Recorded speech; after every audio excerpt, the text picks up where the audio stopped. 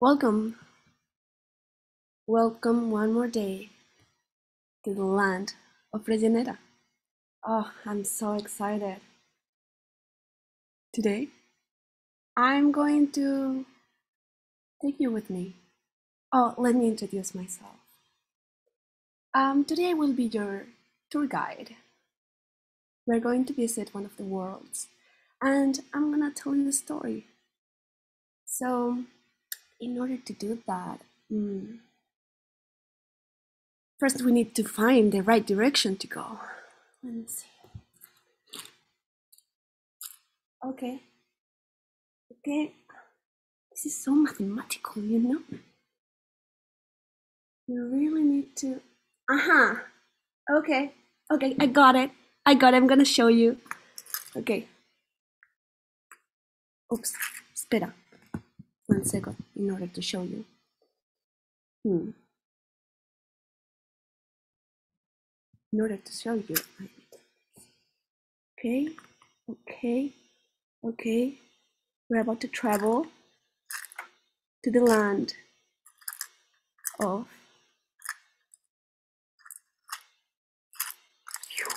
the art district. Let's go. Hmm. welcome, welcome to the art district. Hmm. Uh, have you been around lately? Many changes have been happening in this land, which is amazing. Today, I want to take you to an amazing place the Lake of Atlac. Have you been here already? Hmm. Many things happened in this lake a long time ago. Let me sit here with this dead body. And I'm gonna I'm gonna tell you, but I'm gonna leave this because my computer might crash. So uh, we're all in that lake, okay? Like we, this is an exercise of visualization. Or you can also go to Topia and go with me. It's topia.io slash art uh, guion, like rayita, district. Easy. Um, okay.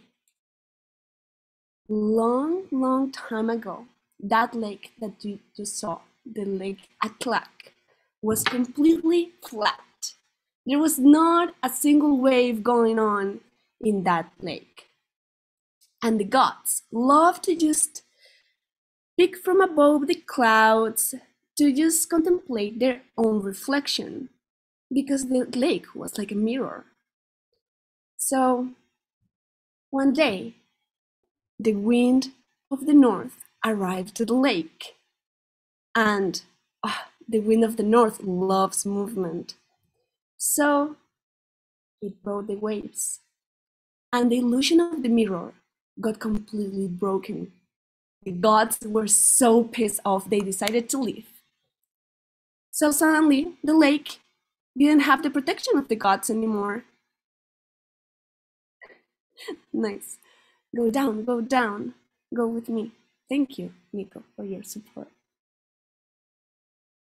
So um, without the protection of the gods, there was a space for the wind of the east to arrive to the lake. And the wind didn't come alone, he brought clouds. Many, many, many clouds. Soon enough, this whole lake was covered with clouds, and of course, it started raining. And it rained for hours and then for days and then for weeks. And the paths got completely underwater and also the rocks and also the small city. There was this tiny town of ancient people here in the lake. It got completely underwater. Hmm.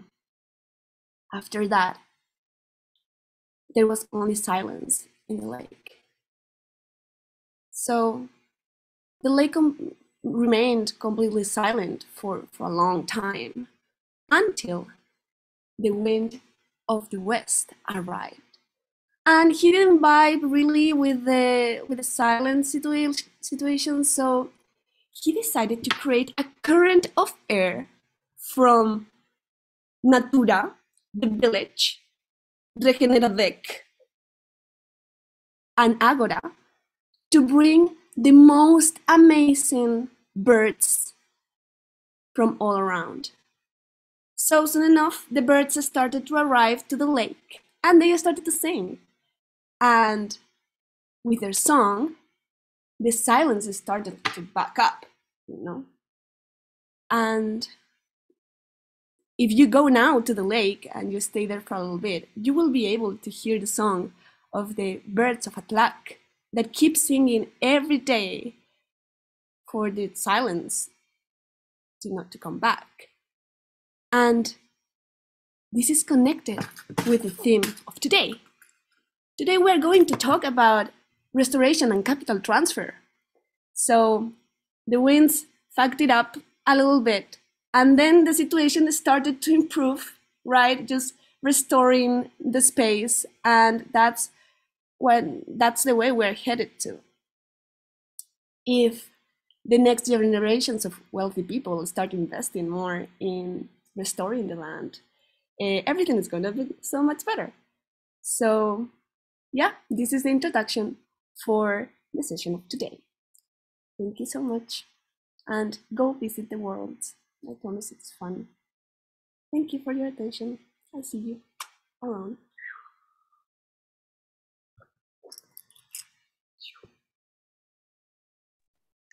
Thank you, Kara. That was lovely.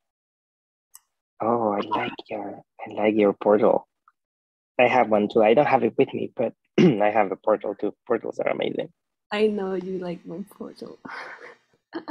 nice. Is it is it made is it made out of crystals of Regenera? Yeah, yeah, of course it is. I collected them myself.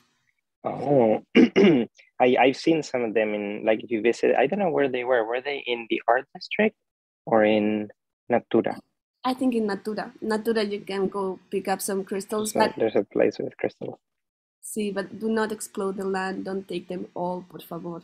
If you take something, you leave something. No? Can we grow crystals? Of course we can. Like there was like I remember when we were kids, there was this like um, science sets that you pour water and it grew crystals. You need to talk with the alchemist of of Natura. Yeah. Where where is where can I find him? You will have to go explore. Mm. See. Is there Okay. a password? Of course, there's a password, but that also you need to figure it out. I'm sorry. I can't give you all information right away. Too many things to figure out. This is so complicated. well, you're in Regenera, you know. Beautiful. Thank you. Well, Nice. thank you so much. Bye bye. Bye bye. Um, with that, um, I wanted to ask, um, can I show, um, can I see a show of hands? Uh, who of you are already citizens of Regenera? Huh? Some, some, I see. Uh, but that means that there are still people who are not. And you're all invited to be citizens of Regenera. So let me post the link there for you so you can become a citizen. There you go. It's a simple form, and there's a few things you need to do. You just need to tell us your original name. You just need to tell us five words that represent you. You need to, if you want, make your citizen card, and I'll show you what that is. And then just tell us what your pledge is. What are you pledging to do? And I'm going to share with you um, some of the pledges because they're really beautiful and they're very worth reading. Give me just one second while I put these up and I show you. Give me one sec. Okay. Let's see. Let me share my screen. Perfect.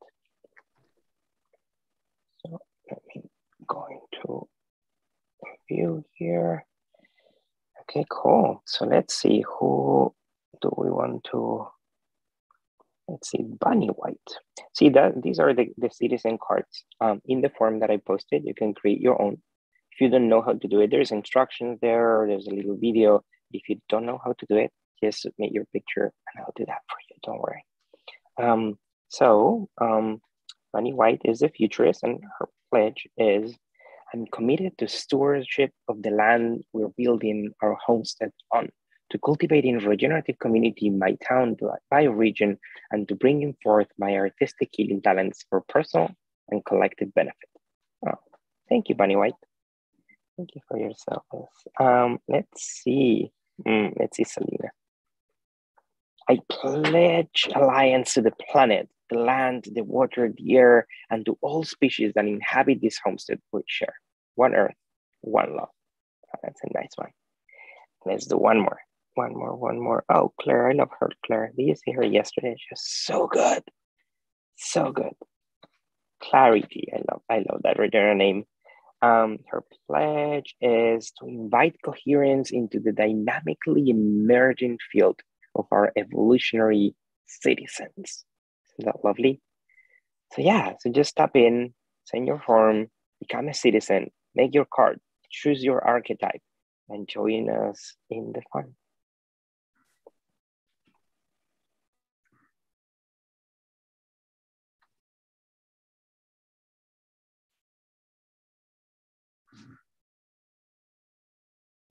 Roxana, are you there? You want to come on stage with me?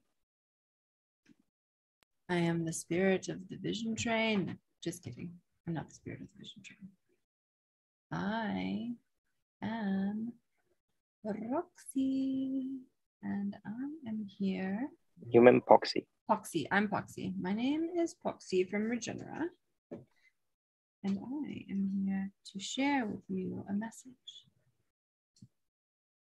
a message from the revolutionary creators of the Design Science Studio. We actually have four people who have put together the most magnificent piece of art to welcome us into this day. We will experience it. And this was created by a collaboration of Benjamin Life Turquoise Sound, Sherry Sophia Herndon, and Future Primitive. And to welcome us, they say, We, the people of Earth, are we reawakening to an ancient truth. We each have medicine to heal our planet, and we have a unique note to contribute to the symphony of life, the song of Earth. Scientifically and spiritually, we are all connected to pulsing, humming web of life. All life, including all of humanity, belongs to this global resonant field. When we express our essence and harmonize with others, we can collaborate, coordinate, and co create a world that works for 100% of life. This way of seeing and being is the realization key of SDG 17, Achieving Global Cooperation. This experiential artwork weaves together multiple artistic contributions in the shared intention to unite humanity to facilitate a shift in global consciousness. This co-creative process between Sherry Herndon, Future Primitive, Benjamin Life, and Turquoise Sound was created as a channeling meditation to transcend, intended to harmonize humanity within a web of life to offer a unifying worldview for global coordination to support individuals on their journey of self realization in service to the whole. With writing and narration from Sherry, music from the artist and ally Rain, Future Primitive, and visuals and editing from Benjamin, this conceptual inspiration from Turquoise, this co creative process of shared intention and group flow, was a manifestation of the harmonization that meditation invokes. This piece is called Song of the earth. And it is a part of a NFT drop that is happening as of tomorrow. What's interesting is that this is the first one that we have participated in, and it is with a platform called Doing Good. This platform uses Polygon, which is an Ethereum compatible blockchain that is proof staked by nature. It's not dependent on energy intensive hardware to run, which is the main reason that they use it, um, because proof of work has higher carbon footprints. And so additionally, they've partnered with uh, various social impact organizations to promote a variety of social impact causes, including positive climate impact. So they have called us in as one of the partners to support uh, creating work that can uh, help to perpetuate increasingly sustainable and environmentally conscious ecosystem and to help creators create consciously in this new creator economy. So despite the fact that this is a new space, an emerging space, we are doing our best to participate in an ethical way. And today I will share with you this piece, Song of the Earth, which is one of the pieces of work that will be debuted in this exhibition tomorrow. I invite you to come into presence and give yourself the gift of this time.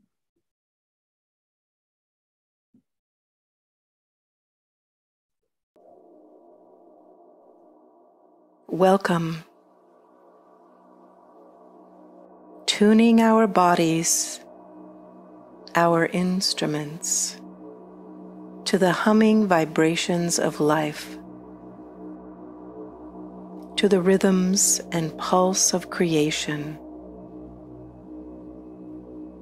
First, tune in to your own inner presence the inner vibrations that make up your unique expression, your unique gift, you as original medicine for a healing earth. Breathe into the still point within your body. You are an antenna receiving and beaming. Even as you hear sounds around you, seemingly from the outside, allow this field of intelligence to reverberate within you as you become even more aware of the unique note that you are.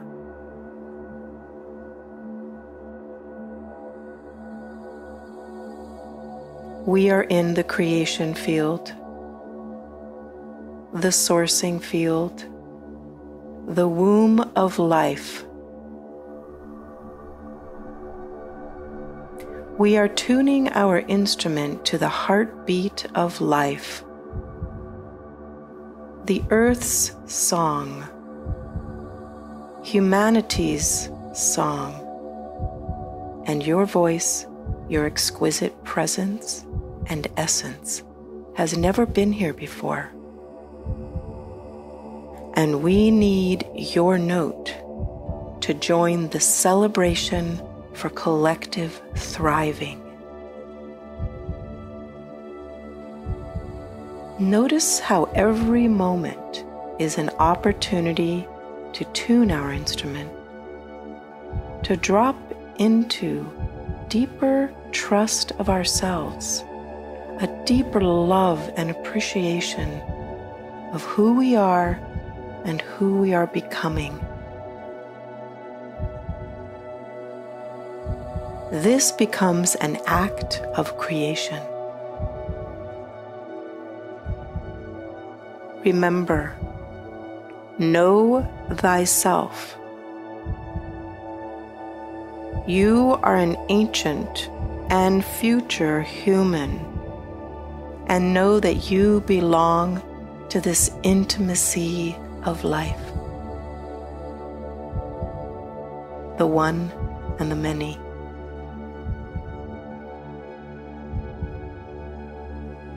Feel your own delightful vibrations emanating from within.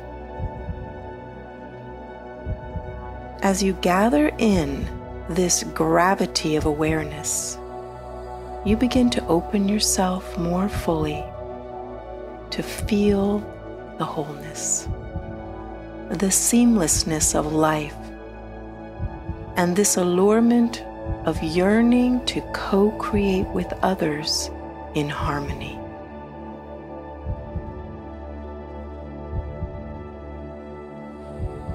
Struggle no longer belongs to this symphony of sounds. This emerging organic ecstasy.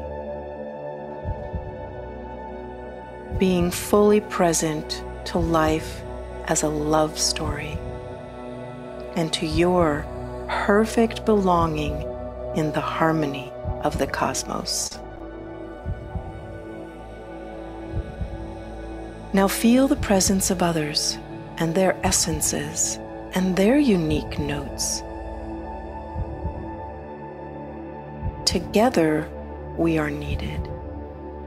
Together, we awaken in beauty and truth and goodness. We are unstoppable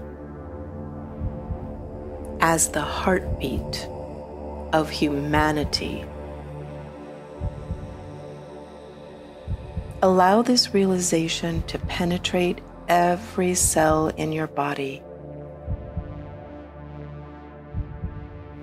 Your body at the core of this fractal, connected to everyone who is here with us.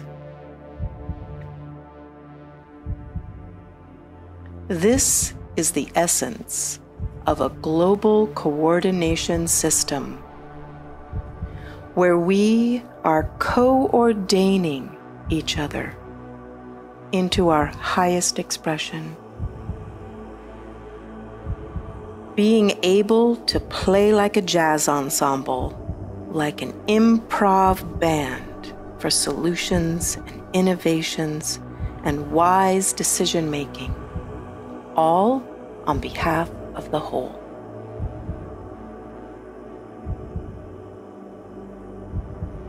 Feel how we can synergize effortlessly when we welcome others in their uniqueness and we let them shine and we join together in this beautiful song. Always grounded in our note, our capacities from this place to listen, to welcome the newness and the new harmonies. This is innate and is our birthright. Our bodies, like vibrating antennae, for our most amazing expression as we co create together a world that works for all.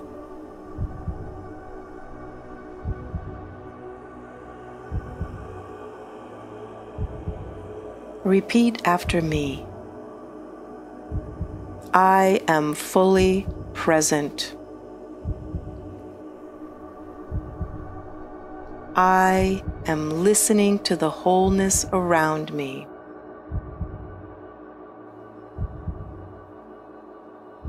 I belong in this song of life.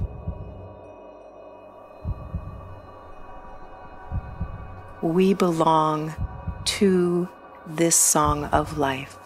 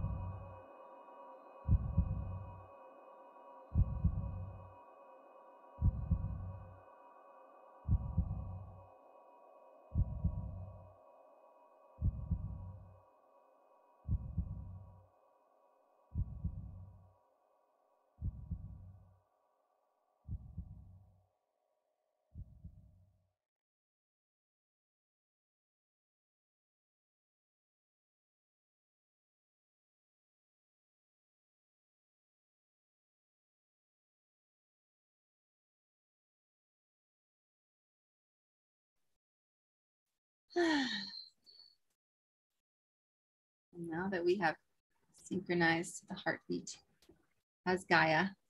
I am ever so pleased and deeply inspired to introduce our first brilliant live contributor, creator, designer, artist, producer, amazing, amazing human here with us today. Aliko. Hi, Aliko. How are you? Morning, everyone. Good day, good day. Well, everyone, just so you know, Aliko and I have been meeting the past few weeks and weaving and scheming about how we can partner and support and amplify more creators for this shared mission. And born and raised in Seattle, Washington, to a French Jewish mother and Caribbean father, Aliko is the first generation American, trans, Black presenting Jewish entrepreneur and producer, the founder and director of You Productions and Expansion Festival. In his branding, website, photography, videography, and event production business, he is able to live his dedication to carving out spaces for humanity through this work.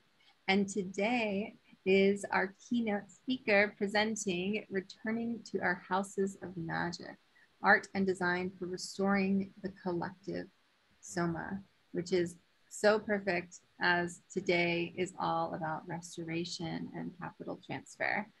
As a partner and a friend, uh, and and someone who's also woven in so many other incredible voices to support this mission and this summit. Aliko, welcome to Regenera Rising and thank you for being here. Thank you so much. Yeah, yay. So, what a powerful place to be on a Tuesday morning.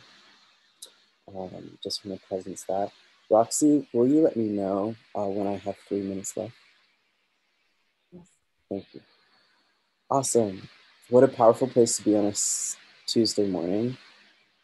Uh, my name is Aliko. Roxy, thank you for presencing me uh, into this space. again, um, I'm a first generation American Jew, born to a Caribbean father and a French mother. I'm here in Seattle on Duwamish land. Um, and again, uh, yeah, I am the founder and director of You Productions. We do events and we do um, business development, all for the purpose of carving out spaces for our humanity. And today, I'm so glad I'm going after that uh, amazing video um, because it is exactly the foundation of what I'm going to be talking about a little bit later at 1.30. And right now I'm going to give you like a 15 minute kind of download about what I'll be talking about later. so my talk is called Returning to Our Houses of Magic, uh, Art and Design for Restoring the Collective Soma. And by Soma, I mean body. And what I mean when I reference the uh, House of Magic is our bodies. Um, my talk later on is going to go through the history of capitalism and specifically something called primitive accumulation. Primitive accumulations is a Marxist term that specifically refers to the um, uh, privatization of land, but it also includes four things that is necessary for capitalism to take a strong hold on society. Those four things are the control of women and bodies, land expropriation, so privatizing of land, uh, the colonization of Americas, and the construction of differences. And um, I will be taking everybody through a deep history of capitalism, starting in feudalism prior to capitalism, where um, people lived together closer to the land, where um, gender roles were, there was much more solidarity between genders, um, where people were not paying rent at the time, but tallage, and the resistance to uh, paying tallage to the lords of the land, the landlords.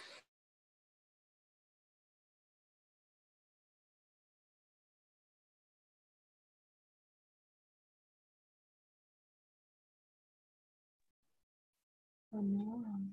Okay, maybe we have a painting interlude while Aliko restarts. Look at this beautiful bird. Wow, this is pretty. Hopefully Aliko will be here in a minute. Internet seems to have gone with me. Let's just Just enjoy this art interlude for a moment because it's beautiful.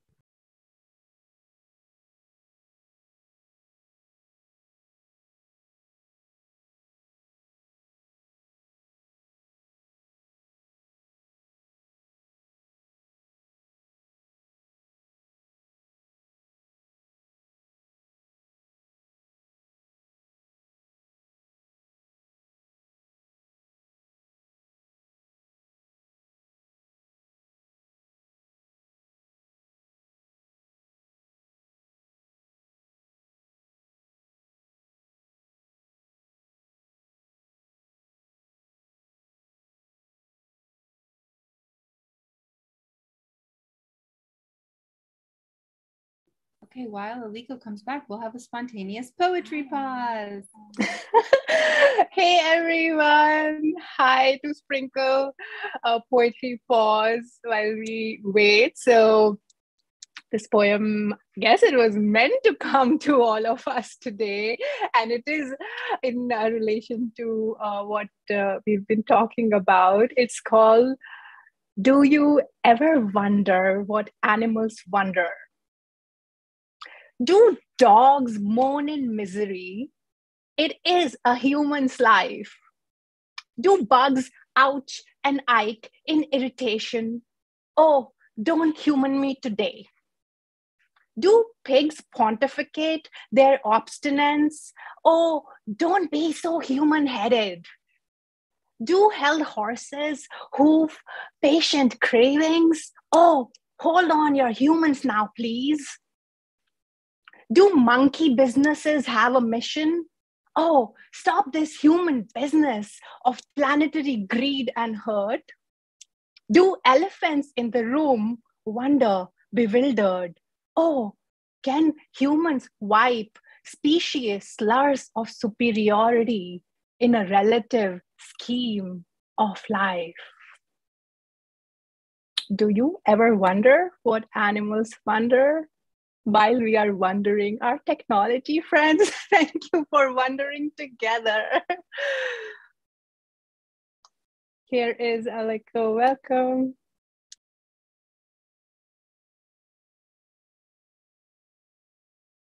Welcome, welcome back. Can you hear us, dear? Okay, I'm back. That was crazy just getting kicked off of my internet, uh, which never happens. But thank you for your patience, and I'm sorry I missed that poetry. Can you hear me? Yeah, we can Yeah. hear you. There's a beautiful painting happening alongside you, which is great. Yeah, I guess I'll keep going. Yeah, Keep going. is that yeah, is that what's alive? Okay, for sure. awesome. okay, uh, where was I? Uh, I was in the history of capitalism, and I'll be talking about that because I find that really the foundation of what we want to build for the future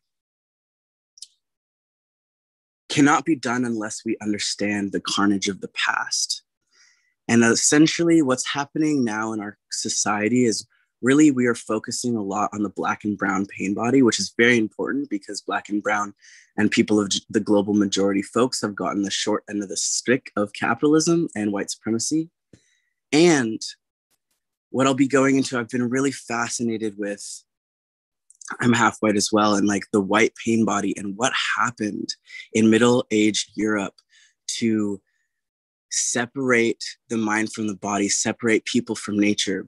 And I think that essentially the knowledge of well and good ancestors prior to late prior to the rise of capitalism is becoming more um aware uh, like widespread the the knowledge of oh there's magic in all of our lineages.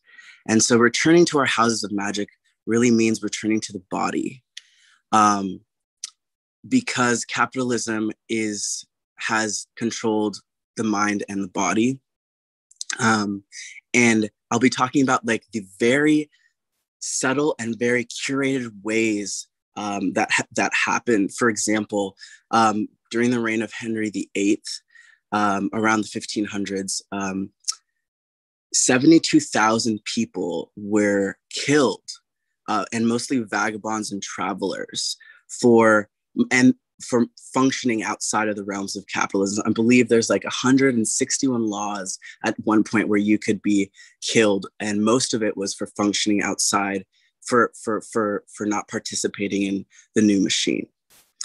And so, how our bodies were really forced into uh, this systemic carnage that we are living out daily. And I'm using that as a platform to go a couple different ways. We could go social justice. Today, I'm going to be going um, art and design. Um, I had the pleasure of I have the pleasure of knowing and have had the pleasure of hosting Morgan Bierschenk, who's the um, founder of GeoShip. And I'm love that this is uh, this event is supported by Buckminster Fuller because Buckminster Fuller was the first pers- uh, first group to popular, popularize the geodesic dome. Um, and I'll be going into the science behind uh, how art and design can reintegrate our bodies and reintegrate our spaces and reintegrate consciousness into society um, through through geometry. And I also love that poetry, geometric, you know, resonance thing because it was all about coming back to the body. And I'll, through and and the geometry was playing in the background and how our bodies have an innate wisdom to resonate with certain geometries. Um, and then i'll be talking about practical ways to implement these changes um, in our in our lives um, and through embodiment uh, coming back to this house of magic and spaces, creating houses of magic around us, and also our businesses and projects. As a business owner for the last five years, uh, I consider myself an anti capitalist uh, business owner. And essentially, what that, how I do that, it's different for everyone. I think capitalism has made us all a very monoculture, so th- very much the same everywhere. So, to to you, so coming through and out of capitalism essentially is finding what's unique to you. Um, what is unique to you and how do you redefine success? How do you redefine success, success in your projects in your daily life in your body in your uh, families in your friend groups? Um, and i really have been thinking a lot about this system that we are coming from and living through and recognizing that every act of love towards yourself or another is reparations. So, all these new technologies, all these new, like I meant, when I say technologies, I mean ways of being in terms of our communication, like consent work, uh, conflict resolution, um, dance, embodiment work, um, just these new, everything being talked about uh, this week in this conference, like these new ways of being, you being here this morning on a Tuesday, all of this is reparations from an oppressive system. Um, so yeah, I want to leave you with that. So continue to love yourself and be in your body if you don't come to my talk. Um, and yeah, thank you. Continue to repair with yourself and each other. Um, and thank you from Jeet. Yeah. Um, with each other. And I hope to see you at my talk at 1.30. Um, and yeah, if you'd like to know inf- more information, you can find me. Thanks, y'all. Sorry about the weird tech, you know, set up. Oh, I hope to be doing this in person with you, Roxy. I'm planning to write Roxy a proposal for like 2024 to do something like this in person. Yeah, Um, in person. We love in person. Yes. This, Oh, I'm so Yeah. excited. We're ready for in person for sure. yeah. Yeah, cool. I produce lots of in-person magic with a lot of amazing people just like you. Oh, whew. Yeah. Thank you, Eliko. That was really Cheers. beautiful. We're, we're sad to lose you for a minute, but you came back to us. So it, Yeah. was, it was beautiful. Um, yeah, I can't wait to hear more about the work that you're doing with GeoShip and just the work that you're doing on the ground. It's really needed. It's it's a very very um, fundamental part of our history and our future that we're we're moving into. So really appreciate it from the Buckminster Fuller Institute and from the Design Science Studio as well. So thank you. And next I'm going to call up Zach Stein, who is the co-founder of Carbon Collective, which is a company providing low-fee diversified, diversified investment portfolios built for solving climate change in 2020 um, which helps to eliminate the barriers to true climate impact investing. Zach, are you here with us? Good. Yes, I'm here. awesome. I have a little bit more. Um, Zach leads the fundraising, hiring, and portfolio research, as well as um, being the author, the author of the Ultimate Guide to Sustainable Investing. I'm really excited to hear more about Carbon Collective and your work. So feel free to take it away. And I know you have another session later on, so really excited to, to hear more about what you guys are doing. And um, yeah. Great. Um, maybe our, toes in.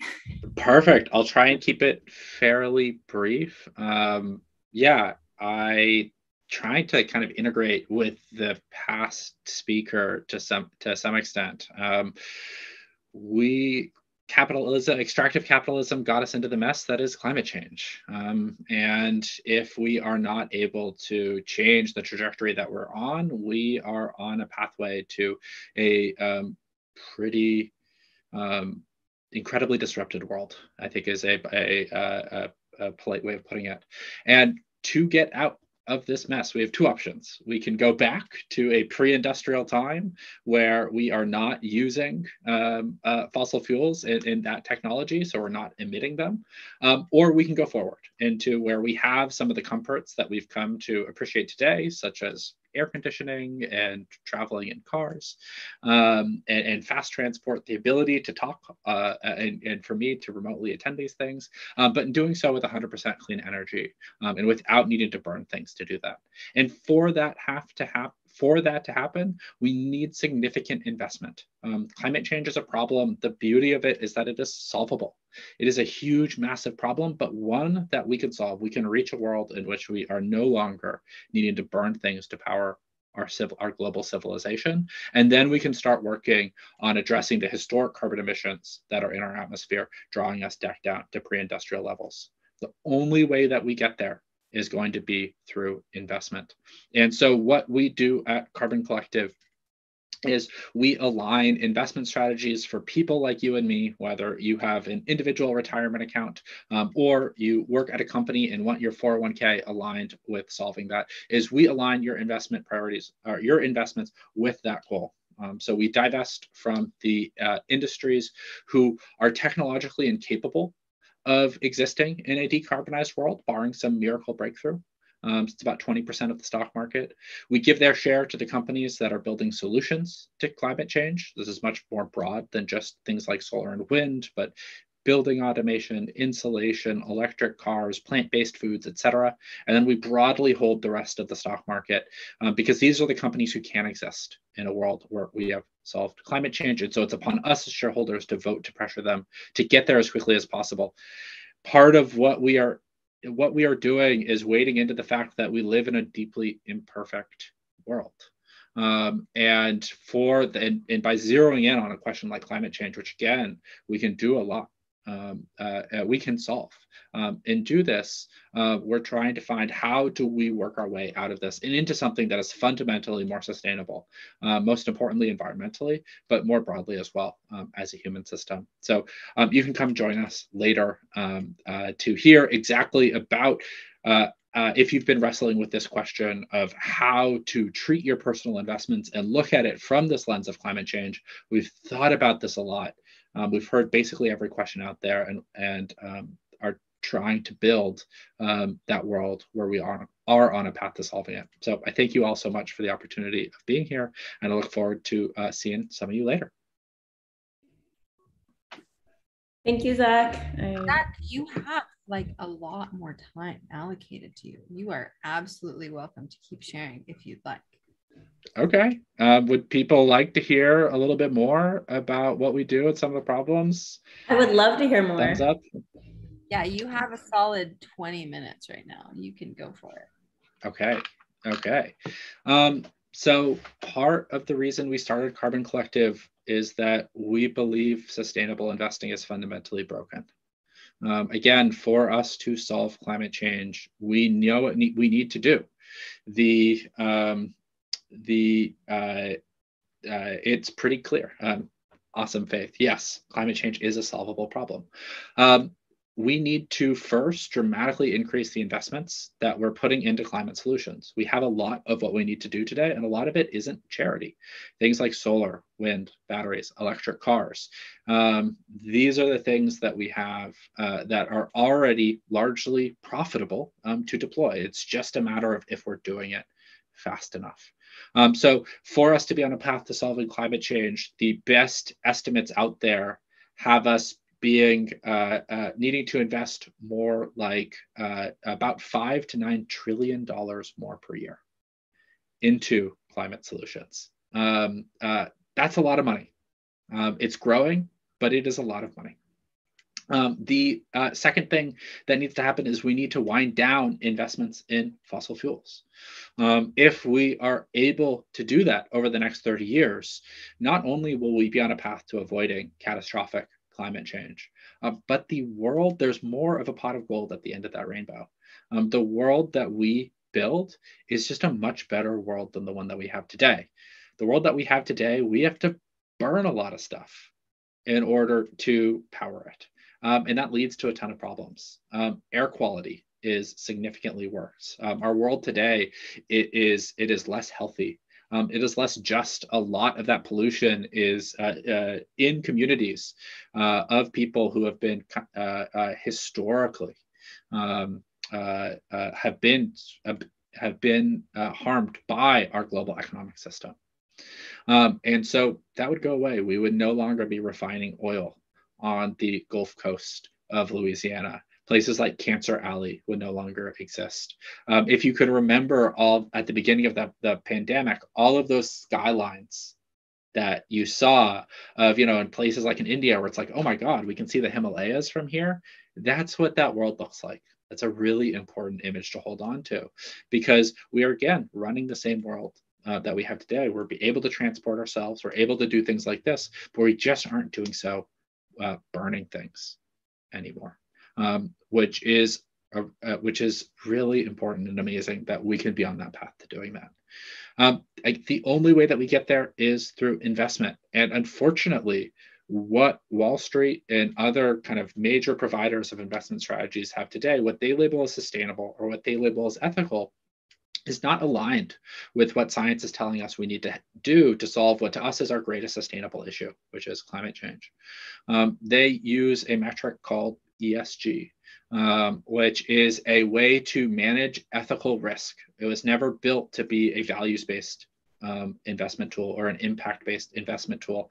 It is just a less bad version of the world today.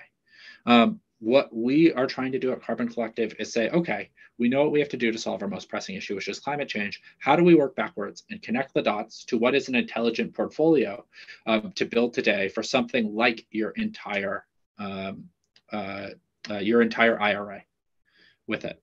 So let me explain how we build our portfolios um, and our theory there. Um, the first step we do is we look at the whole US stock market.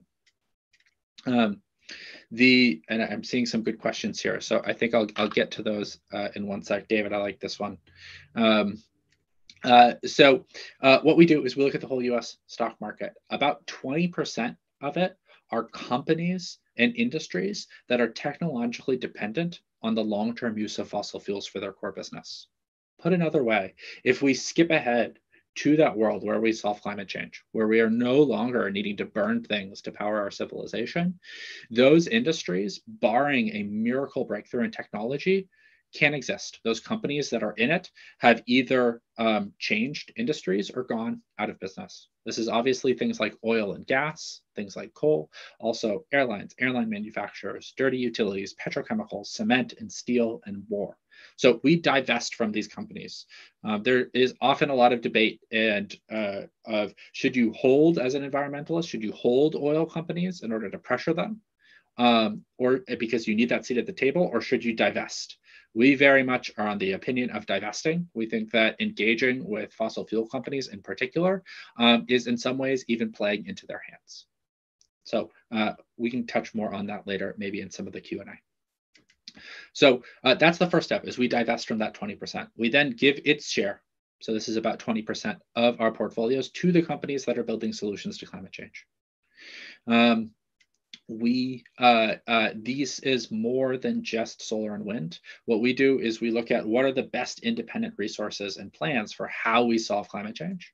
Um, we use groups like Project Drawdown, um, which if you're familiar with, or the International Energy Agency, and say, okay, what are the climate solutions that they've identified? We then map those onto what are the companies that we can invest in who are building those solutions.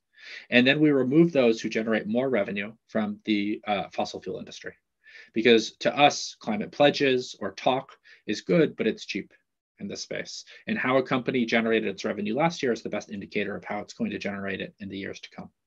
So we give those that share to the companies that are building climate solutions. And then that's the second step. The third step is then engage. We broadly hold the remainder of the stock market, and this is in our core portfolios. Um, uh, and I see some great, great questions coming in, and I'm going to dive into those in a sec. Um, so uh, we broadly hold the remainder of the stock market because, with some exceptions, these are the companies whose core businesses can exist in a world where we've decarbonized and solved climate change. It by no means means that they're environmentally friendly today. In fact, most of them aren't. Um, the example I often like to use is Coca Cola. Uh, Coca Cola is not an environmentally friendly company. But if we skip ahead to that world where we are no longer burning fossil fuels to power our society, there's no reason that Coca Cola cannot sell me a Coke in that world. They are just doing it with 100% renewable energy and 100% electrified fleet, and they are protecting instead of abusing their natural resources. That means to us, um, it is critical that we use our shares and our votes to pressure these companies to make those transitions as quickly as possible. Now, for some, that is not, uh, people are like, I, I, I get that strategy. I really don't want to be invested in Coke. So for that, we also have our climate only portfolios, which just invest in climate solution companies and green bonds. It's going to have a higher level of risk and reward, but for some folks, that's okay. The strategy I just described is our core strategy, which is meant to be a similar level of risk and reward as you would get for investing in a generic based uh, index portfolio. Overall, our goal at Carbon Collective is we want to make sustainable investing simple, clear, actionable, and accessible to all. So we have zero minimums um, on our platform. We charge the same as you would pay for a generic investment portfolio on a, a platform like Betterment or a Wealthfront. Um, and we're real people who care about this uh, as much as you do. Um, so if you ever have any questions, we are not robots uh, behind the scenes. You can always email us. All right, I want to dig into some of your questions. All right, I'm looking up. Okay, so David, you said, I realize you're coming at this from a financial perspective, but at what point will government stop attempting to continuing to drive economic models that are and have always been unsustainable and intentionally designed to be more bust bear than boom bull? This is such an interesting question when it comes to climate. And I think part of what you're getting at, and I think this is an interesting debate um, in this group, but it's one that I personally wrestle with, is degrowth. Um, is right now having an economy that is built on consistent growth is just fundamentally unsustainable. Uh, we do not have those level of natural resources. There are some crazy things like if we projected 2% annual growth for a million years, like there literally wouldn't be enough atoms in the universe to accommodate that. Um, so it's like, you know, compounding growth rates are crazy. Um, when it comes to climate change in particular, when we zoom in on this, the fact of the reality is we actually need massive growth in this. It needs to be a transition um, of capital. And so that is part of where we wrestle with is how do we plot the most likely course to solving climate change? And how do we do it in such a way where the end result is a much better world that we have today? It is more just. Um, and there's some ways that are just fundamentally baked into that um, of uh, so having electricity provided by solar and wind means that there's going to be less pollution. There's going to be fewer kids who are dying of asthma attacks. Um, that is just a fact. There's going to be more justice there. It doesn't mean that, that there's going to be more economic justice necessarily. Um, and that is something that's a really important part of this transition that we really need to hold. Um, and we also have a ticking time clock. There is just a reality and a pragmatism that we we exist in a hyper capitalistic, individualistic society. And part of the fear that I have is the more that we put in front of us needing to change how the global system works, the more, the less likely it could be that we're able to make get to that transition in time. Um, and so that's where I actually generate a lot of hope. Um, is that even if we assume that our greed is going to be what continues to drive um, our, our global capitalistic society over the next 30 years. That individual nations looking out for their best um, interests um, is going to be that. That those aspects of human nature, which human nature is wide and varied, we just have chosen, or the system that has been built has just accentuated certain aspects of our human nature. But let's assume that that's not going to change. There are a lot of hopeful pieces um, within that, uh, renewables, solar, wind, batteries, they are the cheapest form of generating electricity in most places in the world. That is likely only to become more so the case as we continue to pick the next lowest hanging fruit of fossil fuels. Fossil fuels is a, is a resource that is getting fundamentally more expensive to extract.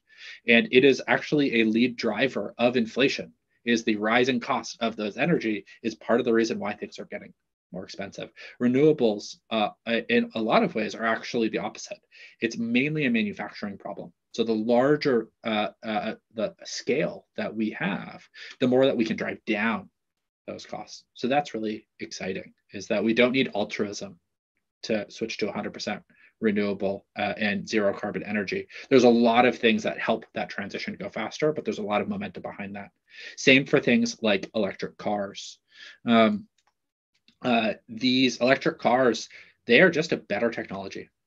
They are safer, they are roomier, they can they're faster, they can tow more, um, they have a, a, tenth of the moving parts, so they cost way less to maintain. You can drive a Tesla for literally over a million miles. So you have like police forces around the country are buying Teslas because they pay for themselves within 18 months. And within the next five years, they're going to cost less to drive up front. So it's a fundamentally just better technology that is here, that is rising, that we don't need to depend upon um, uh, greenies like me saying, I'm doing this for ethical reasons. We get to say people being like, hmm, I like saving money. I'm going to choose an electric car um, over this, especially that infrastructure gets worked out.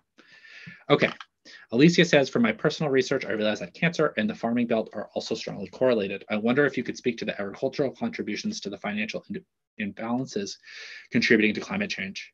Yeah, absolutely. This is again one of those spaces that's really hard, and that industrialized agriculture is a space that has uh, is really unhealthy for our planet and the local landscapes and us, um, and has also arisen to be able to provide the level of calories that our system needs. There's so many ways for increased efficiencies um, within that. And there's a lot within regenerative agriculture um, that is growing and rising in how we're treating our land and how we're using it, um, where we're finding ways. And I think that we're seeing more alignment of that, of saying, oh, and this is again one of those areas where um, uh, uh, capital where there, there's an element of hope where uh, capital broadly is saying oh this is actually also aligned with our interests uh, of having uh, more sustainable practices where the land isn't going to need to lie fallow after a certain period of time. Um, there's a lot of hope um, in that as well and a huge amount of work um, to be done um, with that Okay, Zach, if there was one thing that you could change in our society that you think would yield the biggest amount of change at all levels, what would that be? one trim tab, one achievable change with the biggest amount of impact.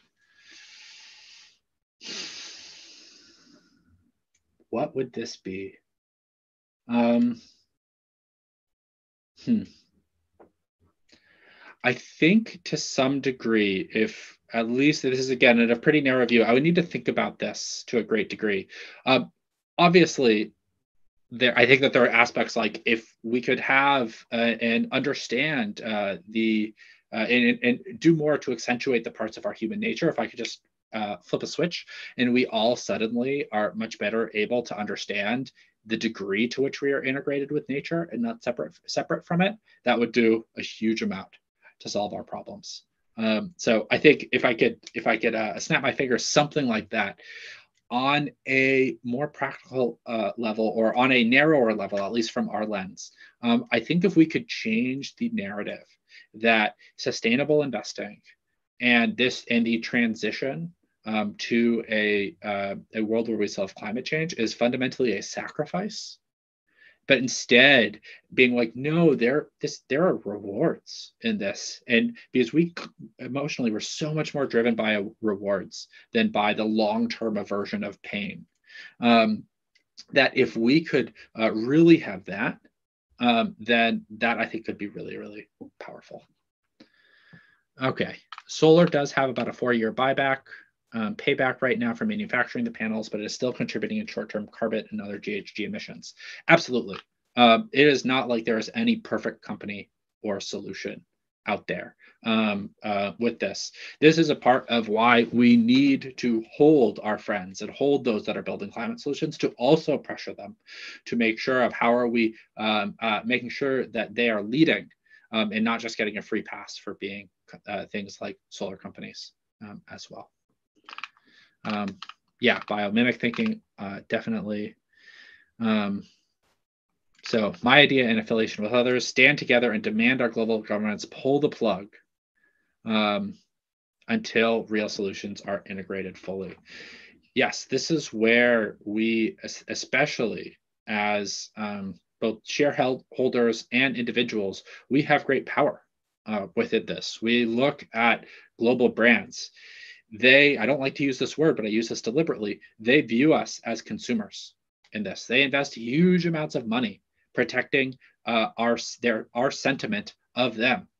That gives us power. They are the ones up on the stage performing. We're the ones who are in the audience getting to clap and give a standing ovation or uh, boo and, and, leave the auditorium.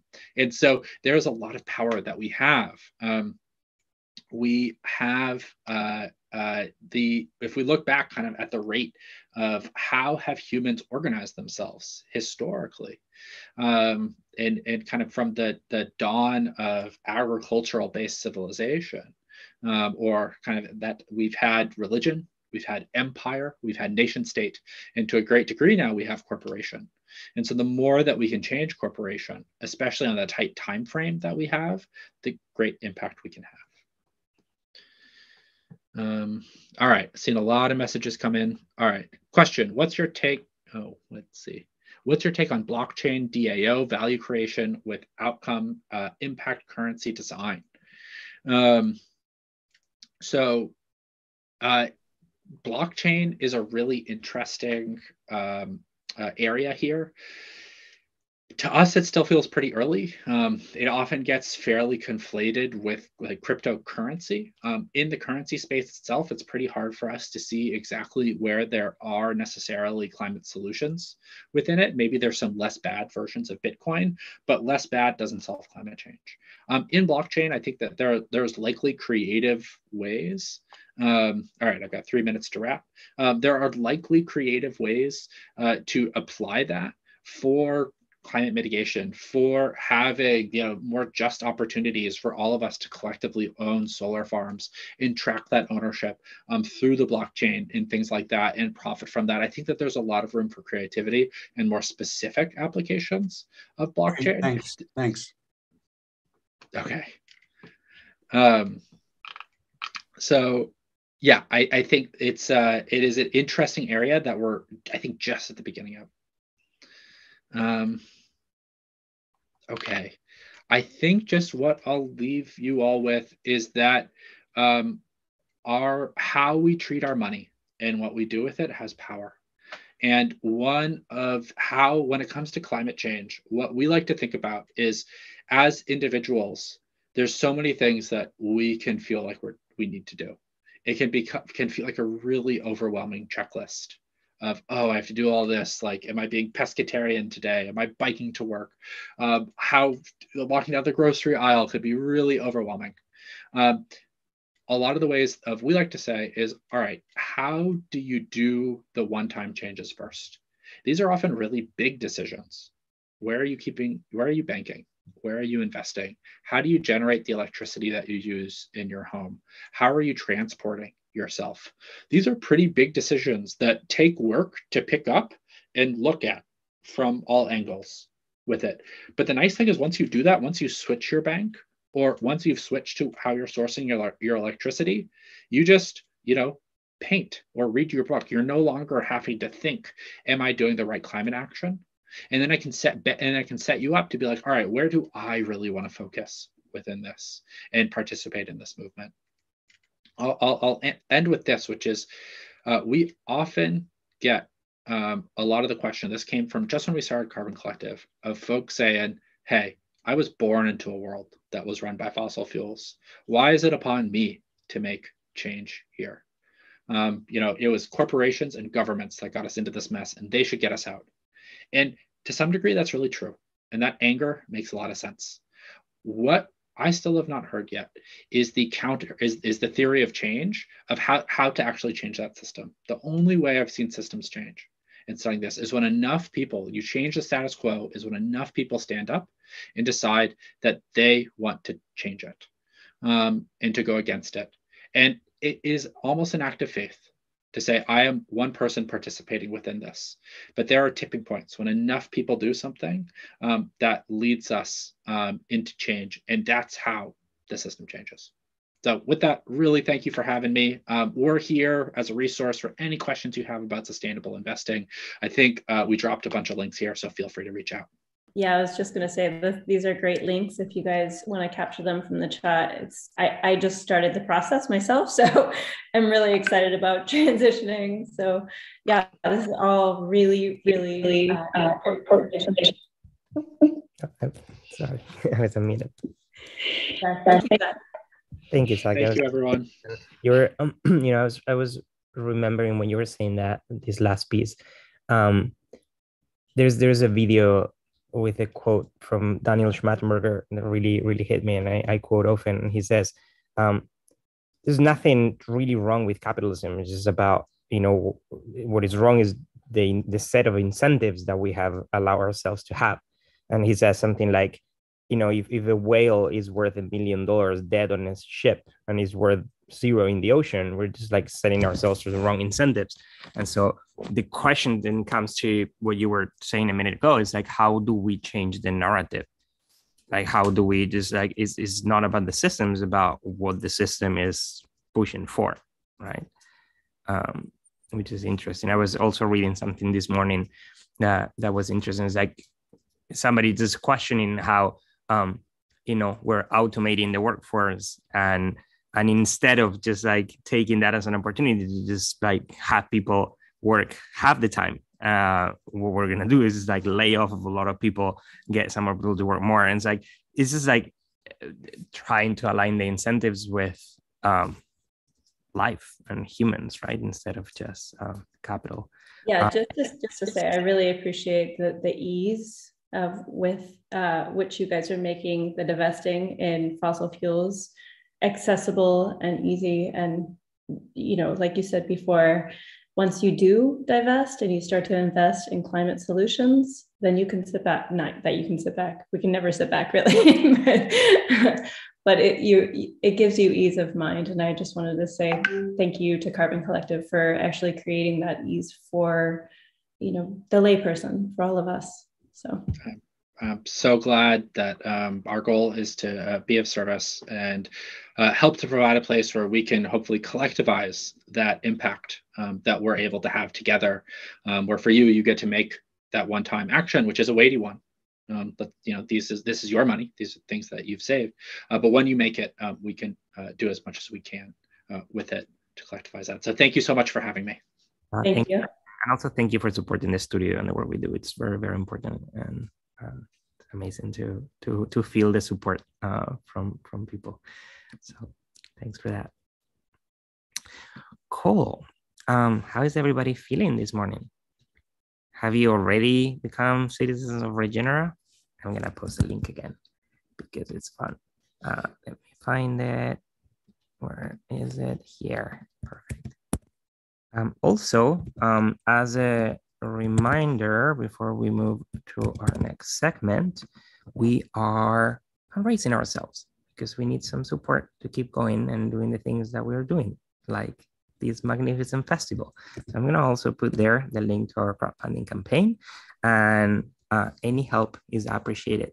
Like any dollar amount you send goes towards funding artists and, and creators and funding our operations so we can continue expanding uh, the gospel. Um, Mariette, hi. Well, I'm so happy to have you here. Nice to be here, Nico. I'm so excited. Such a great regenera. So- Yeah, it's been fun. It's been really like uh, yummy and fulfilling. I feel. Yeah. And I just love seeing things like Carbon Collective. It means so much to me. I love all the projects. And, um, you know, my little contribution feels so small, but I guess together then it becomes this much bigger thing. Trim tab, remember, a trim tab is the smallest part of a system that has the greatest impact.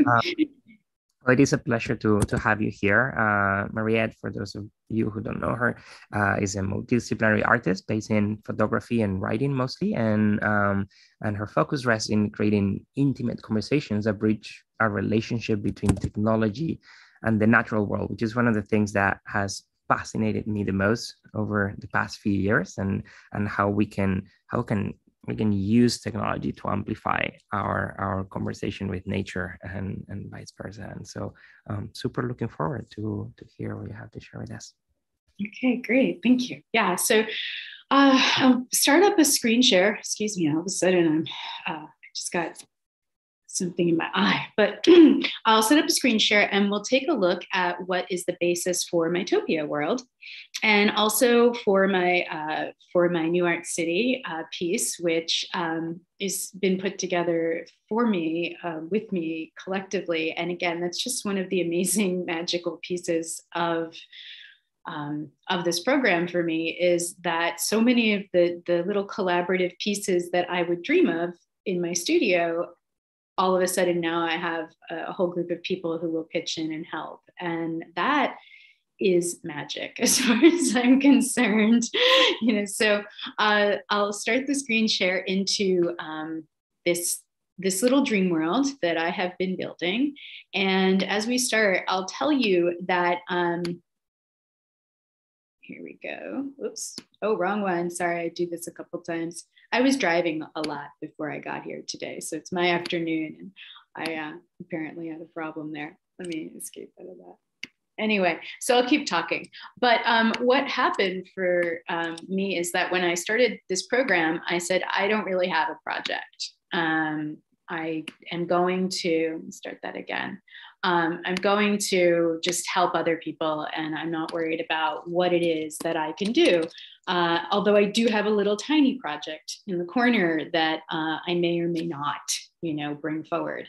And through attending the sessions and through listening to all of the visionaries, I started to say, well, you know, I mean, it, it would be kind of a, a, shame if I didn't put in a little effort here and actually um, invest some time in this seed I have. So I started to invest a little bit of time, and here we go. Now we're we're back where we want to be in in my world, and um, and I grew something that I had thought was going to be called the infinite tree into something called dream tree.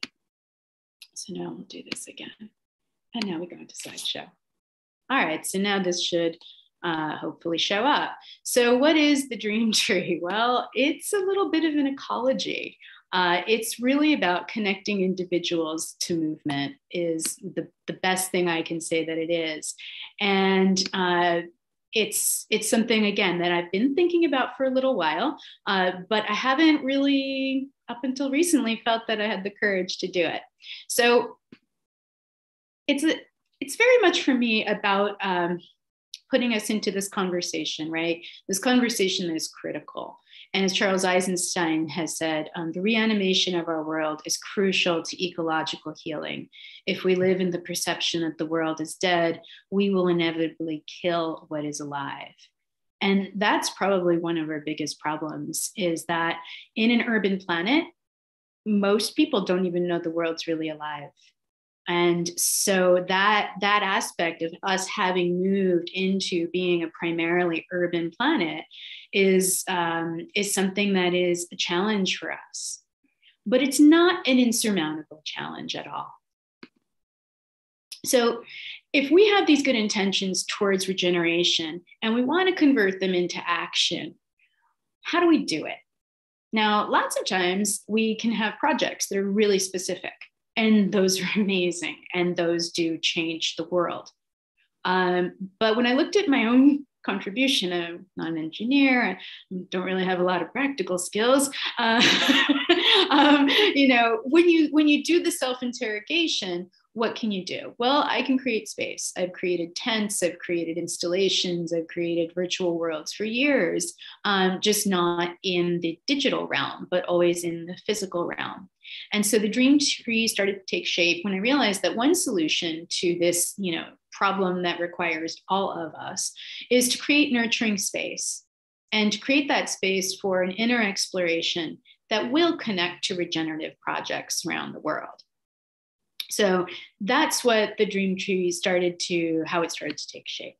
So um, instead of connecting people to problems, I do know that if you connect them to flow and you give them space to discover, um, then they really get excited.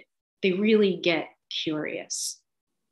And so I started to create for the program and specifically a dream tree that right in the center of it, I, I hid one of Bucky's uh, drawings from the 1970s. So what I started to do is to go in and collect some of his archival pieces of his drawings, et cetera, and to start to see ways that maybe I could um, eventually, you know, mask and unmask the geometry and the wonder of his work in in pieces. So i haven't fully realized all the animations and all of these other stuff but i'm getting there. And i'm really excited to take you on the journey with me as i as i am getting there. Um, primarily the dream trees have to feel hypnotic. They have to feel like a space or a place for meditation conversation where creativity is given its its all. It's given a field. So that's what this is about Okay, now ultimately, uh, now you see that the little illustration has some, some great little domes popping up in its field. Um, the dream trees are a framework for flow between mind and body and spirit, and they can be curated by groups, I imagine. Uh, they can be populated with raw materials for anyone to discover.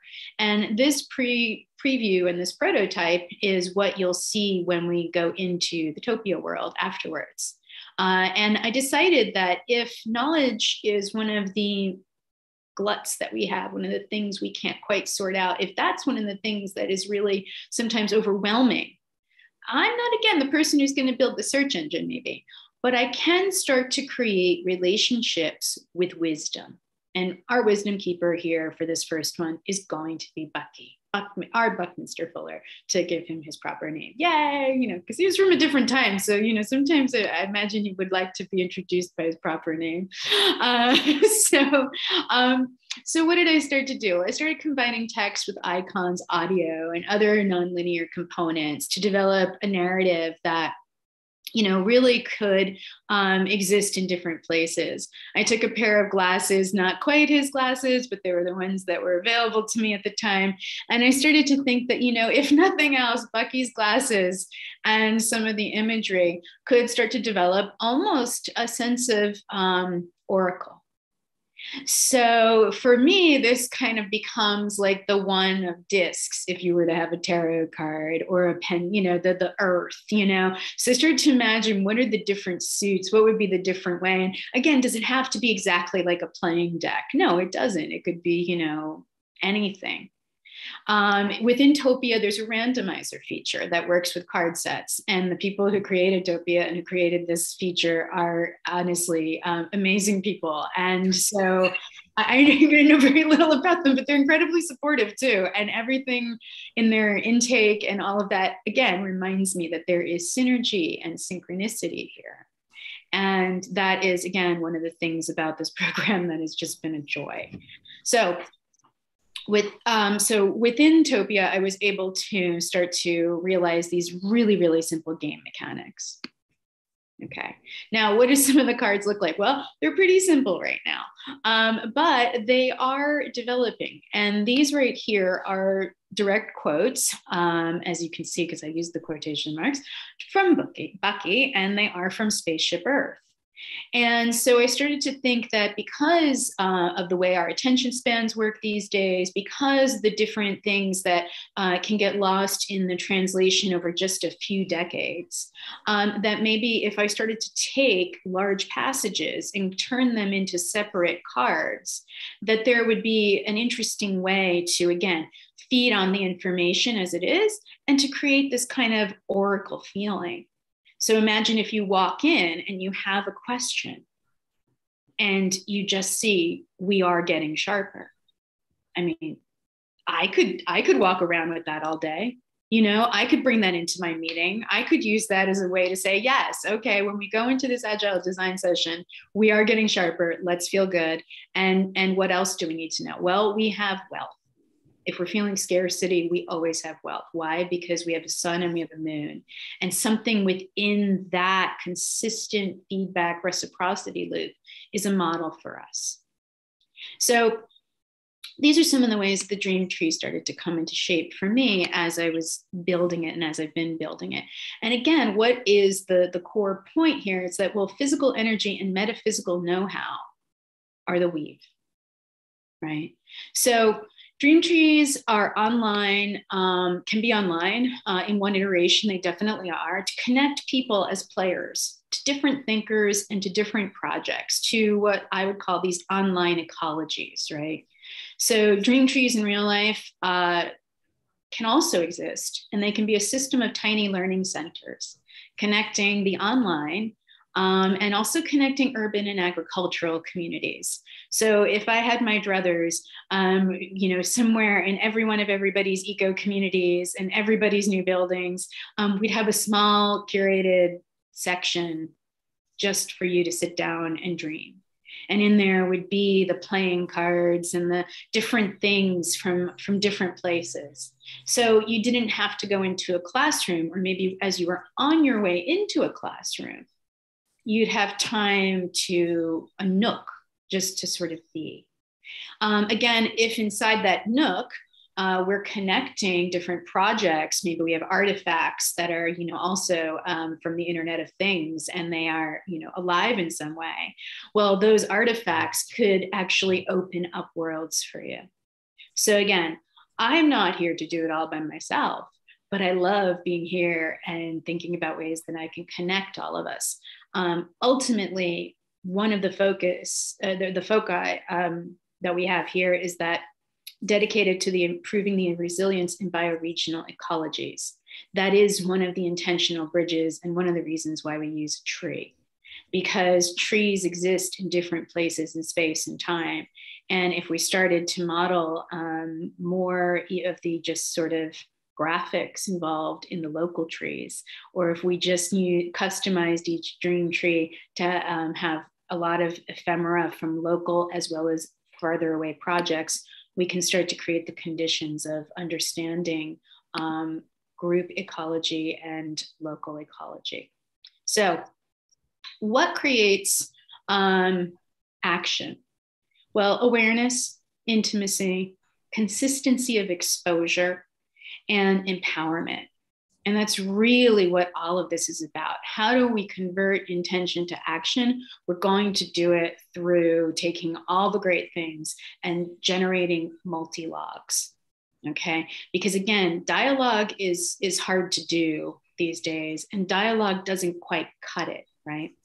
But multi logs, again, nonlinear relationships can help us get to where we want to go. So World building around trees is here because I want to help create biophilia. I want us to remember that trees are wonderful, that ecologies are wonderful. And I do think that we have to insert that into our fantastical worlds um, online. And they help us remember the body and they help us remember that we are actually pathways and we are paths for self discovery ourselves.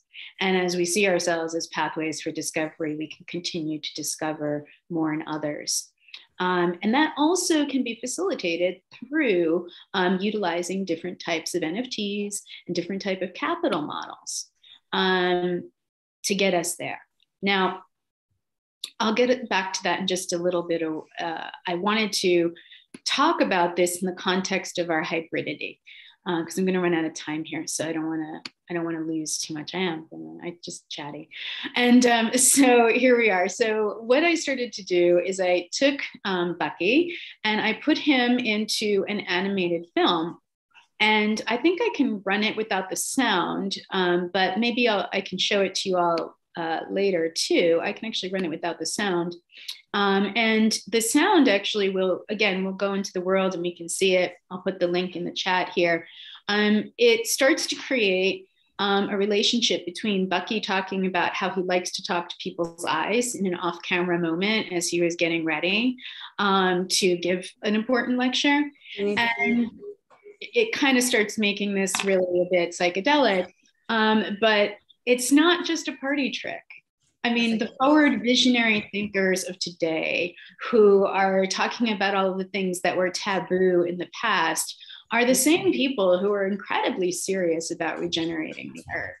And so, um, in here, if we follow it along, there's a narrative that starts to use these really simple, almost childlike graphics to connect together um, all of these ideas and you could play this in a party, you could play this in a quiet room. Um, the idea is that we want to take everything that's really seems like an A level difficult and make it really simple and sweet um, as much as possible. Okay, so I think I only have, let's see, oh, I have two minutes left. Okay, so now we're gonna just move it along. Um, when my count, when when my when my there we go. Okay. So, what are the other types of hybridity that I love? Well, we have hybrid nature. And so, this is some of the art that I've been creating over the last several years, um, where I'll take things from images like so those would be actually photographs that i've shot of, of, existing places. And then i combine them with let's say like a piece from art history. So that's the old mycenaean bull which would be like a evocation right of like a really really deep myth. Um, and we won't get into that those myths right now or how those animals were celebrated for so long. Um, but these are the kinds of things that people wanted to start working with me, I'd love to animate these. I'd love to make them immersive. I mean, this would just be a joy. Um, why? Because we live in hybrid, highly recombinant landscapes. And that's not just a, a, metaphor. I mean, this here right here is made through a series of um, photographs I took. Um, at the bottom is a little swan, and there are these little bucky, um, uh, uh, what are they? Decahedrons? No, no oh, octahedrons, there we go. And uh, so they're the octahedrons, those are his sketches. And then there's a Canva owl that is actually in the Topia world and is a little sound piece when you get into the Topia world. And that was made by taking sounds of owls with a friend of mine and then him running it through a synthesizer. And then boom, we have little tiny hybrid worlds. So the reason hybrid value is important is because we do have to start converting a lot of this into new economy. I did study at the first meta currency cohort. Um, I am very excited to be involved with anything that has to do with creating um, more abundance, less scarcity. And when you look back at the way that money was structured years, many, many years ago, you know, what went on money was artistic, symbolic, and deeply important. And so, um, so what we what we might turn into money now um, could be anything. Um, so obviously, water and representations of water. Last thing I'll have a chance to get to because I'm hitting time is I did collaborate a bit during the project. I made a Dymaxion dream map for Julian uh, Ramirez and his projects, and you can see it there. It's ready, you know, it's print quality. We could print it, we could turn it into a Dymaxion lamp. I mean, we can do things. Yay, okay, great. You know, we can do these things. And I, I'm really excited. Again, the DSS has been amazing because it's helped me turn things tangible and that that for me is a really wonderful experience. So maybe we'll get to continue this um, throughout the uh, regenera. I'm going to host a couple of short brief conversations that pick up on a fireside chat that i gave before. And um, we'll just see where it all goes. I really want to get people talking. I really love to talk about things in the margins if you haven't figured that out. And um, I'll even bring happy little cows. Um, and so, so, um, so we'll leave it there. And I'll just say that yes, um, this does come from a bigger work I had written in 2016, published called the Digital Nomad Manifesto, which was basically an entire dive through um, consciousness and um, why I didn't think that it would any long work with borders and all these things that we seem so obsessed with now. And um, you're welcome to find that, but um, I'll just go through these and say stay in touch. Um, if the dream tree sparks your curiosity, reach out on social media. I'll put some stuff here in the chat. I'm at Ms. Papik on Instagram and Twitter for at least a little while. And thank you so much for barreling through that with me. Uh, thanks to the DSS for existing. Wow, Mariette, that was amazing. just um, there are so many incredible ideas. I have a little block in front of our, our screen right here. Um, uh, so many incredible ideas there that were popping up, and your art is incredible. It's beautiful. Um, so, just to let you guys all know that you can find Mariette at Topia today, um, as well as please, please put the links into the chat not only for everybody else, but also personally for me, because I would love to explore more. I love the Dymaxion map as well. That was um that was something that I haven't seen yet, and really, really just beautiful work. And the the weaving of dreams into the space is really powerful. And I feel like um, just to to take in a you know breathe in the the nature of the vision of the future that we want to see. And Bucky held that for us in a way that was really possible. And I, I see that in your work. So just want to say thank you. Really beautiful.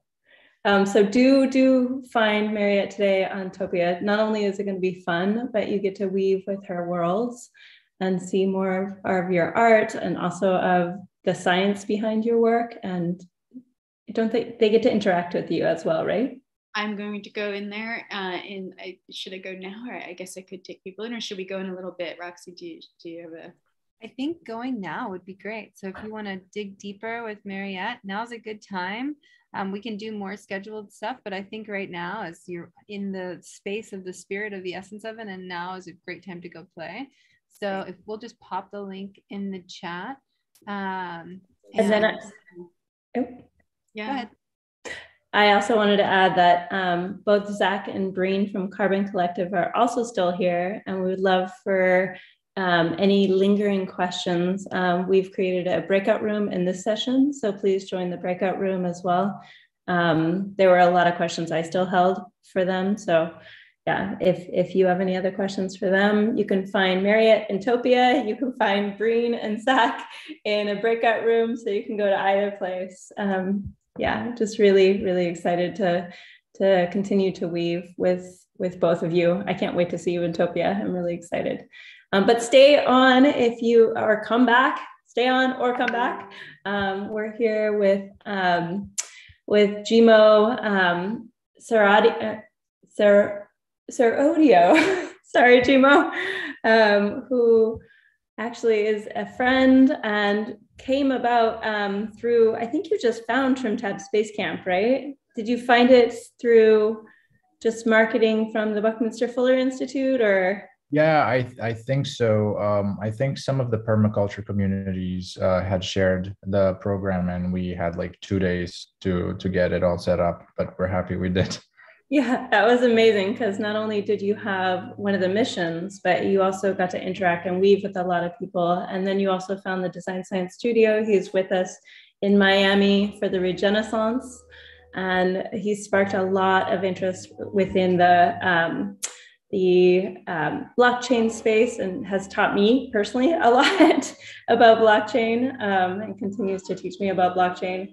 Um, he's the founder of Just Learn and Silvi. Um, he's also um, a native to Mozambique and lives in Miami, um, works on environmental education and circular agriculture and technologies. He's created many, many different incredible technologies, um, which I hope you get to share today. Um, yeah. Uh, and then most recently, he launched Silvi, which is connected homes and schools to reforestation efforts using Web3 coordination tools. Excited to learn more. Awesome. Thank you, Faith. Um, yeah, so I mean, I'll be presenting um, again in three hours, uh, and that will be a much uh, more of a, a, deep dive into some of the blockchain um, stuff we're doing with trees, with natural capital. Um, and uh, I encourage you to, to check that talk out. For now, I thought I would just um, go over our work a little bit more in, in, in terms of what circular design is, what it means to us, uh, how it should define education and lifestyle, at least moving forward. Um, our approach with environmental science specifically, um, and how um, what we've learned from environmental science and particularly from from closed loop systems, aquaponics being a great example uh, to to to build software that can help with coordination and tracking and data, um, ultimately scalable into trees. So, um, so yes, as Faith mentioned, uh, Just Learn uh, and our team attended uh, Buckminster Fuller's uh, TrimTab Space Space Camp program um, last year, and in that we developed a circular design, which which I'd like to cover just a little bit more today. But before that, I'd like to anchor sort of what what our mission is all about as an education company, as an edtech uh, company. And our, our mission is very much to help the world transition into a circular economy.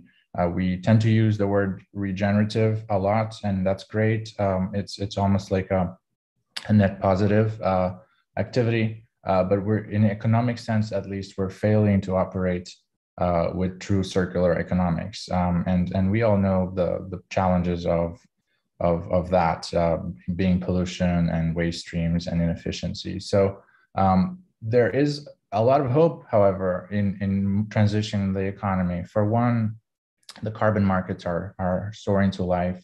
Uh, there's exponential growth of, of ESG and natural capitals. Um, I will be focusing a little bit today, however, on, on the role of citizen science as a grassroots effort and the the convergence of, of technologies that are unlocking just so much uh, for, for us as humans to, to do. So this is just a, quick glimpse of what is possible today um, and not possible too long ago. But with things like mobile technologies and internet and even GPS uh, coordinates, we're able to participate as scientists uh, in basically all types of, of ecosystem restoration and ecological uh, data capture, and even climate action. Um, and and it, it, was this that drove us to think about a circular uh, design model that uh, started off uh, in Buckminster Fuller's program that I mentioned, um, and ultimately transitioned to a blockchain fellowship, uh, which the talk I'll give later covers a little bit more. Uh, but it, it, does, uh, it did come with this premise of how, how can we really decentralize climate uh, par- climate uh, solution participation. And I did want to just shout out the team real quick that joined Mission 19. It feels like forever, but uh, this was a really great experience for us, and I encourage everybody to to check out TrimTab. Um, but what we arrived at uh, was uh, the, the, the notion that education and action really uh, are within one system. So uh, education uh, by itself is, you know, responsible in exposing us to solutions of our, our problems of today. And those can be shortlisted in, in this logo that we co-created as a group. We tried to identify many of those topics and activities from pollination to um, um, uh, soil building and composting, um, and uh, ultimately the, the role of trees and, and reforestation, which, which I'll expand with Silvi. Um, but we are terming this circular STEM. And so uh, circular economy, for those of you who don't understand, takes into account externalities. Uh, uh, but STEM as a as a as a field, uh, as as a sort of the the future uh, job markets and really the roles of of the future science, technology, engineering, and math is still missing a guiding force, and that's the curriculum that that we try to infuse together, circularity within STEM, and to unpack a little bit more that um, that uh, diagram that I had shared uh, just here. Um, these these are the the the topics and phenomena that education very much has to focus on. Um, they have incredible overlap with environmental science. Uh, it does make learning the sciences a lot more fun. Environmental science is one of the fastest growing science categories today. Um, and it does benefit a lot from understanding closed loop systems. For one, because we live in, in one, we the planet is very much um, a closed loop system and getting that mindset uh, really opens the door to, to systems thinking. Uh, so Just Learn has positioned itself um, in, in curating experiences and, and curricular activities uh, that bring this to the science classroom, bring this to homes. Um, and our first true um, tool is PlanetBox. It, it's a laboratory. It's a uh, uh, it's called PlanetBox because it brings planetary cycles into the classroom. And you can see it here. It's set up in, in science classrooms. Uh, we actually serve about 40,000 students today using this tool. Um, but it was our, our true first uh, uh, tool that we developed in the educational context. We had to develop a lot of curriculum for it. Um, but before even arriving at, at this curricular uh, alignment and um, uh, making it integrated into the, the formalities of public education and science standards, uh, we also uh, uh, uh, improved its experience by, by supporting it with software. And there's a lot that we learned from creating software that manages ecology, that manages a system like aquaponics. Um, so the, the, the one thing I do, did want to highlight, however, is the idea of understanding an environment from a life cycle perspective. Um, so in this case, we can define the environment as an aquaponic system, as mentioned. It really comprises of a water component, um, a land component, an atmospheric component, and a light component. And uh, there's multiple steps and multiple milestones in arriving at a relatively sustainable and stable uh, ecosystem. But the logic that we, we built for that involves understanding, defining the very states of that ecosystem for example, the inoculation part, uh, the inoculation period, uh, which means adding bacteria, um, feeding that bacteria, and moving um, the, the state of the ecosystem through its multiple stages. It's basically autopilot for aquaponics, but it truly has inspired us um, to think about uh, planetary restoration from, from, from that perspective. In the talk in, in, in three hours or just under, uh, we'll be exploring blockchain's role as a, as a whole, really where Web3 uh, meets climate. And I'll be highlighting a few other organizations working on this.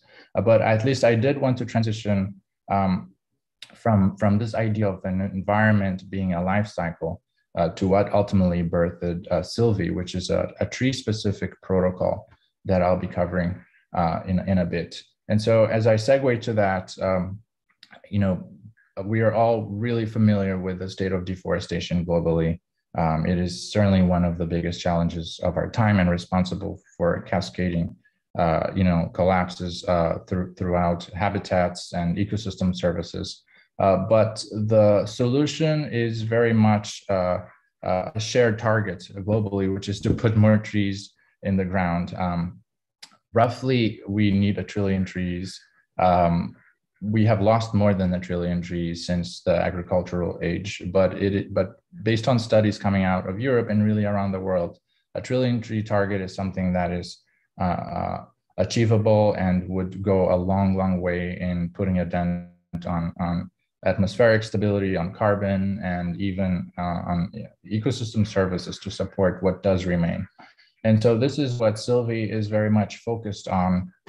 To summarize Silvi, because this is not the full presentation on Silvi, we have created a, a blockchain-centric protocol uh, that uh, basically collateralizes the tree as a as a, a tree future, meaning trees take a while to grow. Usually, the carbon markets today are just looking at carbon credits uh, and perhaps even carbon futures, but not necessarily the uh, what certifies those carbon credits or the very natural capital behind them.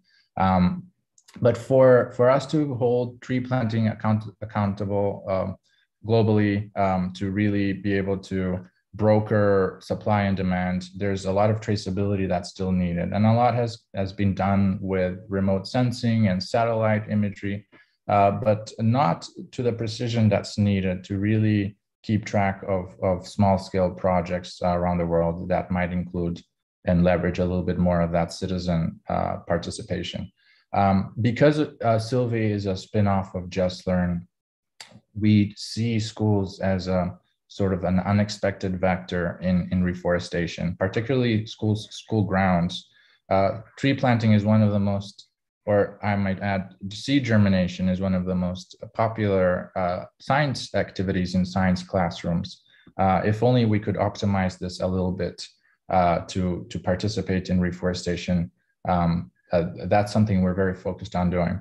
So in the talk later, we'll be uh, exploring how trees themselves are also an asset class with a life cycle that can be understood as multiple milestones and how uh, we are using blockchain for the holding of tree budget commitments in escrow and releasing them as trees are as, as tree milestones are verifiably met. It is a, a huge challenge. Uh, I don't think any anyone can do it alone. There's a lot of interoperability of data and uh, collaboration of, of data and goals. Uh, but we uh, at least are focusing on the distribution of tasks to citizens, to students, um, um, while brokering tree planting um, to, to, uh, for, towards tree planting demand. Um, it, there's an app that we've been building. It includes, you know, map integrations and GIS, um, and we'll be exploring a little bit more. Uh, the pilots uh, we're involved in Africa, here in Florida. Uh, we just onboarded one in Brazil, uh, but it it does uh, kind of uh, it is inspired by the Pokemon Go of, of sorts, except it's for for tree planting. So we'll be exploring that in a little bit more detail.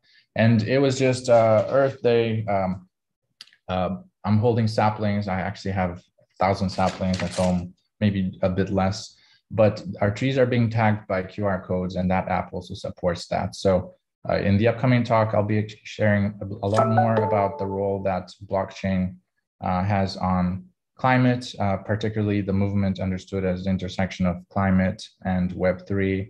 And if you're interested in learning about natural capital and uh, maybe thinking about entering blockchain to to play, to participate in climate solutions, uh, uh, please uh, join my talk in a bit. Thank you.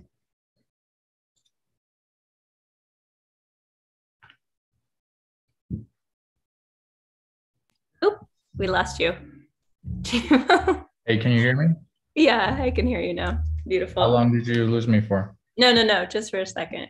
Just for a second. I just wanted to say that was beautiful and I I love what you have come up with for Silvi. I think there's there's a for one, the tree planting through use of the blockchain and web3 is is ingenious and I feel like there's a lot of a lot of application and so would love to just learn more about that and we can all learn more at 2:30. Um, so please join Jimo um, to talk more about Silvi at 2.30 and love to learn more also about Just Learn. So weaving a little bit more um, with Just Learn and the work that you've done. Um, awesome. Yeah, thanks again, Faye. There's so much to unpack, um, but uh, hopefully I was on time now and look forward to, to diving deeper later. Yeah, thanks. you were incredible. Thank you. See you soon. See ya. And next up, we have our citizens of Regenera. Roxy. or I don't know. What's your what's your citizen of Regenera name? I'm sorry. Today, it's Roxy. Today it's Roxy. Okay. Love it. Uh, depending on the day, we shapeshift, you know. Beautiful. In this moment, in this, you know, 57th hour on the 33rd moon, I think it's uh it's Roxy. So I just want to uh, also, Dimo, thank you so much for uh, being a patron of the Design Science Studio and uh, for all the work that you're doing to bridge education and collective action and culture building and, and understanding through all of these tools. And we really have felt uh, so like supported by you and your patronage and, and also your partnership. And I'm excited to see how we can weave more uh, with uh, our collective uh, dedication to education as this great equalizer and, and supporter of a future that works for all life. So thank you. Thank you. Cheers, cheers, and and speak for yourself. Uh, you're connecting the world and a lot of projects, so it's very inspiring. And I'm glad I came across your work. Thank you. I'm so excited for your talk in just a little bit. I'll be there uh, with skates on. Skate. I don't even know where that saying comes from. Skates on. because I'll just skate around while you talk, and I'll celebrate. Uh, yes, with all with all due um, respect and, and gratitude, I want to just thank all of the people who have shared so far. It takes a lot of courage to bring your brilliance and dedication and what you're doing to the world, and it's really deeply inspiring. Uh, so far today, we've heard from two revolutionaries and three of our partners. So, uh, and we're only getting started. So, with that, I am excited to share that we have a little bit of time for orientation. So, I'm going to show y'all around uh, some of what's coming up. And then uh, we'll hear from the founder of Catalyst, uh, Vincent, one of the revolutionaries in the Design Science Studio, who has uh, prepared a little orientation video for the platform. And, um, and then we'll hear from our Maestra of Consent, uh, sharing with us some of the principles of Regenera. And then I'll walk through some of the upcoming events and uh, share a little bit about our campaign. So that's all happening in the next few moments. And then we will hear from another partner at Angel Protocol. So here we go. Um, not sure where this bar is. Oh, there we go. Cool. So first we'll start with the Catalyst tutorial, just so you understand how to use um, the central platform that we have for uh, navigating all of the events uh, and amazing speakers and uh, creators and making sure you can follow up with their great work. Either scroll down the page or use the purple bar at the top to jump to the section that you're looking for. Each event has different sections that are turned on and off. The Happening Now section shows everything currently going on with a quick way to either join the session or to preview what is happening. The check-in map is a module for virtual conferences, which allows attendees to see where everyone is calling in from. You can click on the different cards to see people's responses and where they checked in from, or you can click on them to see their response in a pop-up window and cycle through by clicking Next. The featured section is a way to showcase different speakers or presenters at a specific event. The agenda shows all the different sub-events for multi-session and multi-day conferences. There are lots of other sections, such as sponsors, related events, and comments. But let's dive into the agenda. This event is the Regenera Rising launch for the Design Science Studio. Pretty awesome. Each event has different views at the top right corner. The gallery view is best for exploration.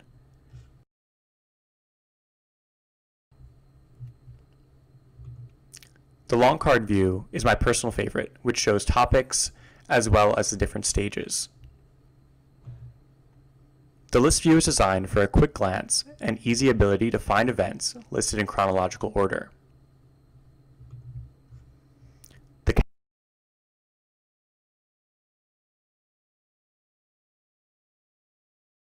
calendar view gives a big picture view of the entire week for a multi-day event.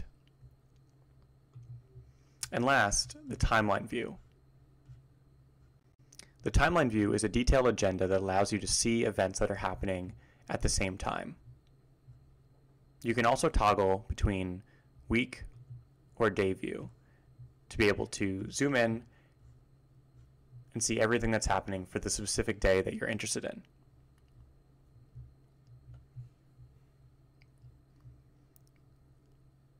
For all these views, you can change the way that the events are searched and filtered. For example, you can filter by topics.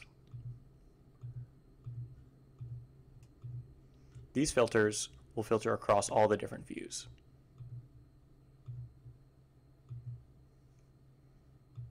You'll be able to see that there are five events between April 21st and May 1st which have these topics. You can click on the X to remove any topic filters. You can also search by the session category and session types, for example, workshops. Each one of these views allows you to click on the particular cards and see a preview of what's happening with the date, information, as well as ways to either share, join the session, if it's in progress, or add it to your calendar. These cards will also have the related information, such as participants or related events.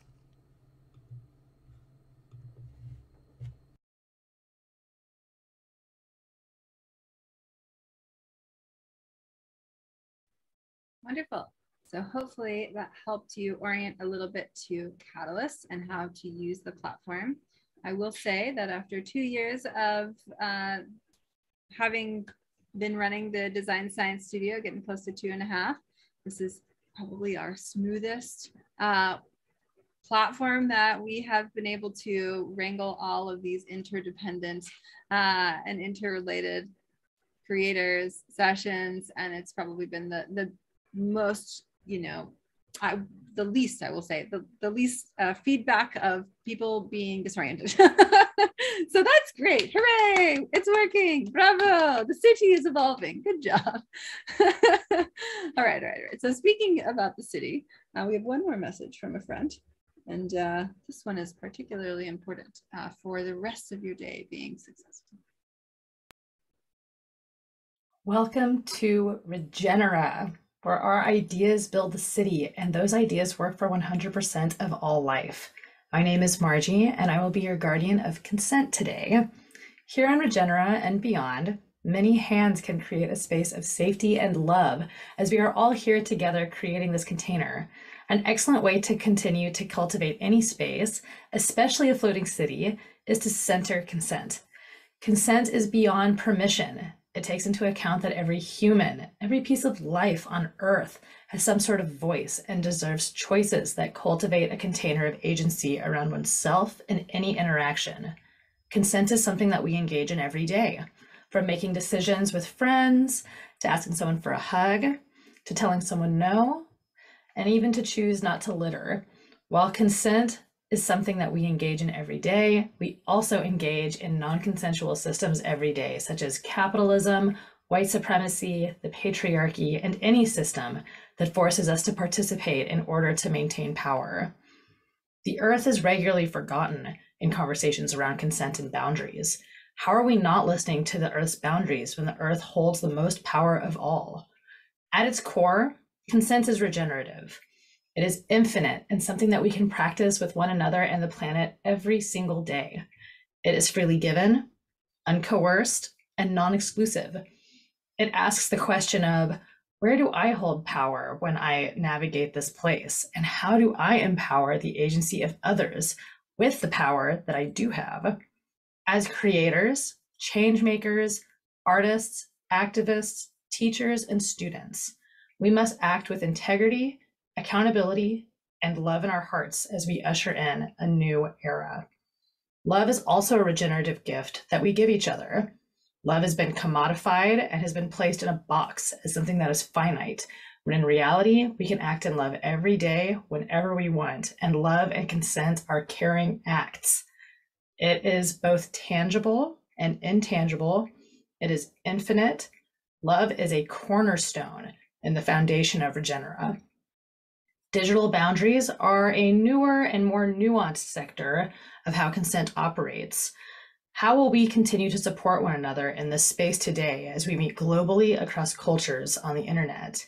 As we enter this space of questioning, discovery, and learning today, I encourage us all to get out of our comfort zones and to learn new concepts. Growth begins at the edge of your comfort zone, and sometimes emotional activation can be the vital tonic that we need to learn something new. I also encourage everyone to take care of yourselves and to take care of others today while engaging online. Together, we can create a new world that works for 100% of all life.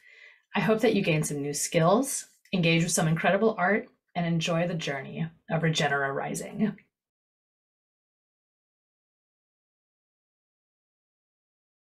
Fantastic. So now that we're rooted and grounded in the platform and in ways that we can operate from a place of grounded consent and presence, I am going to share a little bit about uh, the Design Science Studio in addition to the uh, upcoming sessions. So to start out with and recenter where we are in space and time.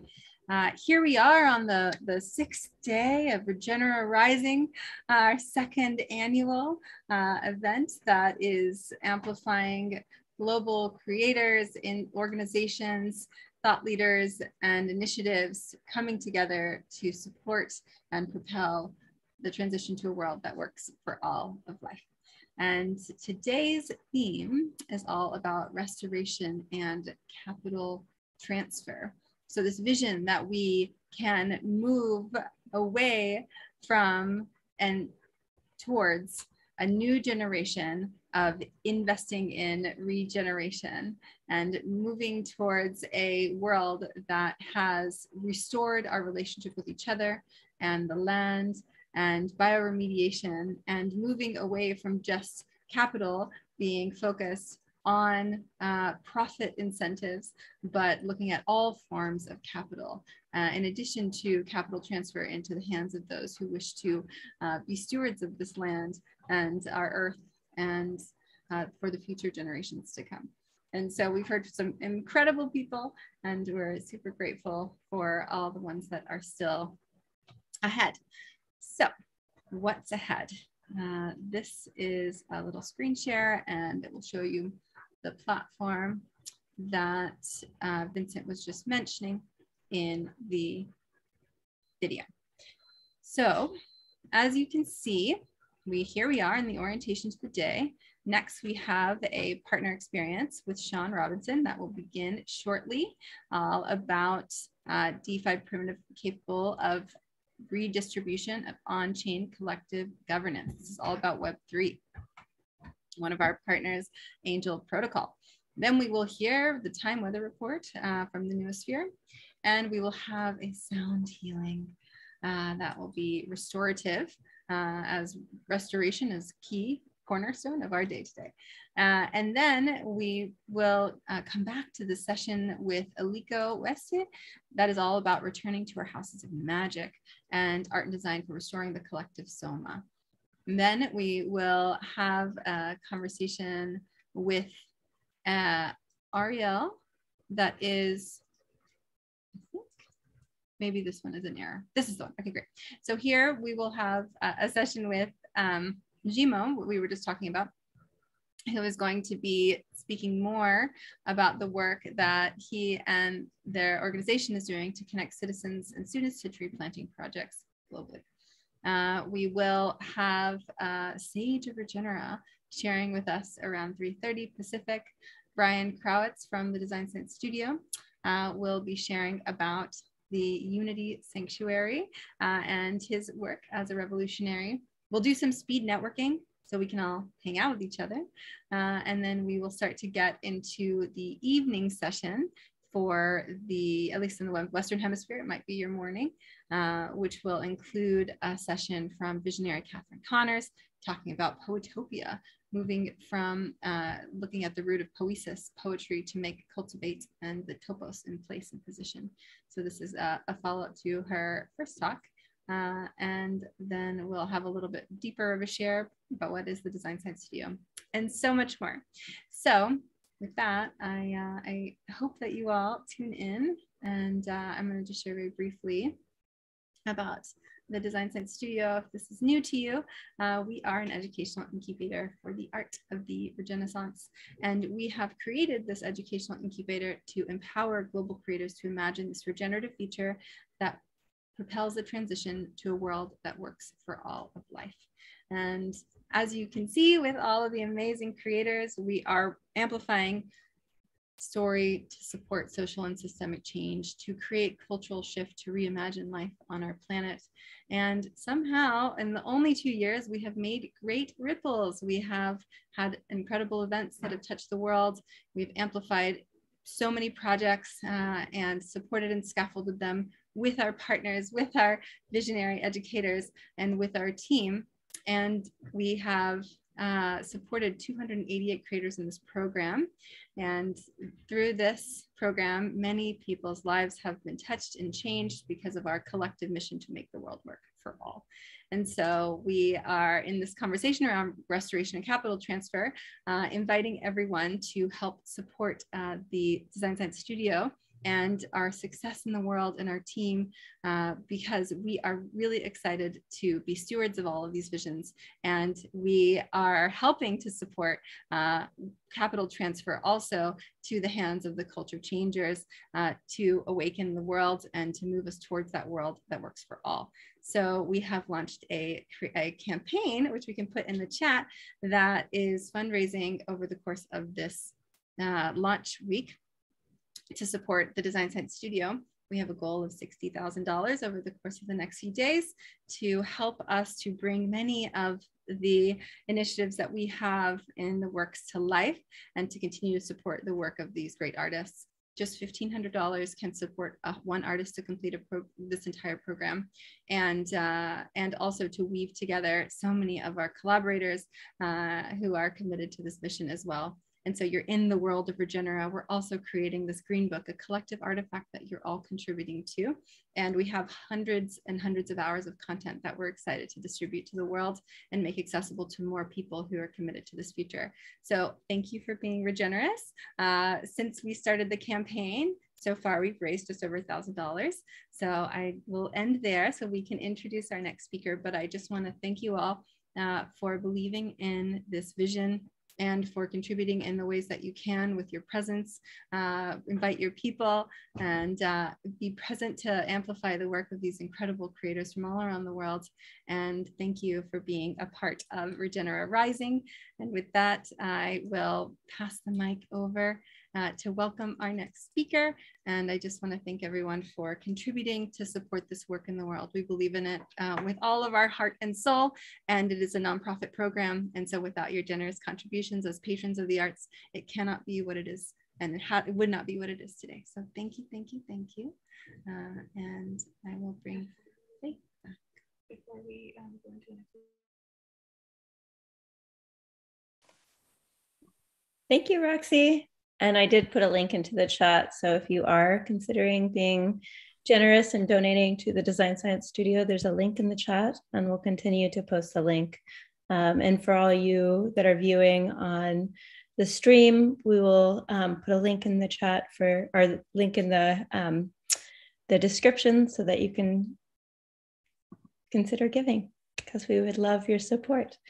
And with that, we're um, shifting our focus over to um, a new company called Angel Protocol, um, which BFI has just uh, um, started to engage with in the last couple months. And we are really excited about our partnership with Angel Protocol. They're a charity platform that works off the blockchain, um, off Terra, and they work to um, to make it easy for charities to set up endowments um, that potentially will give high returns. So if you're if you are a nonprofit or a charity organization, please just definitely listen in and um, you'll learn a lot at this at this discussion. Um, we're joined here by Sean Robinson, who is passionate about the intersection of Web3 and social impact.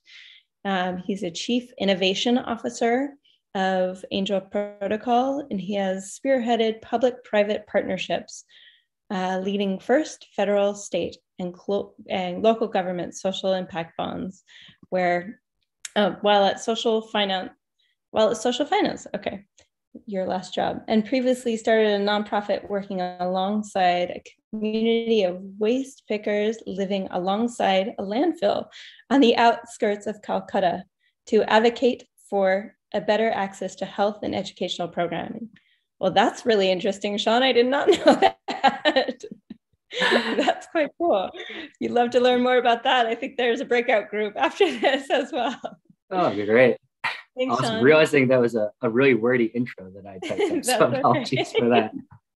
We're happy to have you and are really excited about learning more about Angel Protocol. So feel free to take it away. Awesome. Absolutely. Yeah. Thank you for the introduction uh, and happy to present to you all today. Uh, as Faye said, my name is Sean Robinson. I am the Chief Innovation Officer at Angel Protocol.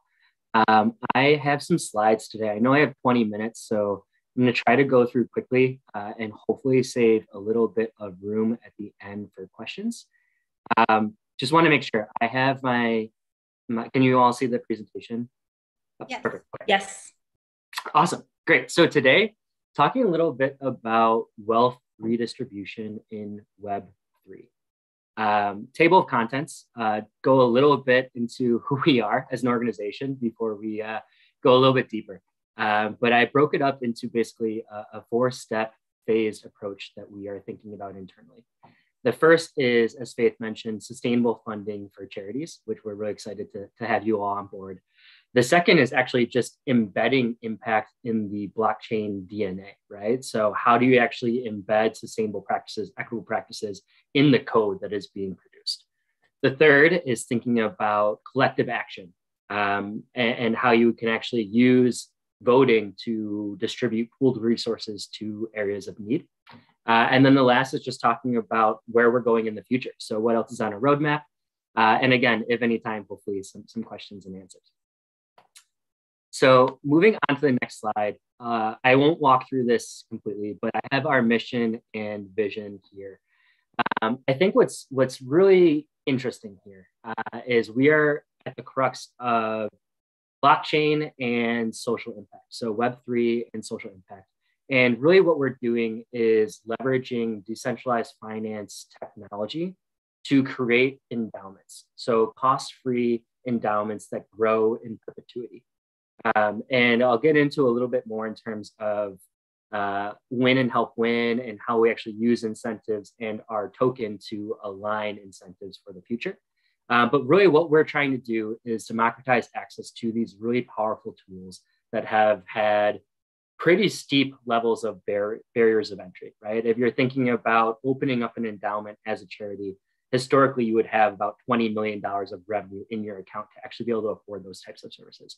So what we're doing by providing something free, uh, hopefully is, is really increasing access to this type of tool.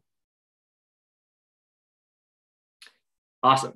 So I'll break it down a little bit more. And the first is really thinking about the charity vertical as a whole. Um, when you think about the charity space, the fundraising space, it's really challenging. Um, in the US alone, 30% of nonprofits face liquidity issues, and 50% have less of, than one month of operating reserves. And what that actually really equates to is nonprofits that are over reliant on one time donations and spend a significant portion of their time, resources, and money chasing down those donations. And that leads to really unpredictable cash flows, compromises the vision and goals of the organization, and most importantly, it increases the vulnerability of already high stress environments, where a lot of times these organizations, these nonprofits, are the last line of defense for, for communities who have not had equal access to opportunities. And when those nonprofits do not have the ability for sustained fundraising or funds, excuse me, the communities that they're working with become even more vulnerable, right? So that last line of defense is what we're really trying to bolster here. And when you think about how we are actually trying to do this through our, our endowment account, it is a cost free endowment designed to grow and compound in perpetuity. Currently, that is 15 to 20% APY. We'll talk a little bit more in the next slide about like how that actually is even possible or feasible. Uh, it seems like a really just out there rate when you think about what traditional finance is actually offering. And when you think about the benefits of this type of account, obviously the first is increased revenue streams, right? So a little bit more predictability in the cash flow uh, of having a long-term reserves for nonprofits to stop chasing that one by one donation and start actually thinking a little bit more long-term, um, which is a, a huge opportunity for nonprofits. The second is it creates this really cool synergy between the cryptocurrency ecosystem, where there are a lot of individuals who have windfalls of cash that are looking to do good, but don't have the necessary knowledge or connections to actually connect to impactful nonprofits that they care about. So what we are acting as is the linkage between this new, really engaged, really eager donor base and historical nonprofits who haven't had this type of technology or um, savvy kind of new uh, philanthropist type of individual. Um, the other couple points here uh, is thinking about what this looks like for nonprofits as a whole, right? The philanthropic space is rapidly evolving. The financial ecosystem is rapidly evolving. And this gives nonprofits a, a really cool marketing tool to, to say, like, hey, like, this is what we're looking for. This is going to increase our transparency. All donations are going to be on chain. So there is a clear record of all activity that is happening here, right? So it, it improves financial transparency. Uh, it shows that organizations are willing to innovate and pilot and try new and exciting things to create financial sustainability. Um, there's just a lot of, of synergies here in terms of why this is advantageous for a nonprofit. And the last is the potential to receive automatic donations from the Angel Alliance, which I will talk about more when we get into the actual regenerative nature of what we are trying to do. Awesome. So let's talk about first the actual endowment primitive and how that works. So we have a, a, pretty high level visualization here. And just to walk through this step by step, all charities on our platform are vetted, right? So in the US, they are incorporated 501c3 nonprofits. In other areas, we go by whatever the incorporating rule of law is in their respective countries. So these are all vetted nonprofits that are on our platform.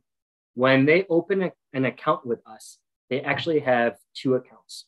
So they are given an endowment account, which is basically designed to be locked and compound in perpetuity. And they're given a liquid account, which is used to basically take money off of the Terra ecosystem that we work and put it into their bank accounts to be used for daily activities.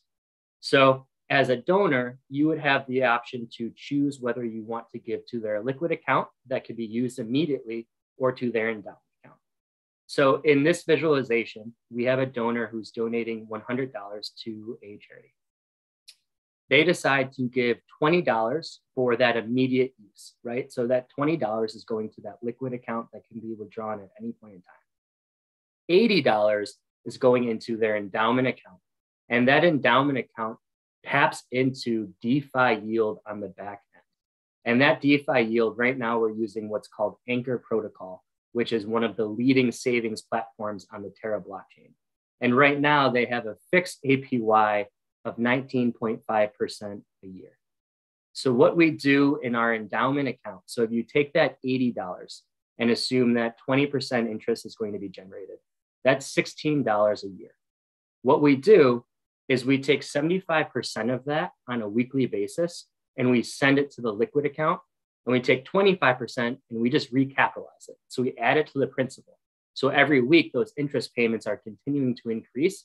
And over a long period of time, this $12 a year is continuing to grow over and over and over to the point where it will exceed that initial $100 donation. So essentially, what you're doing is instead of just giving once, you're giving forever based on this endowment primitive. And Angel Protocol um, launched in April of 2021. Uh, it is really a pure creation of Web3. It was an individual who sent a tweet. That tweet then turned into a hackathon entry, which then turned into a small startup grant, uh, which now is this full platform, which is really, really exciting.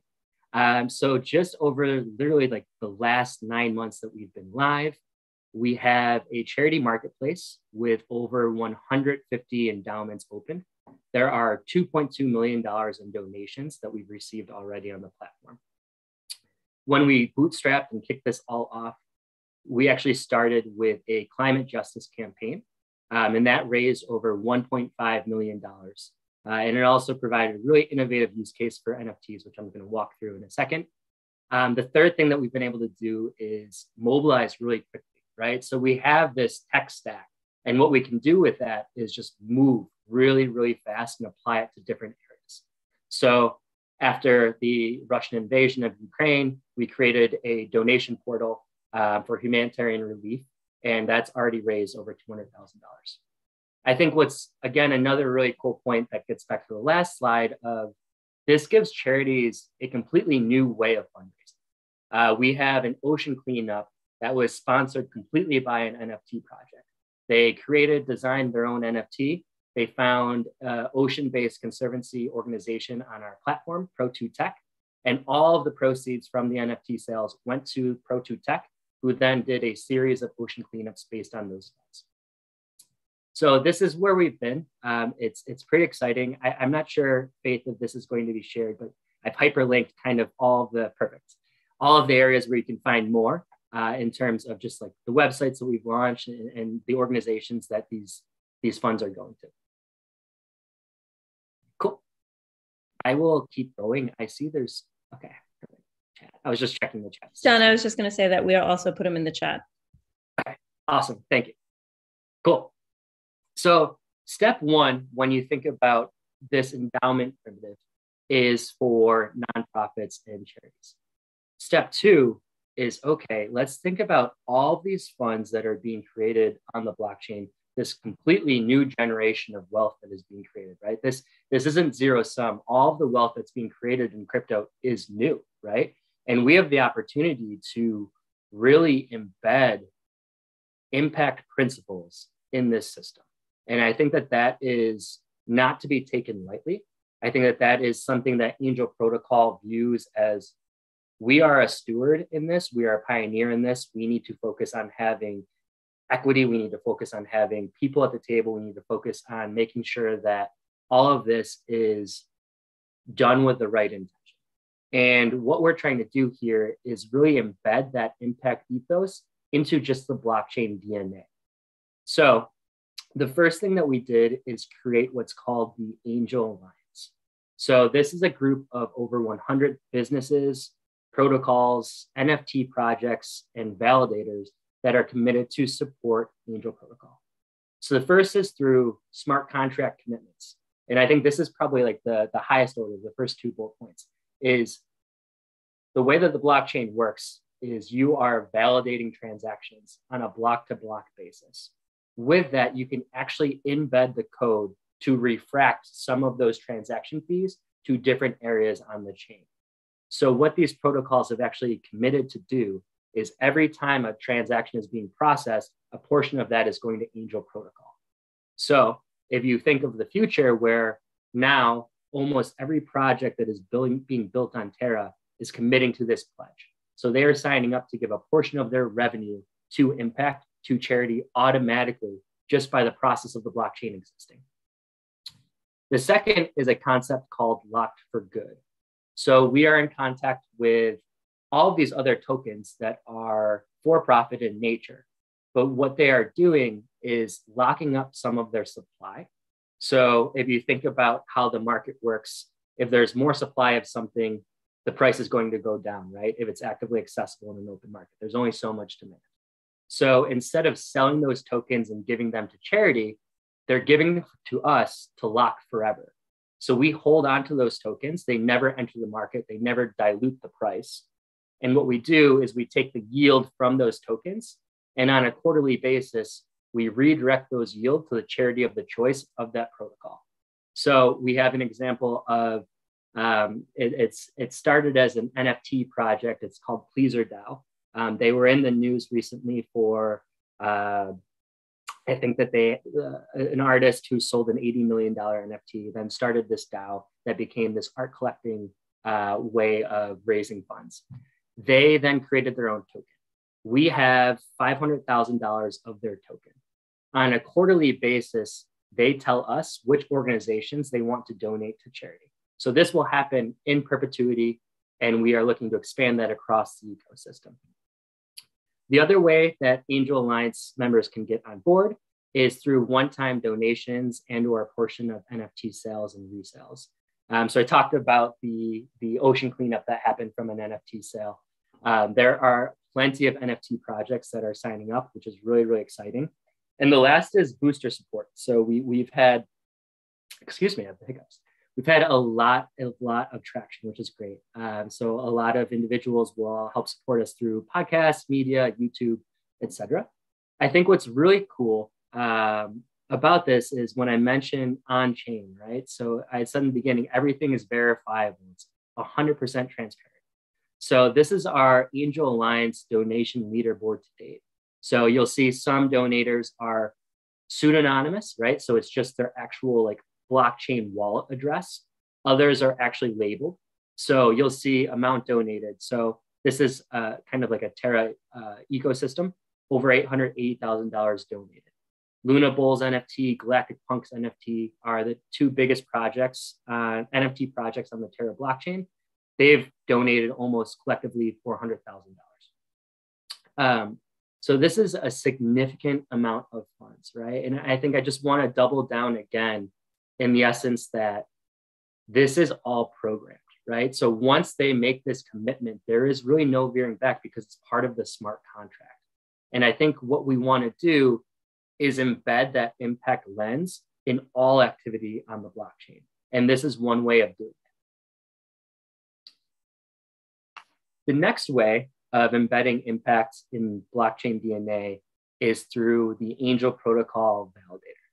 So in a blockchain ecosystem, I think proof of work and, and Bitcoin got a lot of media news in terms of the unsustainability that is actually now kind of an outmoded, outdated mode of transaction. Um, so it's shifted from proof of work, which is really resource intensive supercomputers, to what is now called proof of stake, which can be done just on my laptop. So I can help basically validate transactions on the blockchain just by staking my tokens through my laptop. And by helping support, you get a portion of the fees that are being transacted. So Angel Protocol runs a validator on the Terra blockchain. And 100% of the rewards of those transaction fees go directly to the incorporated nonprofits within our platform. So historically, we have used those rewards to actually give $1,000 a week for early onboarded charities. That's now shifted to $1,000 at point of sign up. And we are also able to really quickly mobilize disaster relief funds for Typhoon Rai uh, in the Philippines.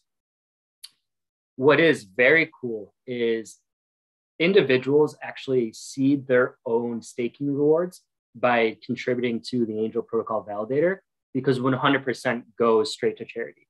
If you were to stake with a, a, traditional validator, you would get a portion of those rewards. We're saying, hey, these are all going to charity. So this is an altruistic act.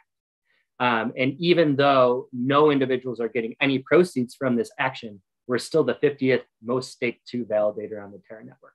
So we're seeing significant traction here from over 100 protocols pledging automated donations to individuals pledging their, their Luna to stake for, for transaction fees. Um, and in the future, these rewards will be used for impact incubation as well as governance-based um, distribution on the protocol. Cool. Awesome. So this is where things get really, really cool in my mind. So when you talk about shared economy and aligned incentives. So to date, we've mentioned kind of the charity endowment primitive and then other inflows of cash, right? But now let's talk about what that actual user experience is like.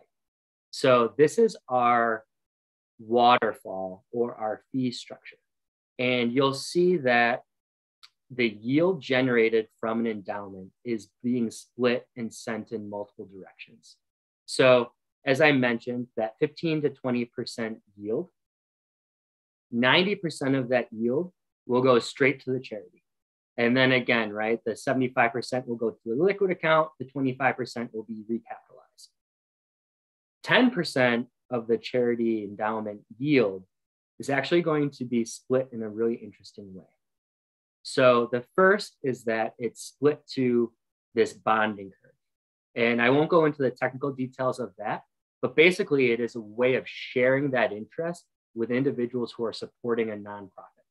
So 90% of the yield will go to the directly to the charity. 5% of the yield will go to you for supporting that organization. Another 5% will go to Angels Dano, which is our treasury. That treasury becomes a really, really powerful mechanism to redistribute all of these windfalls, all of these inflows into what the community views as high impact projects or high impact nonprofits. And that is done through our Halo token. I'll go to the next slide. So when we think about how this is actually done, the Angel Protocol Endowment is really a river. And that river is getting lots of different inflows of funds from the validator, um, from all of the charity vertical fees, from as we expand into normal individual personal saving accounts, all the fees from that. They all pool and collect in the proto- Angel Protocol endowment. From there, you can have offshoots, right? So different outflows of where those funds are going. Historically, they've gone to $1,000 to nonprofits who open up an account with us. They've gone um, to the Restore Earth campaign that raised $1.5 million. They've gone to the Hurricane uh, or, or, Typhoon Rai uh, emergency relief funds. So Halo has its own utility here as it actually is the guardian of the river, right? So Halo gives you a say in how those funds are being distributed and how the protocol will continue to move in the future. So there is no individual figurehead here. It is a decentralized community of token holders who basically, through alignment, vote on how to spend those dollars for impact. So an individual receives Halo based on donation matching. So the first way to actually get your hands on Halo, this governance token, is by donating to charity. The second way is by buying it on an exchange, which you would with any traditional cryptocurrency. When you stake, again, so you can stake to a validator, which is Luna, but when you stake Halo, excuse me, you stake it to a charity. And that acts as a curation signal. So that curation signal is an indication that this is a nonprofit that the community cares about that deems this nonprofit to be effective. The curation score is a litmus test for how you will receive automated donations from the Angel Alliance. So if you think about the top 100 curation scores over this month, will receive a percent, percentage of all the Angel Alliance funds raised that month, and we'll continue to rotate it. Staking Halo to a charity also provides you future distributions of the Angel Protocol endowment alongside ongoing governance decisions. So we had our first governance decision actually this year, which is really, really exciting. Um, and that was to, again, the, the Typhoon Rai. We raised over $500,000. We took over $500,000 from our validator and our AP endowment and redistributed it to Yellow Boat of Hope. Um, Yellow Boat of Hope is a grassroots nonprofit in the Philippines that specializes actually in transporting students to school uh, in flood prone areas. So they have a really high degree of efficiency when it comes to just general transportation and supply chain, um, which is what breaks down during natural disasters. Um, so we are partnering with them, and they're also partnering with a bunch of other grassroots nonprofits to rebuild homes, rebuild boats, rebuild the fishing economy in the Philippines. That vote passed with a 99% approval rating and over a 50% turnout rating.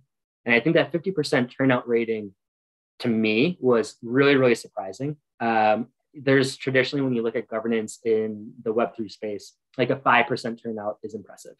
And it was a 50% turnout and a 99% approval. Uh, and I think that really showcases kind of the, the intention here of the community, right? That, that people are willing and active and want to get engaged. It's just that these resources and the, these platforms don't exist yet. Uh, and it's really exciting to, to, to work for Angel Protocol and just see what we can do with this. So I'll end here. Um, when you think about that endowment primitive, right, there are so many use cases that you can build on top of it. And when you think about our fee structure, all endowments, whether they're impact based or not, are actually impact vehicles because a percentage of the yield is automatically going to charity. So when we think about the future and what's on our roadmap, the first is just, hey, let's create this endowment for everyone right? We've already democratized access to charities. It's a completely cost free experience. How can we get that to underbanked, uh, last mile banking areas, right? So let's just democratize access to personal DeFi powered growth funds, retirement accounts, college savings accounts, etc. The second is really thinking about impact based vehicles on chain. So taking microfinance, which has a lot of historical challenges when you think about how you underwrite credit systems, how you track who actually has loans across different non, across different um, lenders. Um, there are just a, a, whole host of problems that could be solved or could be advanced through the transparency and effect- effectiveness of transferring dollars on the blockchain. The second is universal basic. And when you think about, again, all the wealth that is being created through cryptocurrency, right? Like it doesn't have to stay in the hands that it was created in, and it shouldn't stay in those hands, right? We have a really, really awesome opportunity to start redistributing wealth, right? And when you think about the endowment primitive, you can use the yield to redistribute wealth, without actually touching any of that principle. So it becomes this really powerful vehicle. Um, we have one organization who is piloting um, UBI cash transfers um, with their endowment account in MPG Uganda. Um, and that's actually going to be one of our incubation pilots to, scale out. So they have over 100 girls uh, aged 12 to 18 that are now receiving a dollar a day. Uh, and they also started microloans as well um, with small uh, enterprises. The next is self-help savings groups.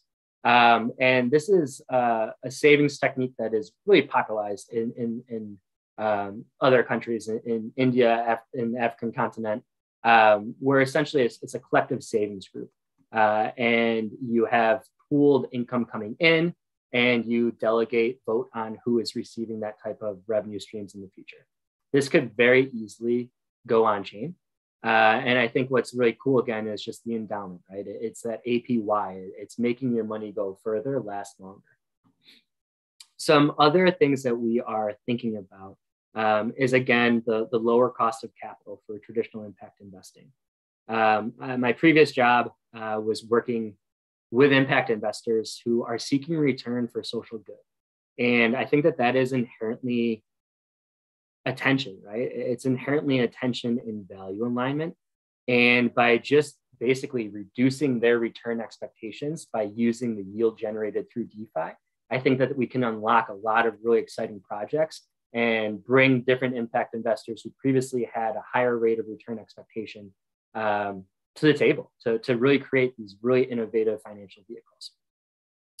Um, the next thing that we're thinking about is a venture capital fund. So hey, we have this community who has a voting power, has a, has a say. So how can we collectively invest in promising social entrepreneurs in under-resourced communities? Um, the last two are further down the road, but basically create your own donor advised fund or your own foundation. What you can do is, is self-curate organizations that you care about that are on our platform and continue to perpetually donate, donate to them. And the last is showcasing your philanthropic Im- and impact identity by leveling up your social avatar NFT. Um, this is uh, going to have a, gain is gaining a lot of traction uh, in like the last quarter in the, the, winter of last year, right? NFTs really really swept. Um, and when you think about the social signaling and the value that they have, I think that there's going to be a lot of people pushing towards signaling.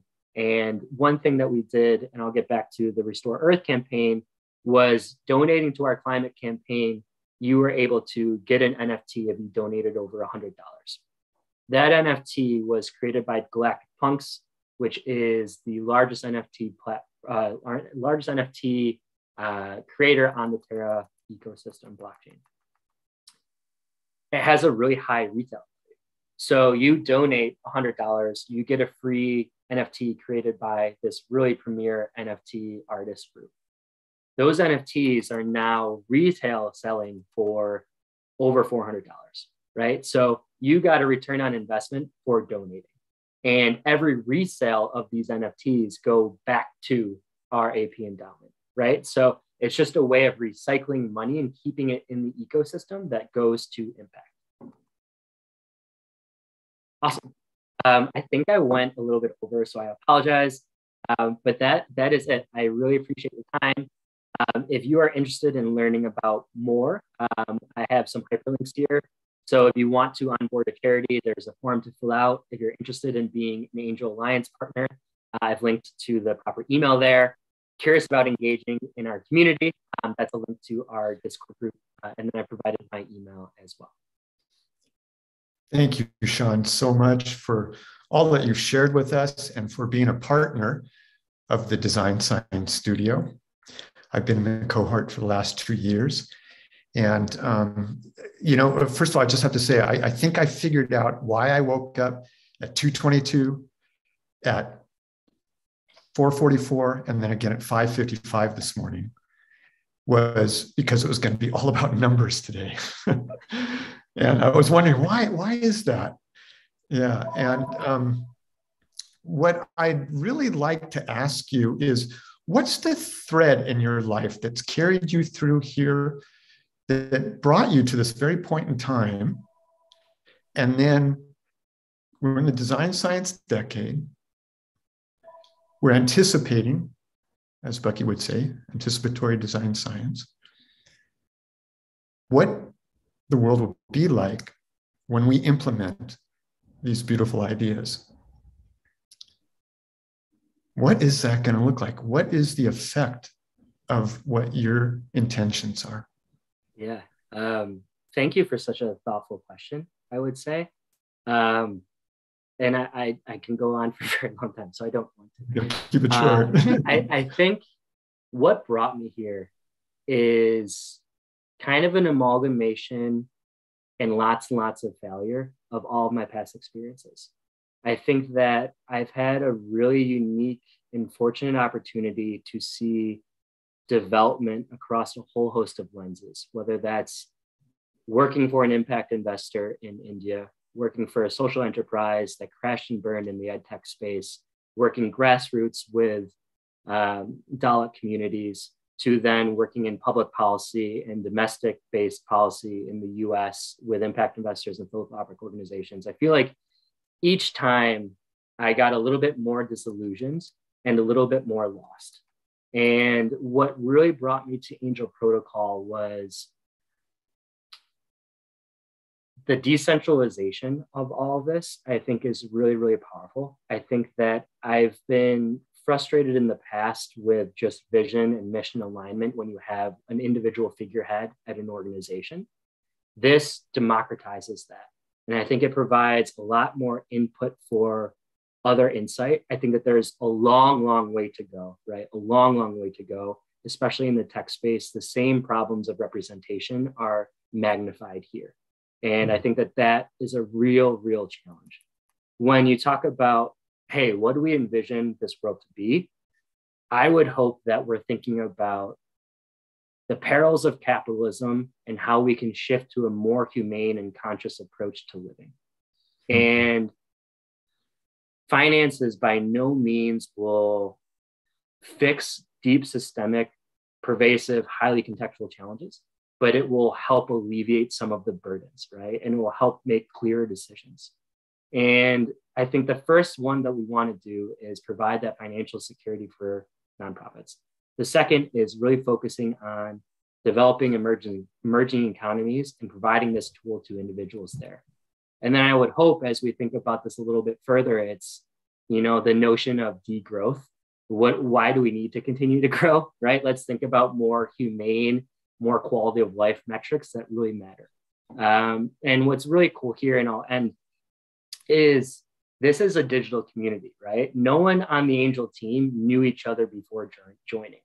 And I think that that's a really powerful testament to where we're going how individuals with similar interests can self identify and self coordinate. And that's where things get really, really cool when you think about coordination outside of institutions or historical institutions. Uh, but I will, I'll, I'll stop there. Uh, but well, thank you. Thank you so much. Yeah. That's, that's a thread that we want to see woven. Thank you for beaming from your heart, sharing all that you've been doing. And that's a perfect entry into our beamcast, into the noosphere that brings us all together into this commons of mind. And today, once again, we have Shant here with us, who weaves dreams upon the warp and loom of space and time, harmonizing the energetic threads of seemingly contrasting frequencies. Shant, what do we look for in today's new news? Yes, thank you, Mark. Um, and um, before I get into it, I'd like to invite uh, Roxy for a really quick announcement um, for an upcoming event. Thank you, Shant.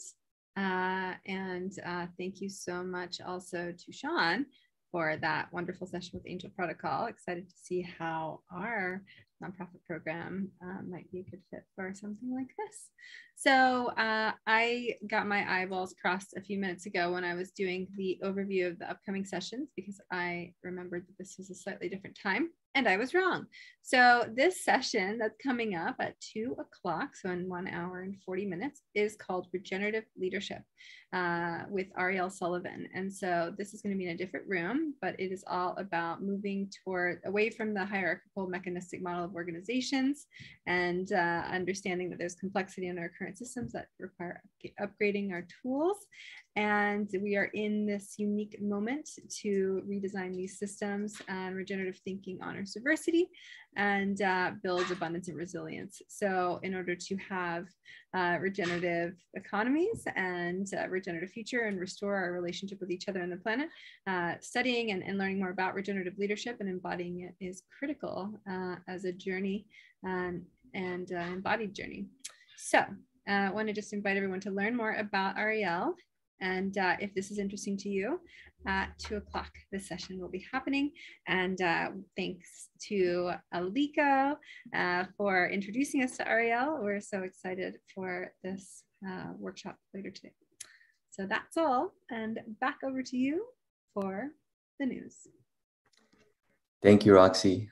Uh, thank you, uh, Mark, as well. And we will get right into it right now. Let me just share screen.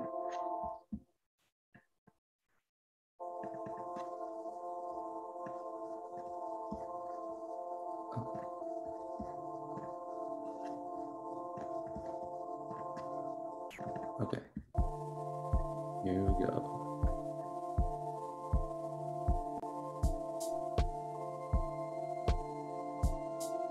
Hello, welcome to the News, the natural order operating system for a time weather reportal. We are going to be reportaling into the noosphere. Um, just a brief word on time weather reportals.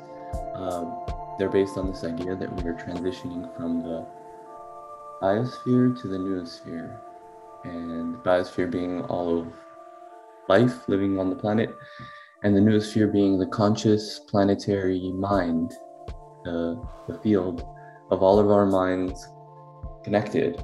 And um, we're in the middle with the technosphere. And we're living in a world of 1260 mechanized time, 12 hours, 60 minutes, very linear. And this 1320 natural time that the news uh, loves to uh, share about is connected to nature uh, through the 13 moons and our bodies through our 20 fingers and toes and 13 joints in our body. And so the idea is that time is the atmosphere of our mind. So that's one definition. And if we order time, uh, then we can order our minds harmoniously, and uh, thus we can harmoniously order space and all the physical things in the world. Um, so this is a harmonized calendar system. Uh, calendar systems are like operating systems of the mind, and um, this will allow us to align to what's called the synchronic order, which is where synchronicities and miracles happen. So today's date on the Gregorian dating system is April 26, 2022. And with this new calendar system, the new Sirius uh, calendar system aligns to the star Sirius, uh, and that's what makes it galactic. Uh, it's the 34th year, the 10th moon month, and the 23rd day. We will now enter the now sphere. The now sphere, sorry, I just have to uh, do something real quick with the song because it has to loop.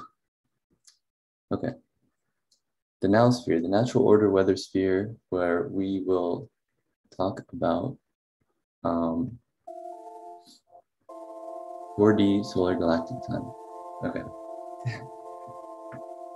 Two calendars, the solar calendar and the galactic calendar. With the solar calendar, we'll talk about the energy of the year, then the moon, and then seven day cycle that we're in. And then with the galactic calendar, we'll talk about 13 day cycle that we're on this journey of, and then the energy of today. So this is probably new information. So just take it easy, see what resonates in the words and the images that you see.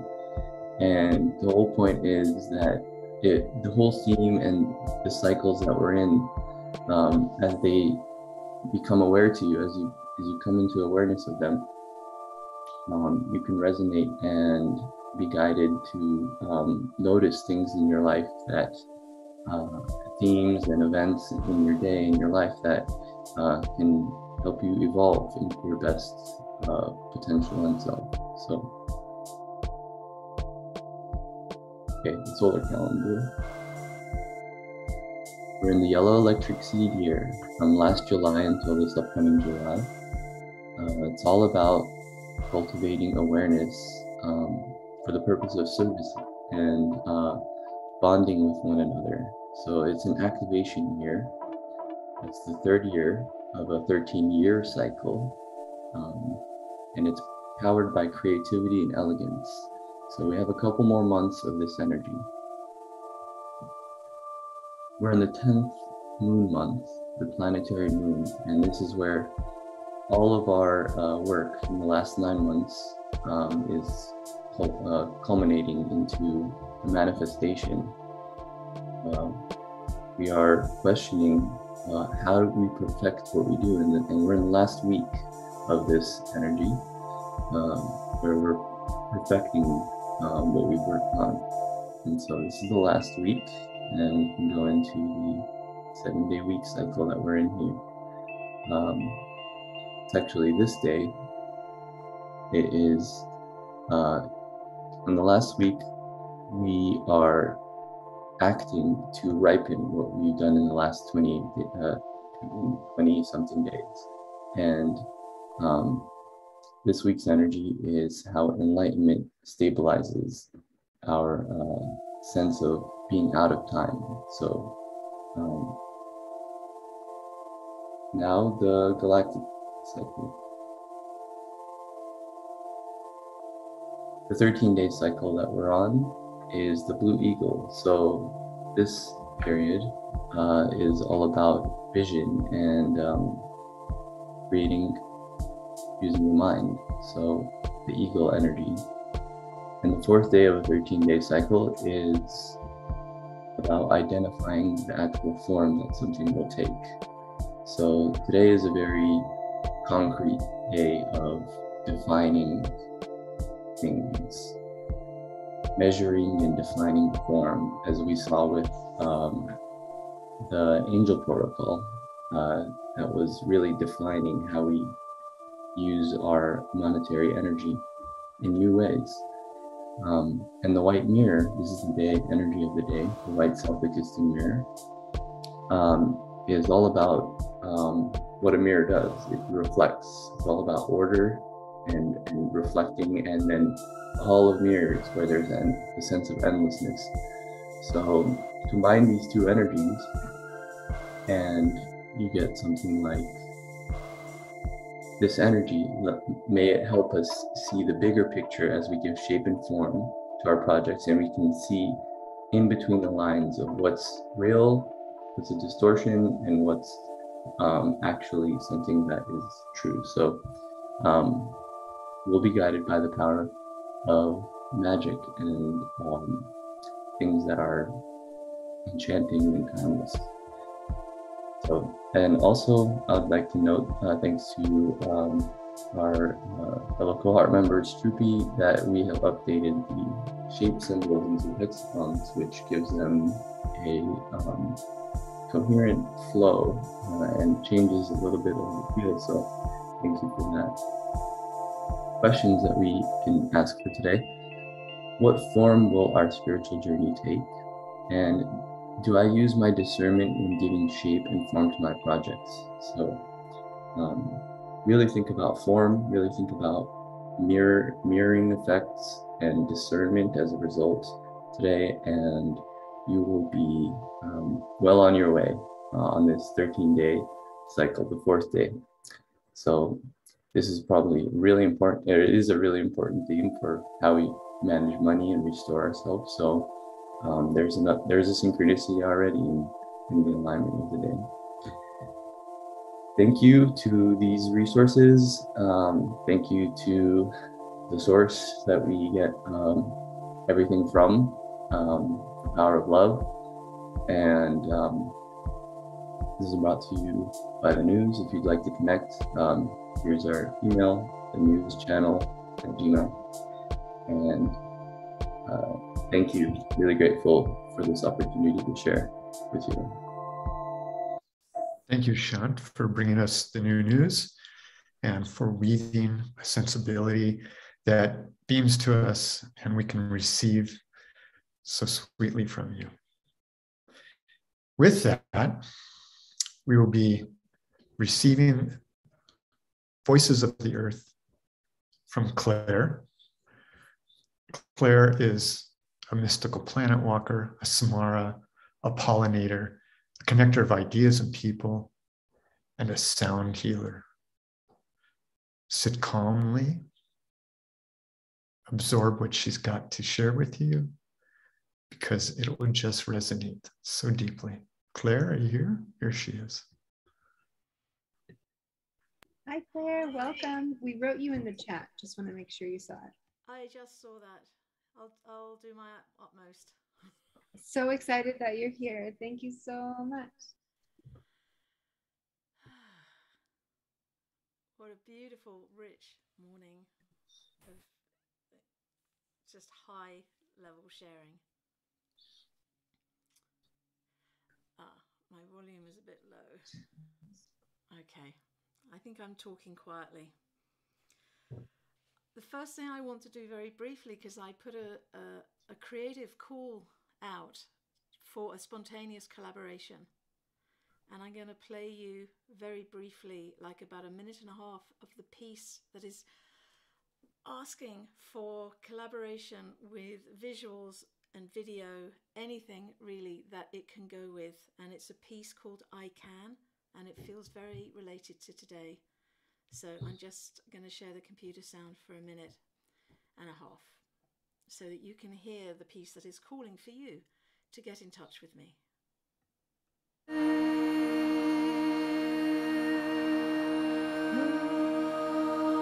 When you were born, the angels sang.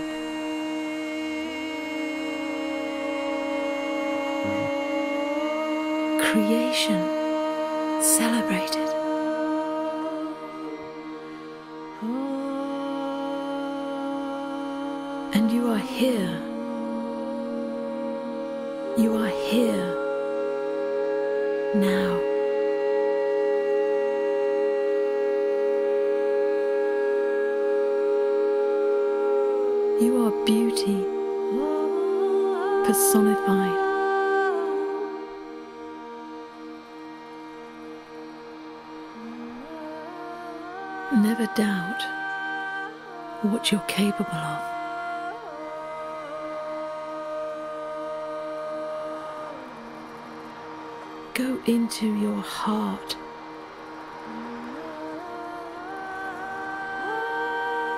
Into your heart and communicate your feelings to all those that you love.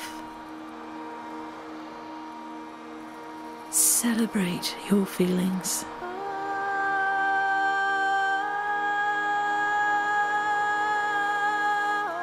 In all of their glory.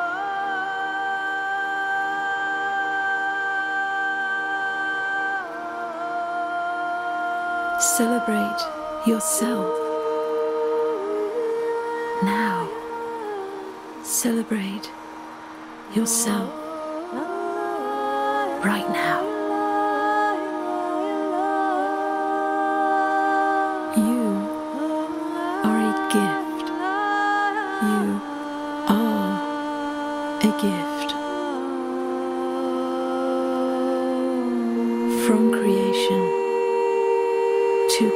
In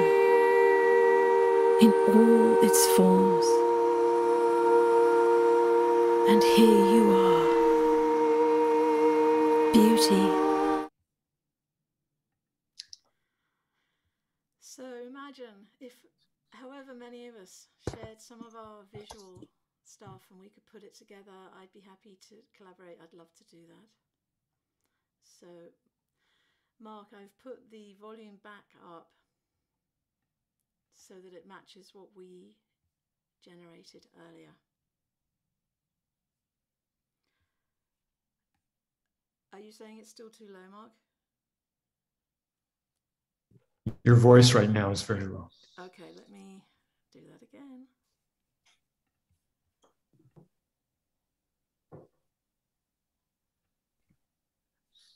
Ah, how's that? Well, go ahead, go ahead into your singing, and then we'll we'll know. Okay. I'm going to start with a poem that presented to me. Again, the serendipity is stunning. We are free. Kairological time beckons us forward into a time where we say yes with our imaginations and our intuition, the spaciousness of non linear time, to receive insights and impulses, to follow what might seem like random illogical ideas to a fully rational mind, to a chronological mind. The kairological is a gateway, a portal, a passageway to an ever evolving version of ourselves. We are heading in this direction with every social innovation that feeds the hungry, liberates the poor, lifts up the innovators, makes life kind, fair, and sustainable, all while hearing the whispers of dreaming time.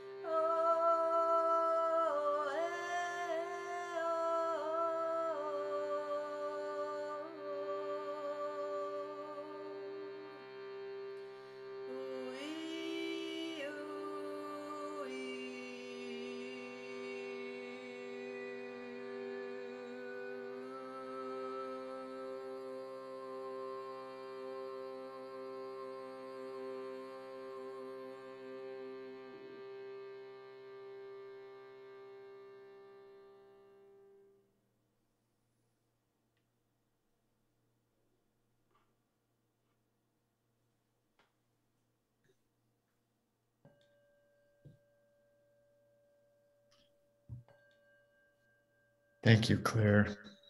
I haven't Thank you. You'll never.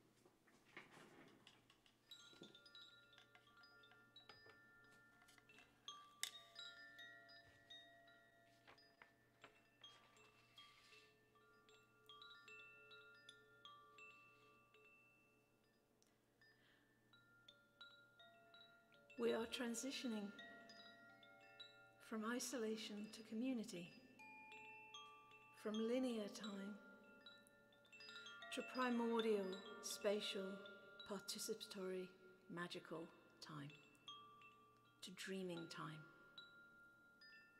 Chronos gives way to Kairos, to kairological time, the space that holds all reality.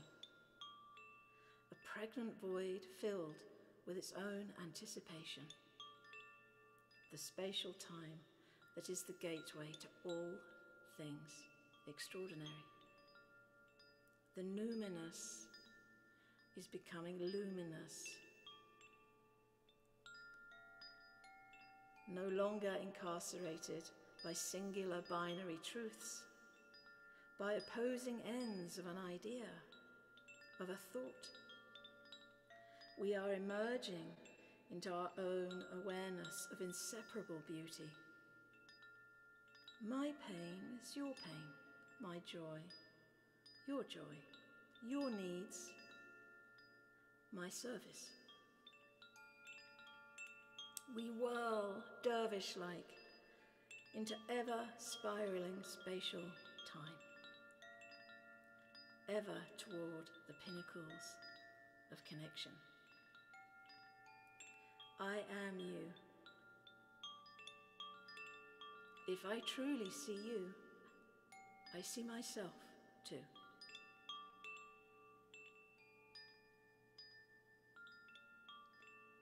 We reflect the cosmological possibilities of life dreaming, land, water, and sky, all creatures dreaming us whole. We are so beautiful as we give of ourselves, of our bones, of our hearts, our love. And we are absolutely designed for just such beauty.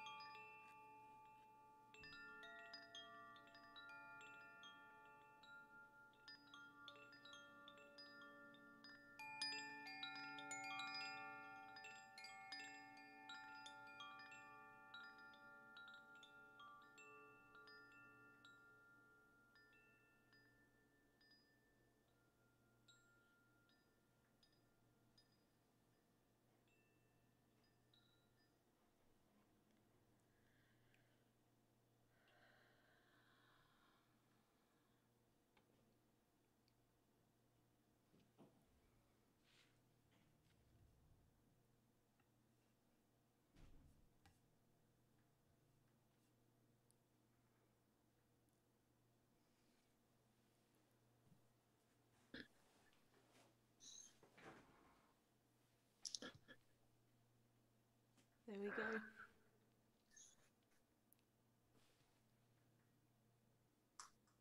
we go. Claire, we're sitting in silence because you've just sent us somewhere.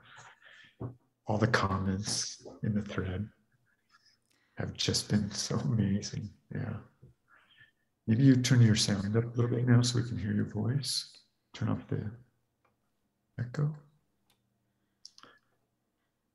So I have a little more time and perhaps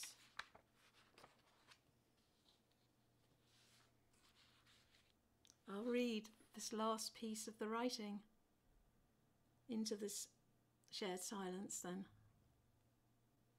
We are no longer bound by linear time. We are no longer bound by linear time. We follow the moon and the tides, cyclical time. Imaginal realms are accessed by imaginative people, people who listen, who feel, who articulate a truth for its own sake, who design art to reveal the larger truths and who are free, from the incarceration of clock time, connected rather to the radical liberation of belonging. The radical liberation of belonging. Loving, caring, seeing, recognizing, and innovating in sync with a universe that teaches us how to whirl in timeless time. Dervishes of love in action. Hmm. When we step out of the control of clock time, we become the wise feminine rising, dancing with the wise masculine, creating form, creating relationship. Our innate knowing is relational, embodied, connected. We belong. We belong. Our guidance comes in beautiful and mystical ways leading us toward one another in love, in inspiration, and in shared presence. No winners and no losers, just lovers of possibilities and interbeing. Time and space are talking, the masculine and feminine are talking, are dancing right here. Chronos can learn from Kairos, and it is time for that bond to heal and manifest magical timing, magical life.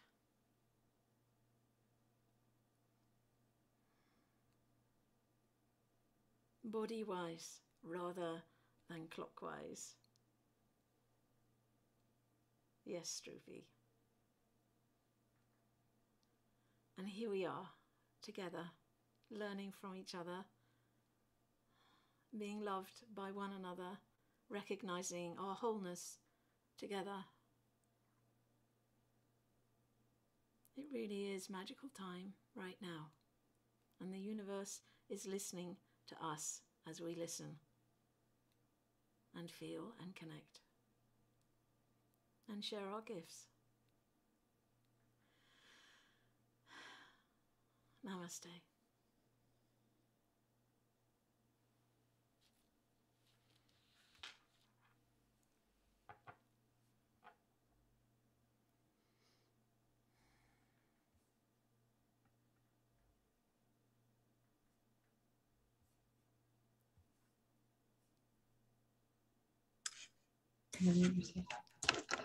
Wow, wow, wow, that was amazing. and everybody, hopefully, we can all just take a nice, deep, collective breath together. Mm. Thank you. We have greatly enjoyed having you every day. Oh, is there an echo? I can't tell. Is there an echo going on? Magical, mystical. There you go. Okay, sorry. I'm. I could easily just jump over to Roxy's uh, screen if I wanted to right now from the cockpit of uh, Regenera. Um, it has been such a, a blessing today and uh, each of the days that you have helped really ground in uh, all of the shared knowledge that we've gotten from every single one of our partners today and our uh, revolutionaries the whole week. It's great. We're so excited. Uh, Grateful to be here, with everyone. Yeah, thank you so much. Uh, I'm also going to bring up. Sorry, am I still echoing? It's it's clear. Ah, that's where it is. Okay, and can we find Ariel as well? We've got one more. I'm looking. Hello. There you are. Well, we um have we mentioned a little bit before? Um, we've got Ariel coming uh, to do a session at two o'clock, um, and we will post the um, link to the Zoom uh, once a little bit right before um, that session starts on regenerative um, leadership. And do you want to just say a couple of words about what you're going to be doing? Sure, sure. Yeah. Um, so, hello, my name is Ariel Sullivan, and I am super passionate about the regenerative movement and have been studying it and um, synthesizing kind of a point of view around what are what's a competency framework for folks who want to create systems change. So I'm a I am a facilitator. I'm a convener and i my purpose is to facilitate regenerative systems change. And so my background is in um, creating change. And so i just love to offer kind of um, yeah what my point of view is on how like how to convene folks and how to create conditions for thriving and resilient and resiliency and abundance particularly for organizations and um, like networks across trans organizations. Um, so yeah, thank you for being, thanks, thanks for having me. And um, already just the frequency, like my frequency, just joining this last session, like my whole field is um, like buzzing. And so there's something powerful in these convenings and, and holding such potent spaces with one another. Yeah, absolutely. And speaking of convening, one of the reasons that you and so many other people in this uh, uh, in this program throughout the summit have been here because of Aliko, who has just generally uh, shared so much of his community and his network uh, with us so that we can continue to uh, expand our uh, Regenera family and expand the floating city in the sky. Um, so thank you again, Aliko. Um, I do believe that Ariel is uh, one of the first people that we have um, uh, from one of your recommendations. We also have Jamar uh, Smiley. Uh, oh, sorry, I almost forgot about Lux yesterday, who was absolutely amazing with uh, their uh, consent workshop. I can't believe I almost forgot that. but yeah, we've got Jamar coming tomorrow to do some spoken word, and we're just so blessed to have um, your family cross pollinating with ours. Um, so, yeah, I just want to say gratitude, gratitude, gratitude. Um, totally. Yeah, Ariel's one of my best friends ever. We've been like really close for several years, and um, so excited to be weaving um, really powerful magic up in the Pacific Northwest uh, across the Regenera Sky City. Mm. Yeah, you know, if I may take a moment to introduce you. Once again, you're with us this morning. You're going to be um, returning to our houses of magic, art and design for restoring the collective soma. So you were born and raised in Seattle, Washington, to a French Jewish mother and Caribbean father. You are first generation American trans Blackics, presenting Jewish entrepreneur and producer. And you're founder of U Productions and Expansion Festival. And through your branding, website, photography, videography, and event production, you're able to live out your dedication to carving out spaces for humanity through your work. I call that story living right? Living into your life fully to be all that you can be. Welcome. Thank you. Take us into your magic. Thank you, Mark. What a great introduction. Hi, everyone. I'm excited to be presenting today. Such an honor to be here. Um, yes, I will be just an overview of my presentation. I'll be going into the history of capitalism, and some of the things might be a little bit edgy for the body. So I invite you to just move and do whatever feels good because really an antidote to capitalism that I'll be talking about is embodiment.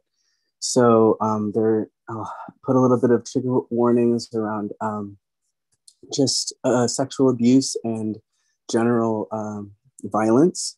Um, and it won't be a lot long, but just want to put that out there.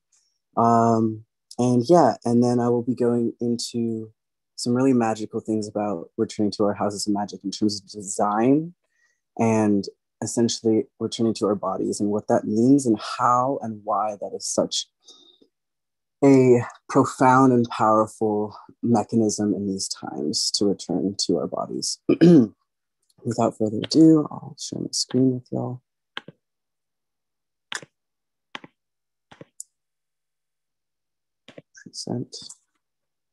Okay, can everybody see?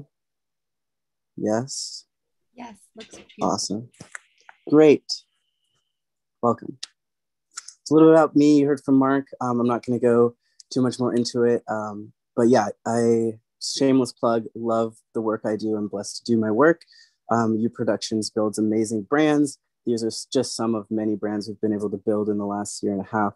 Um, from here in in uh, the Pacific Northwest, um, and the other half of our uh, work is events. So we just threw this amazing one last Friday, two Fridays ago, yes, um, called Here, Helping Each Other Remember Earth. And we had amazing, profound um, thought leaders and BIPOC poets and artists uh, speak at an amazing venue here in downtown Seattle. It was beautiful.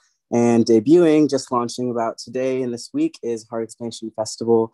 This is another one we're collaborating this year with um, some folks in Guatemala uh, it'll be up here in Seattle. We're doing um, heart-centered embodiment, cacao, um, and community. Uh, so if you're in the Pacific Northwest or have friends, uh, let them know that Heart Expansion Festival is happening the end of August. Thanks for that. Okay, so what is your House of Magic? I'll be referring to um, the House of Magic as your body. Um, and also what was so beautiful about putting together this presentation was I really found the second layer of the House of Magic, which is our spaces, which I'll be going into uh, a little bit later. So, what does capitalism have to do with the body? Um, I think we all know, but it's a lot. It's a lot of uh, control over the mind, body, and spirit. Um, and I'll be going into a little bit about how that happens. the history of capitalism. Okay, so we're starting around 800 to 1400. We had some in Middle Age Europe, by the way. Um, we had something called feudalism. In feudalism, people lived on these pieces of property called manors that were run by the lords, essentially. And they would live in community together and they would have some of their own personal fields, but then they would have to uh, work the Lord's fields as well. And they had to pay something called a tallage. This was before rent, so to uh, to the state. So you would have to give your produce or your cows, pigs, and chickens, um, your livestock to pay essentially your rent. People did not like this. They would give their worst cows or their worst pigs and like rotten produce from the ground. And there was always, throughout this whole history lesson, I'll really be talking about the resistance to capitalism that was so deeply alive at this time uh, in, in this time that so many of our ancestors did not want to participate and how we were shaped and carved into participating the way we do today. Um, also, gender roles, there were a lot, there was a lot more solidarity between genders in this time. Men and women would do the same work, wear similar clothes. People, it wasn't about male or female work, etc. It was work needed to be done in general. So people just did work. And then after work was done, life was about other things. Um, and women could also move uh, move to the city and become uh, have have higher professions like uh, pharmacists and uh, doctors, um, and they could live together. That became illegal later on. I will I will share um, a little bit about that. And then there were also something that was alive at this time was the commons. And the commons, oh, I missed the commons. The commons was land. It was just land that was common land, uh, that wasn't owned, that wasn't private. All land now is owned by someone. But imagine being able to go to a forest and it just be yours. Like it was a staple in the livelihood, uh, in the lifestyles of um, of these people back then. Uh, it was also a really large financial foundation. Um, lots of people would go to the commons the, uh, to gather uh, to gather materials, whether it's firewood or herbs or flour, whatever, to sell at the market, and it was their financial foundation. So later on, when I talk about how that was taken away, um, people were super angry. And then we have the church and the state. Woohoo! The Roman Empire came in and did the thing. Um, the church and the state uh, was starting to, at this time, to to really develop a stronghold, um, and we'll go into that a little bit more. So there was a transition time between um, feudalism and what we, what was the early stage capitalism um, back then. That's around 1200 to 1500. Um, where do I want to start? So let's start with rent. So essentially, people didn't want to pay their rent or pay their tallage. So they didn't want to give their livestock anymore and they didn't want to give their produce. So the lords were like, the landlords were like, okay, if you don't want to give us tallage, you can give us money and people felt free. They were like, yes, um, we don't have to pay tallage anymore. But what they didn't realize was that was the foundation for class division because some peasants had more money than others. So that had um, pe- peasants working for other peasants, and some peasants who didn't have any money couldn't pay. And uh, it started what we know as um, classism at, at the t- essentially like micro like economic uh, classism at the time. Um, urban, urbanization also started to happen. So people started to move from manors to cities. Um, and through the creation of cities, uh, there was a lot of degradation of the land, um, which caused lots of, um, you know, that was the start of, uh, of the separation between nature and, um, and the body, essentially. Um, that nature is now a resource for the machine. Um, there was also the famine between 1315 and 1317, uh, and a little bit after the Black Plague. So the famine, people were, you know, starving. So it was hard for them to work, um, hard, hard for them to reproduce, and that shows up a little bit later. Um, and then right soon after the Black Plague came and wiped like two thirds of the population. So all of a sudden, you have way less people to work the capitalist machine. And people, there was a there was a time between uh, right after the Black Plague and um, before um, the Enlightenment that essentially people had more power because there was less labor. Uh, there was high labor demand and less labor.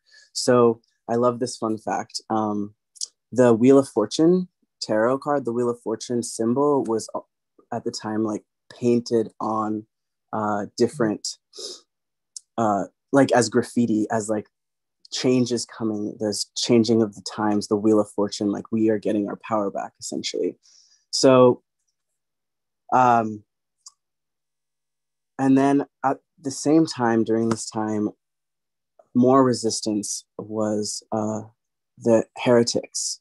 Uh, maybe some of you have uh, heard of the heretics. Um, I call them, I think we're the modern day heretics, these people who oppose social hierarchy, people who oppose uh, the church and state, people who wanted to stay in their bodies. There's a great book called, um, bless Ariel. Um, there's a great book called uh, The Movement of the Free Spirit by Raoul Vaneigem uh, that goes in and talks about these different movements. Um, and during this time, uh, one of the groups was called the Brethren of the Free Spirit. The other one um, was the Cathars, and these heretics um, essentially had safe houses all over uh, all over Europe. They were poly, they were queer, they were in their houses of magic. They were denouncing the church and the state.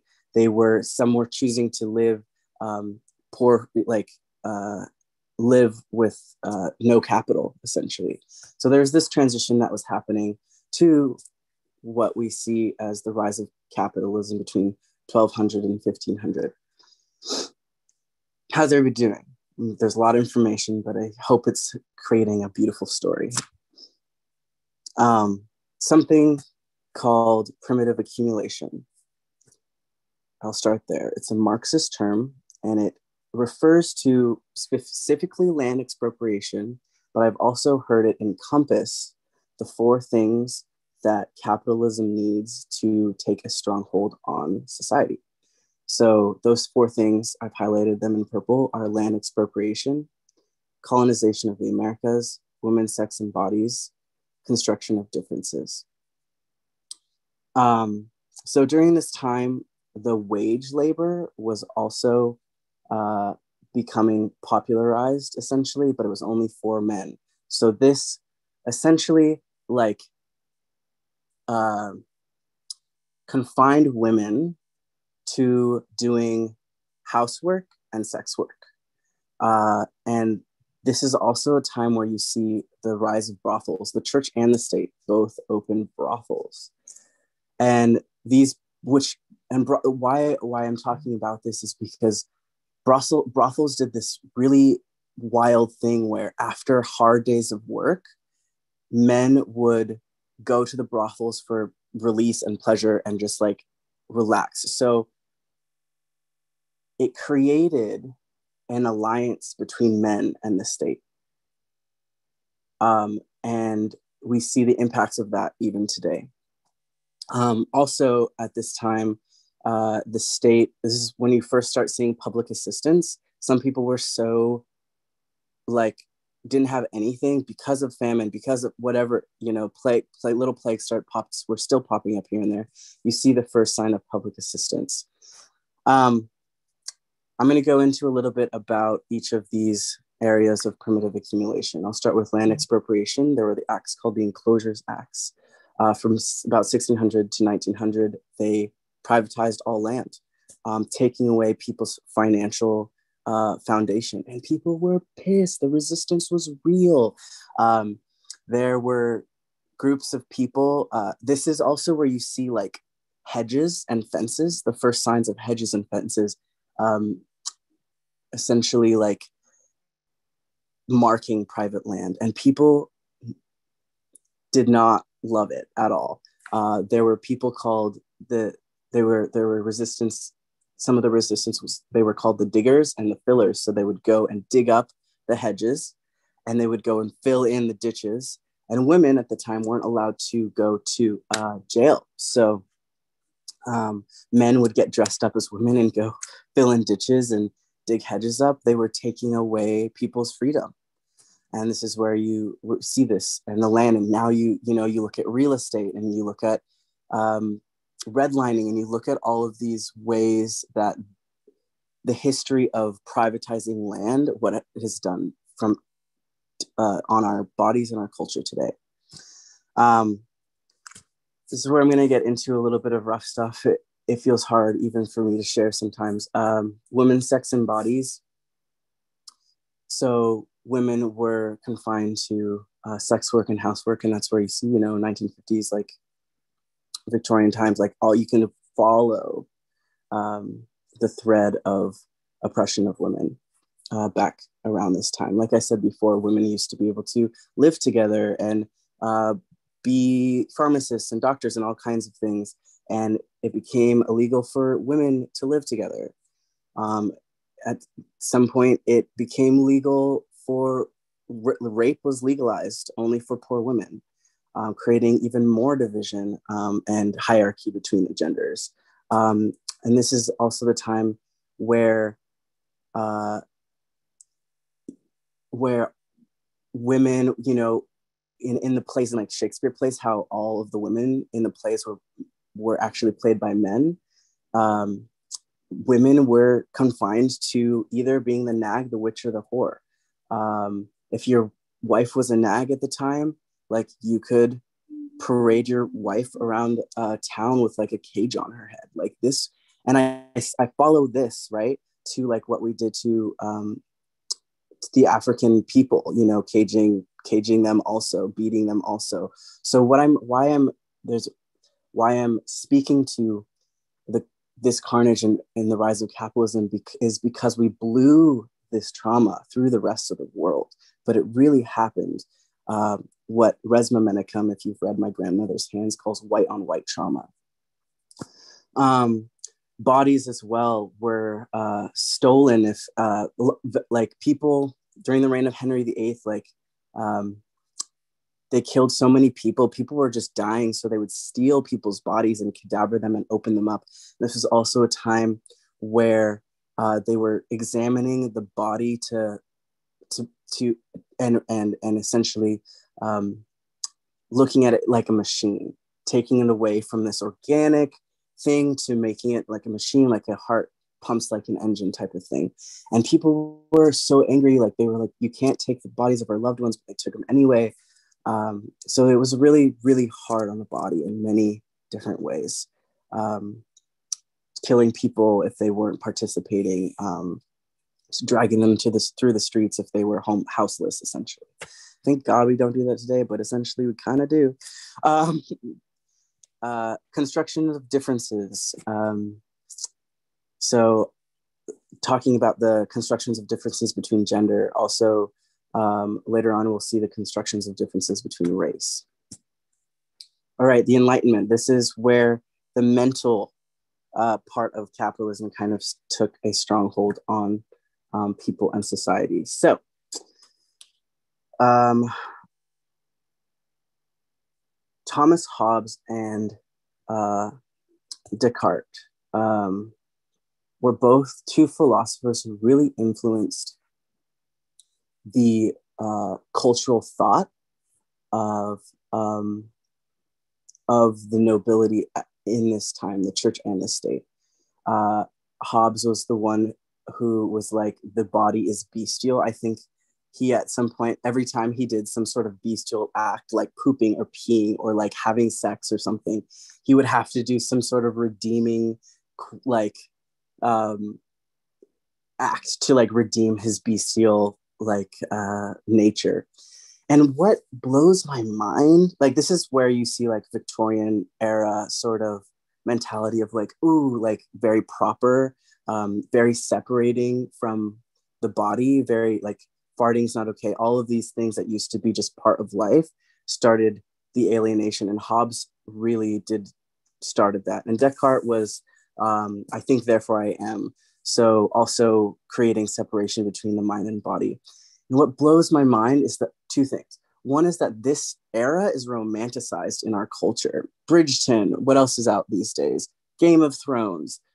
All i don't even know. I don't watch too much um, but i you know hear through the grapevine but it's all these period pieces romanticizing and glorifying these times when these are the times where where people were losing their indigeneity and their their connection to their body and to the land and nature. The second thing that blows my mind, I was talking to um, my good friend uh, Lux about this, is, is that these philosophies of Hobbes and Descartes, uh, who also prophesized that if we aren't, if people don't have government, we will ki- all kill each other.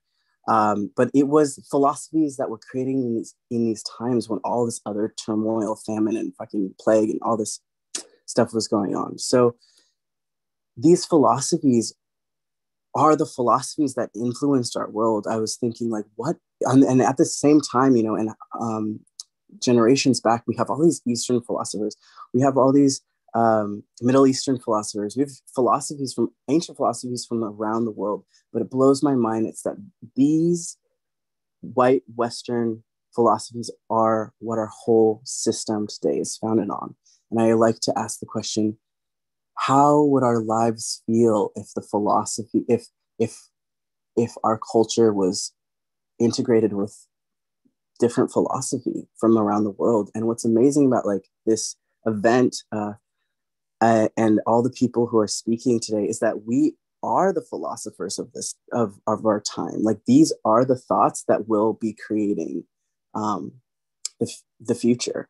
Uh, anyway that's that's my spiel on um, the power of philosophy and and thought.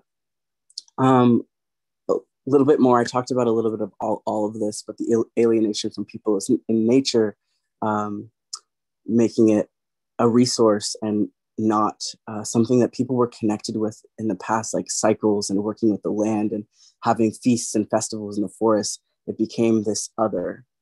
Uh, the machine, um, the mechanical philosophy, um, making our bodies into machine. This is when taught like time was really uh, implemented for for capitalism, and the, a watch I'm wearing one right now um, became this fancy thing to have, you know, where, but actually what, what it really means is that you're on capitalist time.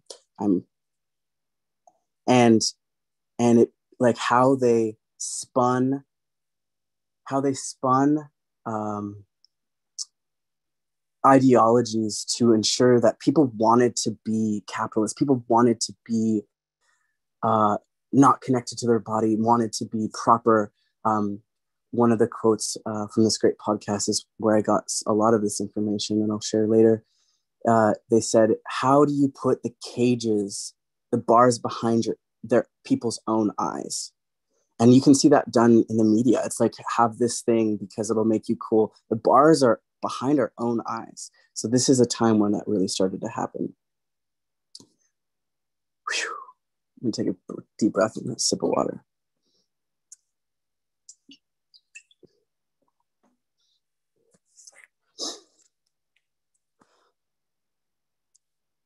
I just want to invite us to like move through. There's lots of grief that could come up for you um, through that. It does for me often. Um, I'll do a little somatic practice here in a second, but uh, I'll speak to first why this is relevant. And there's so many reasons why this is relevant.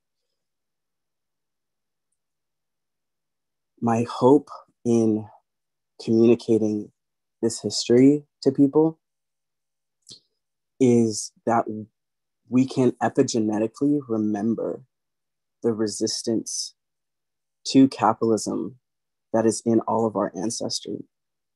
We did not want to participate.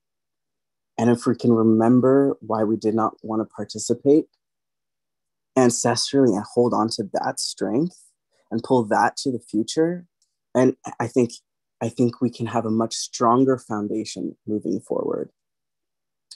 I also think that remember, like, I have this theory um, that whiteness and white supremacy has made a deal with the devil in a way that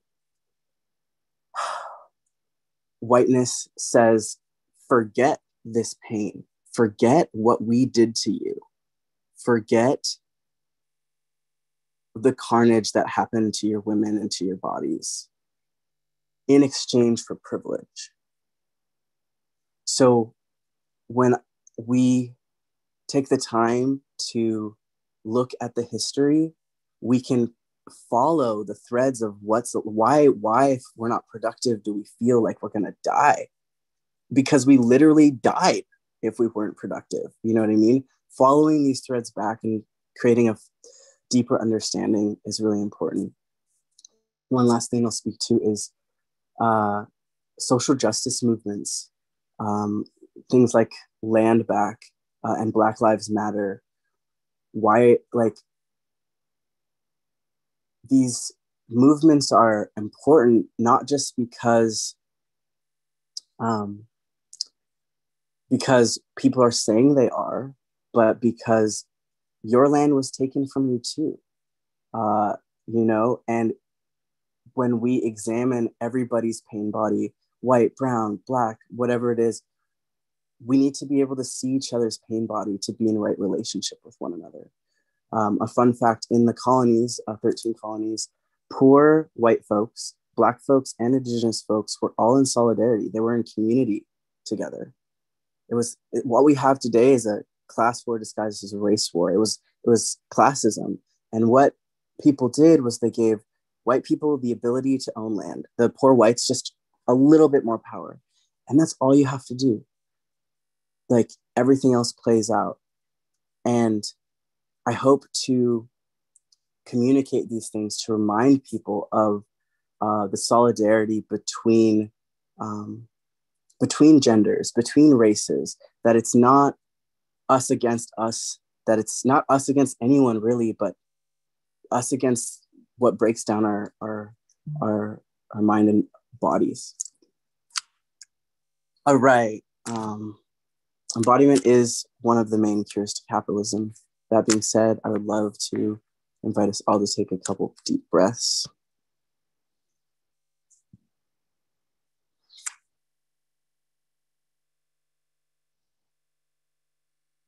Maybe feel your feet.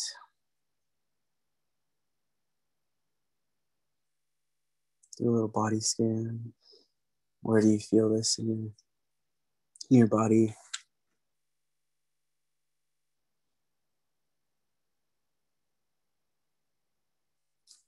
all of our senses are front facing like taste sight smell touch is all out front so i want to invite you kind of sink into your back body a little bit. A somatic therapist told me that it's like the ultimate place of rest back there. Can you feel the support of what's behind you.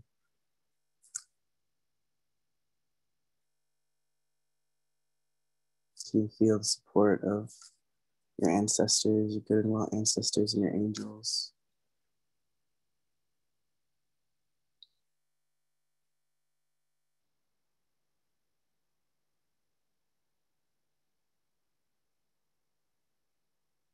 You're held.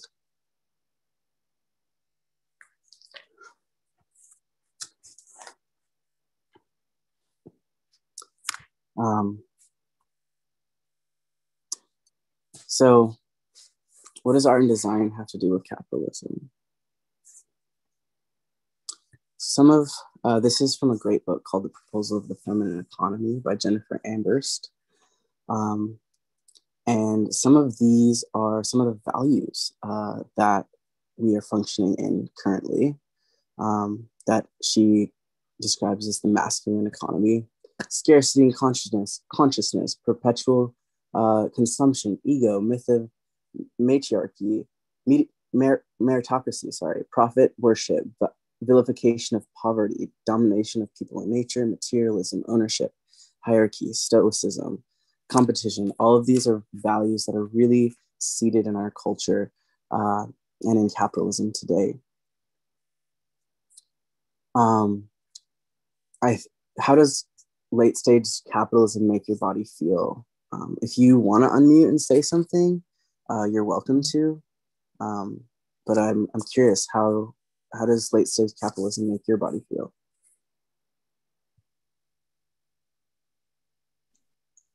Trapped. Well, sometimes I'm really happy because it's the late stage and usually death comes after that. Bless. Amazing. Cool. Thank you. Yeah, it's it's a rough one. I'm and if you want to answer that for yourself, that's cool too. Um, what do you think are some other possibilities? Uh, there's a great article that I have linked. I have linked all of my resources to everything at the end of um, through a QR code, code at the end of this presentation. And this is from an article that I really love. So I'm going to read this quote. For most of those of white European descent, our true selves are buried under not only the unconscious pain of unprocessed childhood trauma, everyone, aka just also everyone, um, but also the colonial inheritance of a traumatized and tragically mistaken assumptions about what it is to, to be human.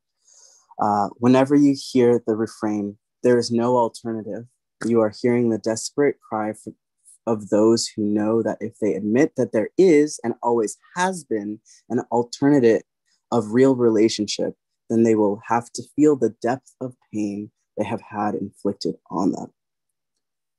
Um, there are so many other possibilities, and that's why we're all gathered here today. Um, some of the other possibilities from the proposal of the feminine economy uh, are around business, but can be implemented into your life as well. Resourcefulness, mindfulness, gratitude, integrity, honesty, connecting to nature, empathy, care, intimacy, asking questions, let's say consent, uh, abundance consciousness, interdependence, collaboration, ease, generosity, some values that we can implement um, in practically in our in our lives and in our businesses to shape other ways. What does this look like in practice in art and design? Uh, I want to introduce you to a project uh, called GeoShip. Um, GeoShip is uh, started here in the Pacific Northwest on Vashon Island. Uh, yeah. And I had the honor of hosting the CEO and founder uh, at an event I did years ago called the Village Events, where I brought together um, amazing uh, people to talk about sustainability and community living. And that talk is recorded. I also have that linked um, at the end of this uh, presentation. But I'm going to go through some of the things that uh, Morgan Bierschenks, the founder, uh, said about art and design, and especially uh, geometry. The architecture of the future is not building, building materials, it's sculpting energy.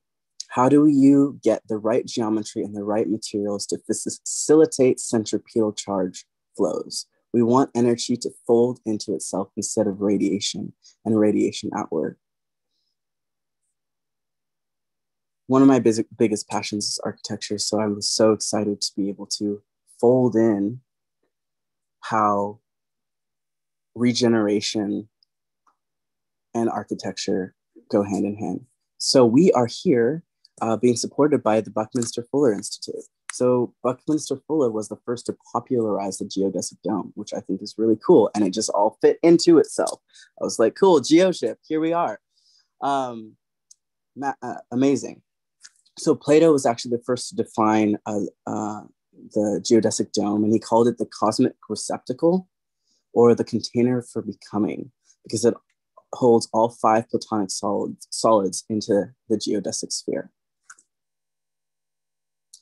So what we have right now, uh, our current city plan is based off of the Roman grid. Uh, the Roman grid, I'll just, I'm gonna read, read this. The current system is all boxes built on the Roman grid. And the Roman grid was created by the Roman Empire. When they would take over a territory, they would lay this grid down so the soldiers could stand at the intersections and control the population. The right angle is the maximum is the angle of maximum destructive interference. And we can see this anywhere. When you put up water or wind to a right angle, it scatters the energy. So it's maximum destructive interference. Um, I thought this was so fascinating because the way our, we weren't always, we think things are the way they are because they are what they are now. But things were system- systematically create designed to be oppressive um, and to be controlling. Um, and we have the opportunity, if we know the history, we have an opportunity to uh, build uh, a new way and know the mechanisms of the history, really biogeometry. Um, there's a great Egyptian architect, his name's Ibrahim Karim, who uh, was the first physicist, one of the first physicists to qualitatively test um, on the human body instead of quantitatively test on the human body. Um, and he was really what one of the, he's still alive. Uh, he was testing, one of the things he tested was how geometry, different geometry, ge- geometric symbols uh, and signatures um, impacted the energy of the human body. And he found that certain angles and energy flows uh, resonate biologically. Uh, he discovered that when the body is exposed to certain symbols and geometric signatures, that the body will resonate with the one it needs to resonate with, that there is an innate wisdom in the body. An example of this is in Switzerland. Um, Switzerland's one of the most eco-conscious uh, countries in the world, if not the most eco-conscious country in the world. Uh, and there was uh, back in the 2000s, they were um, putting up cell phone towers uh, and they put one on top of this church. And essentially, uh, in the next few weeks, uh, people started to become really sick. Birds were leaving, um, and people were like, "What's going on?" The, the electromagnetic radiation uh, they theorized was was causing this. So essentially, they brought Ibrahim Karim in, who made these biogeometric statues, essentially, uh, that and signatures that pointed towards the cell phone tower. And uh, what I loved, what Morgan said, it was like uh, a moving prayer, essentially, like a, a an energetic prayer uh, towards the cell phone towers. And within a couple weeks, like 70% of the illnesses disappeared and birds returned. And Switzerland was like, hey, Ibrahim, uh, do you want to do the whole country? Um, so Switzerland has some uh, great electromagnetic protection protection um, in its city planning and its structure. Um, pyramids and domes essentially amplify the energy in a space.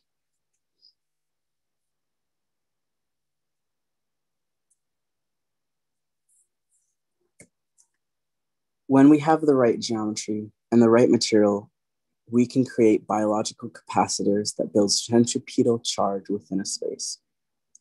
Arch architects will understand how materials and geometry need to work in order for architecture to have purpose again besides just shelter.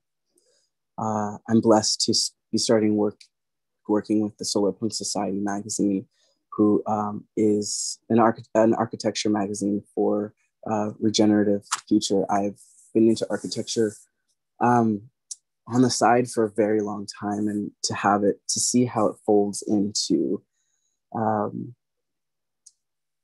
my passion and, and the creation of a new world is has been so beautiful for my body to uh, receive and um, sh- also show other folks what's possible in architecture and not only what but why it's so important for our houses of magic can we build not only houses of magic within ourselves, but houses of magic in our environments that can reflect and support our bodies. Um, GeoShip, I'll just let you know where they are right now. They just finished um, a prototype in California and they are taking it to market and will hopefully be on market in the next two years. What also what they're doing is amazing is that they're gifting some of their first um, structures to uh, indigenous folks. Um, last time I heard it was here in Washington State, but since they've been moving around the West Coast, uh, it might also include California. So that's really exciting. And this is what reparations really looks like. Um, you know, we can't give everything, but we can give what we what we have um, to be accountable and start to mend and heal the wounds of everything I just described at the beginning of this presentation. And not only that, but every act of love for yourself that you do for yourself and your friends and your family and and the houseless person on the street all of these acts of love um, that we do to take care of ourselves and another is also reparations from the carnage that I just described from at the first part of this presentation. So really implementing um, that we are here to repair. And that looks like so many different ways. What does that look like to you? What does that look like for, you know, the community you, you inhabit? What does that look like for other communities in your area? Um, we're here to repair and that is reparations. We may not be responsible for the world that created our minds, but we can take responsibility for the mind with which we create our world. Gabor Mate. Um, I want to end this last 15 minutes with some practical ways that we can uh, shift into um, this new uh, these new values um, and practical ways that we can shift uh, into uh, these new ways of being and understanding where we've come from to you know make this a landmark essentially where we can shift and change uh, what we do for the future. One of those things is redefining success. As a business owner i work with a lot of people. I work with amazing somatic therapy like therapists and uh, just systems revolution thinkers and revolutionaries and um, and to be able to support them in their success has been so rewarding. I do I, I live for the smile on people's faces when they feel reflected in, in design and in art um, I think capitalism has made us a monoculture. Everybody and everything is very similar. It's the same, same houses, same schools, same standardized tests, and a, a a antidote to cap another antidote to capitalism is uniqueness is individuality in, not individuality in terms of separation but um, appre- appreciation for our uniqueness and reflecting that in what we wear, um, how we talk, who we are as, as people. Um, someone once told me that success is being able to give yourself all the things that you want. It's not some standard that our culture, I mean, it is, but it, and how do we re- redefine it? It's not some standard that our culture defines for us, but how do you define success for yourself? So I just pulled this also from um, the proposal for the feminine economy. But she says, I'm proposing business as a site to embody our values, create new economies, and experiment with new distributions of power and resources. Um, I love this. Uh, she says 100 ways to make more money. I'm not going to read all of them, but I'm going to pick and choose. This is ways to redefine success in our personal and daily lives to to take care of our mind, body, and spirit. Um, when I started taking care of my mind and going to the forest before I had a meeting and going on a walk before I have meetings for work and and and making sure like you know having my tea in the morning, whatever it is. When I started taking care of my body, my work, my purpose work flourished, um, and it's all connected. So 100 ways to make more money. Drink water, go to bed on time. I don't do that. Um, uh, slow down, invite your heroes to lunch. Make a list of everything you're good at. Tell people exactly how to utilize you. Make no assumptions, have no expectations. Improvise, be resourceful. Remember, you have everything you need. This is true. Um, give meaningful gifts. Tell the truth. Talk numbers. Read Karl Marx. Woohoo, do it. Uh, connect with someone you love daily. Uh, Begin doing everything you know you should be doing. Show up. Presume is innocence. Um, remember what other people think of you isn't your business. Embrace vulnerability. Practice courage and compassion in the face of fear. Give money to buskers and panhandlers. Know exactly how much debt you have. Keep imagining abundance. Wake up early. Exercise. Pay your taxes gladly. Read the newspaper daily. Become a better listener, ask more questions, maintain eye contact. Forgive yourself for all the times you've devalued yourself. Say no to work you don't believe in. Trust your intuition. Become conscious, know why you do what you do with money. Write about any shame you feel around money. Talk freely about finances with friends and family. Make choices in alignment with your personal honor code. Act with intention. Stop eating food your body doesn't like. Shop at farmers markets whenever possible. Purge the things in your life you don't need, use, or want. give unwanted goods to charity, or have a garage sale. Get a dog or a cat or a child or a lover if you don't have one already. Talk more about what you love. Through iteration, experimentation, and innovation, in other words, treating business as art, it is possible that we will find a way out of dysfunction of where we are now and into something new. Yeah, that's what I got for y'all.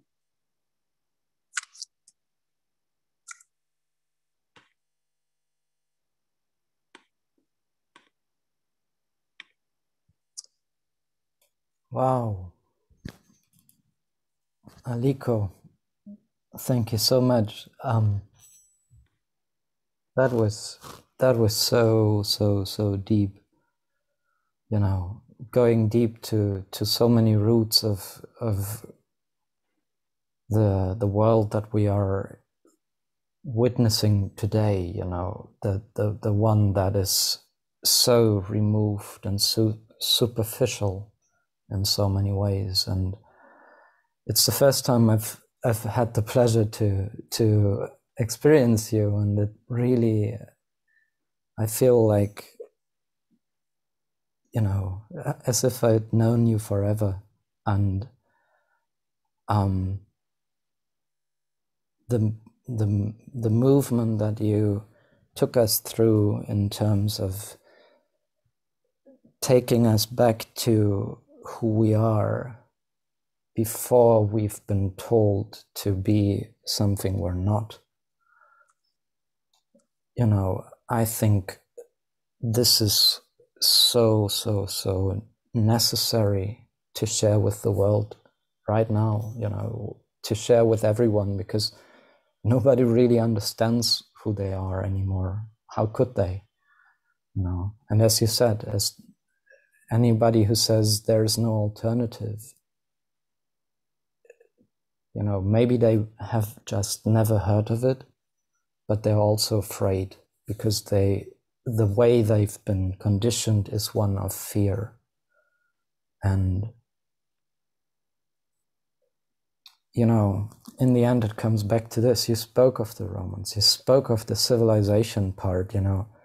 I think you know the roots lie even deeper than capitalism because that's an outcome of colonialism that came before in civilization.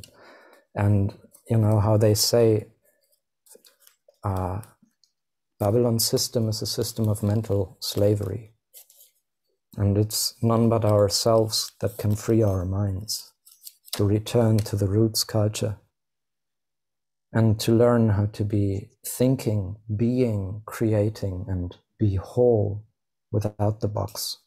Because that is where universe is calling us to, to become who we truly are, which is one, inside, outside, and around ourselves.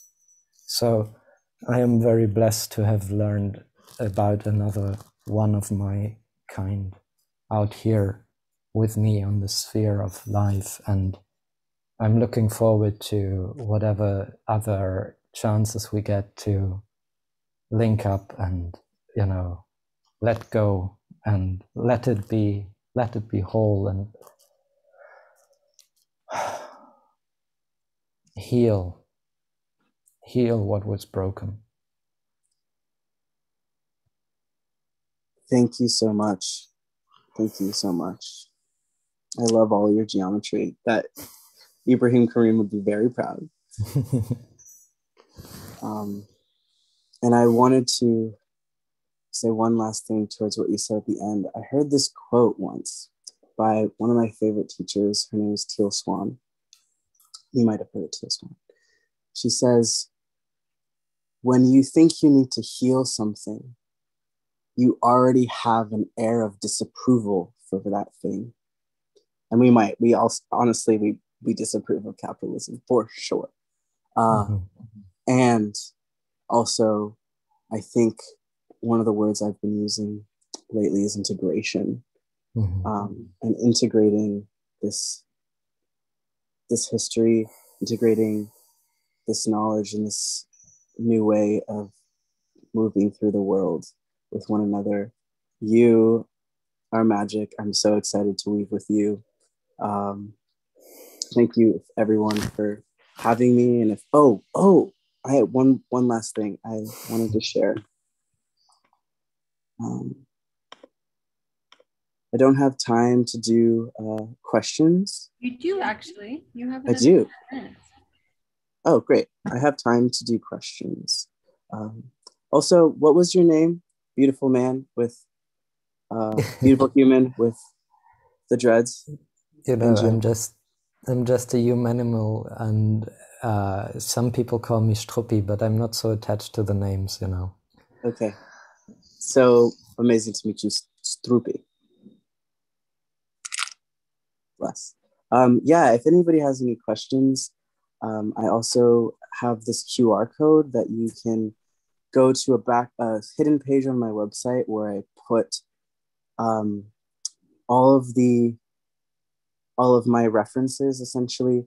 Uh, all of the history of capitalism came from a couple different places.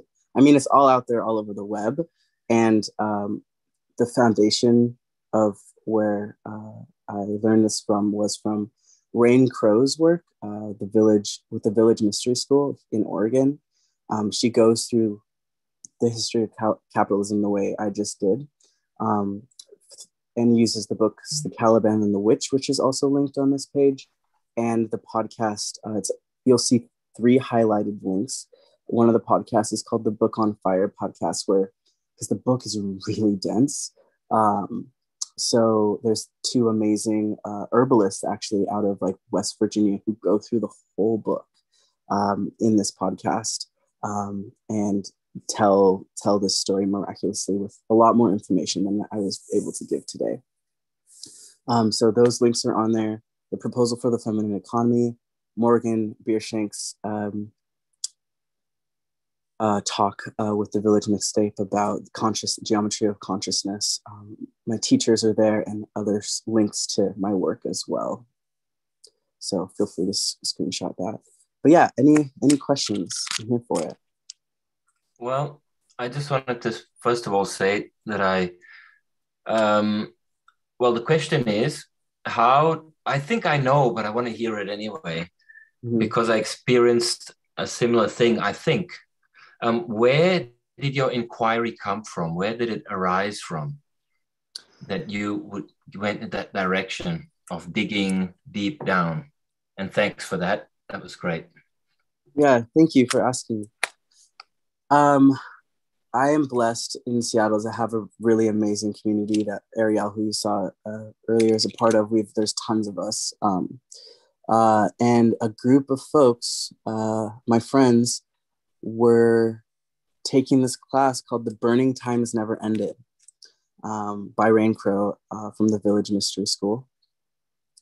And she is the one who is uh, really st- starting to disseminate this information. I'm just, I took that class as well. Um, and I've gone through the book and the podcast several times. Um, but I, the D- digger when I took this class, like the depth for me was like recognizing like all these threads of why the world is the way it is from the carnage of these times. Um, I was like, oh my God, this is the root. This is, I was like, this is how to heal racism.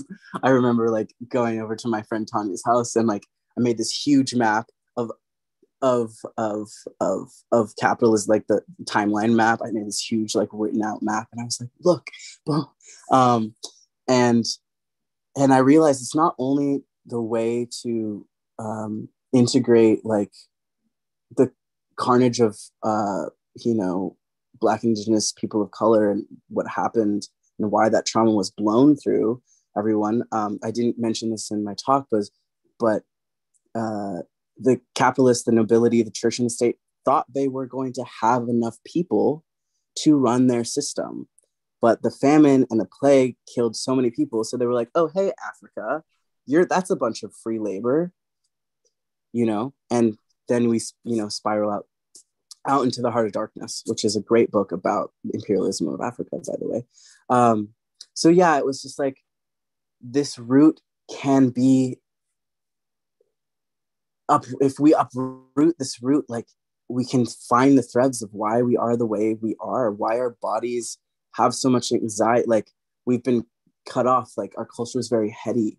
You know, we were believed, we were made at a point, our our ancestors, not very many generations ago, this is like six, seven hundred years ago, not even that long ago, were b- made to believe our bodies were disgusting. You know, why do we still think that? They've now made money off of that belief. You know, so so I think looking at the threads can really um, and, and illuminate what's possible for the future. So thank you so much for that question. You seem amazing.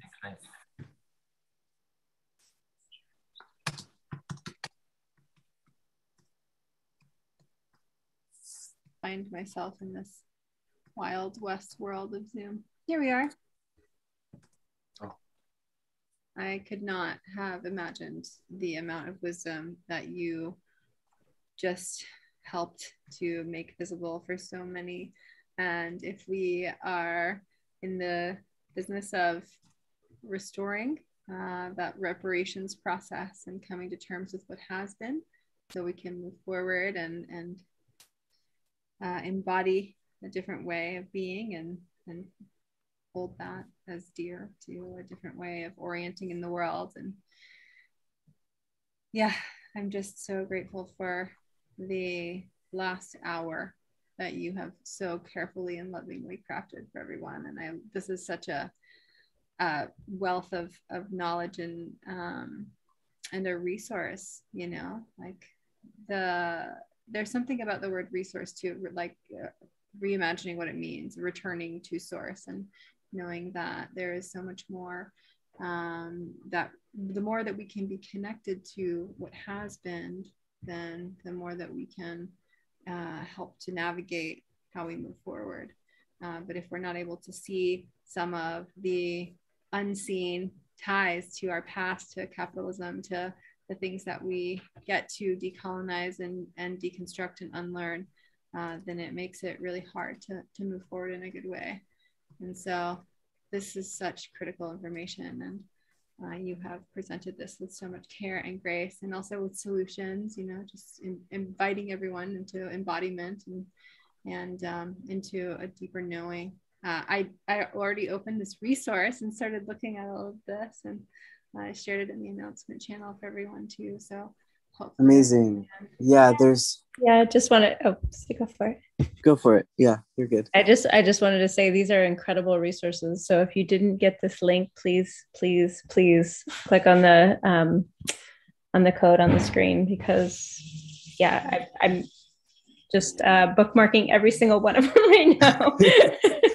Amazing. I would. I want to highlight. Um, I want to finish with a couple things. Like I hope that everybody at some point today touches the earth and I hope that everybody at some point today does something really uh, beautiful for their house of magic, for your body, and maybe for your external house of magic too. Um, and then the three resources. I, yeah, bless. Um, the three main resources I would check out. I would really, if you want to know more about that history of capitalism, that podcast um, is amazing and a lot but it's incredible. Um, there's also that article uh, that I quoted um, is in there as well. Um, I can't remember the author, but it's called like something around empathy and coming back to the heart, trauma, something, something, po- politics, trauma, something. Um, it's a very long article, but it's also, I'm so glad that this information is, I'm not the only one talking about this. Other people are starting to talk about this a lot more um, and that's linked there as well. Um, and uh, the geometry of consciousness is a short one hour podcast if you are more interested in uh, the design aspects. Um, it's been such an honor to share this with you. Uh, please reach out if you have any questions. My email is right there. Um, there's amazing resources on somatic therapy and healing. And um, I just take care of your house of magic for me, and I'll take care of mine. Thank you. Thank you. Thank you. Thank you, Aliko. That was really beautiful in so many different ways. I love the weaving that you created with Fuller and the geometry of thinking and the principles. And I love that you're weaving, weaving with Morgan. Um, he's, yeah, he's incredible. Um, we'll also hear from him on Saturday. So he'll be here twice. um, so yeah, we, we, all weave in the same circles. It's so it's really beautiful. Um, yeah, I just want to say thank you because it's really it's it's a powerful conversation that you're holding, and I think we need to hear more of it and in all of the ways that you spoke to it. So, just deep bow of gratitude. Yeah, thank really truly, Aliko. Thank you, um, and I hope that we can find more ways to amplify your voice and your work and I'm so glad that that today we've gotten to begin our journey, kind of weaving and amplifying your voice and the voices of your community as part of our global family uh, and community. You are such uh, an inspiration, and um, and you have held this with a lot of grace. And uh, I feel like you know you you you also presenced it in a trauma informed way and invited people in a way that was consensual and also you know revealed and discussed a lot of things that need need to be brought to light in order for us to make a world that works for all of life and come to come to a peaceful place with our history um, and and do the work of detangling and and moving forward making a new system that makes the thanks for having me. I'm excited to collaborate in the future. Uh, y'all are amazing.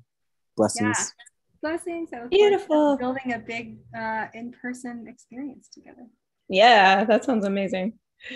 I think next up we have Jimo, um, who, if you didn't hear from him earlier, you get the the pure joy and opportunity to hear from from him now. Um, he presented earlier on just kind of like a, the broad strokes of what Just Learn is and Silvi.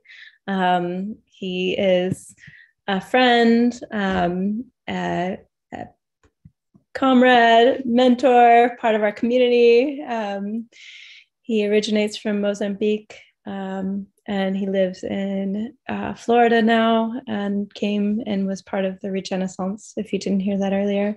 Um, he also has been an integral part to the Buckminster Fuller community, Buckminster Fuller Institute community, sorry, um, and he just recently launched Silvi, which we'll be hearing a lot more about now. And I'm really excited to just say that he's a friend and I can't wait to start to invest in Silvi because I feel like it's a really incredible platform and it's going to really um, escalate what happens in our future in terms of tree planting and really having some a clear carbon future. So, welcome again, Jimo. It's good to have you back. Thank you, Faith. Uh, you're kind of forcing me to say that this is not financial advice, uh, but we can talk about trees and uh, their implication in in sort of so, uh, saving the world. Um, there, there's a lot of legal opportunities, I think, uh, with regards to how trees can be securities and how they should really be building blocks of currency. But we'll get to that um, in just a second. I will be retouching just a little bit on those uh, broad strokes of what we're working with. Uh, I, I, am using just a few slides from the previous presentation, but uh, in this presentation, we'll be talking about the work of Silvi, which sort of was conceptualized during the Buckminster Fuller Institute a few uh, months ago in the last cohort, um, and then through the work at Kernel, which is a, a Web3 fellowship. Um, I did want to just spend some time here on this slide, um, uh, which highlights a lot of tailwinds uh, around regenerative uh, verticals uh, and marketplaces around the world. Uh, many of you might have heard of uh, ESGs um, and maybe even some of the activity happening with carbon markets and carbon credits and carbon offsetting, which you can see here on the left. So basically, a lot of things are coming together that are, are spearheading um, the, the, the opportunity that Web3 and decentralization and blockchain offer towards coordination um, and sort of the sense, sense of responsibility uh, for, for tackling climate change and solving environmental collapse and degradation.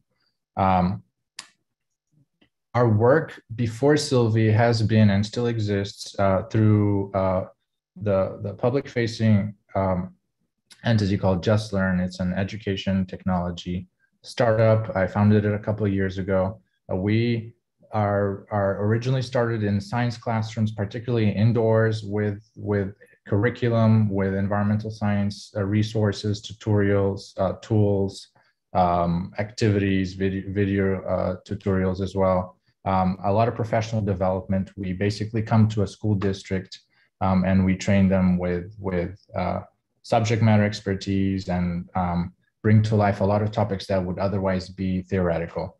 But uh, more recently, we are supporting now citizen science um, as far away as in Africa, or originally where I'm from, but not the market that we used to serve. Um, so this is part of the, the technology convergence that is taking place. Um, the world not too long ago didn't even have supercomputers, and now we have them in our pockets, and and they now cost $100, and uh, internet coverage is also spreading. Uh, so I see this as really a, a, a huge opportunity uh, to sort of on ramp, uh, as it's called, um, people into Web3. Um, if you're not sure with the term on ramping, uh, it just basically means being able to uh, live more natively in Web3 environments, uh, so almost like skipping skipping your bank. But there's a lot of demand for what uh, uh, can be done uh, around natural assets, which which I'll give a little bit more of a primer on when we focus our, when we shift our focus to to Web3. But so Silvi is a part of Just Learn. We originally attended the last Buckminster Fuller Institute SCORT on regenerative agriculture, and then we attended the Gitcoin kernel we graduated uh, the Buckminster Fuller uh, program with circular design, uh, which we launched in uh, in Fort uh, Fort Myers in Florida. Um, but the circular design very quickly focused on trees and the, the supporting systems of trees. Um, originally, it was really a, a means of creating a temp, sort of templating sustainable practices, regenerative activities, uh, from composting to renewable energy to pollinator ecosystem services. And over time, it has focused on trees. Uh, we have also spread our wings a little bit beyond the schools to include uh, stakeholders uh, that support the tree uh, value chain. Um, but these include nursery sites, subject matter experts, um, and often really just enthusiasts, enthusiasts in their area the biggest learning lesson for us before we started supporting trees is understanding environments as, as life cycles. We had built this unit called PlanetBox, which is an aquaponics system, um, as our first laboratory tool for science classrooms. Uh, we have achieved pretty good uh, uh, relationship with a few districts here in Florida, in, in Tampa, where we're based, uh, in Hillsborough County, uh, we are in every high school, and this is a laboratory serving the, the fastest growth science category here in Florida, which is good news because environmental science really offers uh, insight into, into a regenerative future and into sort of the solutions behind uh, climate change and, and um, um, you know, all, all, all, the, all the environmental problems we've discussed. Um, but so thinking about that logic, uh, which is the, the, the, the logic around uh, environment life cycles and associated milestones be behind those life cycles, coupled with the tools that we had already developed beyond the hardware, more on the software side of things. Uh, so think dashboard, uh, data logging, uh, uh, alert systems, task managers, some of the community pieces with interfacing with schools and science classrooms, um, instructionals, uh, even things like timeline. Uh, we have now adopted trees as uh, an asset class. Um, so that is sort of the quick journey from Just Learn to Silvi. Before I dive into Silvi in, in, a, in a much more detail um, and try to understand it from the perspective of Web3, I just wanted to kind of uh, share a little bit more about uh, what I consider this intersection to be in Web3 uh, and climate. And in, in this page here, I have uh, a lot of names and entities. Um, maybe some of you are familiar with them. Um, but we have entities like Celo, for example. These are layer one uh, blockchains, much like Ethereum, um, that are very aligned uh, to climate action. Um, uh, we, we, are, we, we, we, a lot of us have heard of uh, Charles Eisenstein's sacred economics work. Uh, Celo has adopted this as part of their reserve currency uh, mission. Um, so the world is, is waking up to, to natural capital. Uh, natural capital is, is basically uh, natural living capital, things like forests and rivers and um, uh, water credits, uh, not just carbon credits, but ecosystem credits, ecological credits, uh, indigenous uh, wisdom, all things natural capital are making their way into sort of collateralized value within, within currency. Not everybody is doing that, but there are people like Celo who are. And this is very promising because they are effectively issuing um, securities and money through reserve and treasury uh, that are adding value to that and accumulating these resources. Um, Celo actually uh, created the Climate Collective, uh, which a lot of these other projects are part of. Um, but these are projects that are working um, in collaboration with one another to solve grand challenges. There is a, a, a map put together by uh, the Climate Collective uh, and also shown by ReFi DAO um, that you can visit and see on the map on, on the website. It's, it's, changing fast. The space is really just a few months old, I would say less than a year.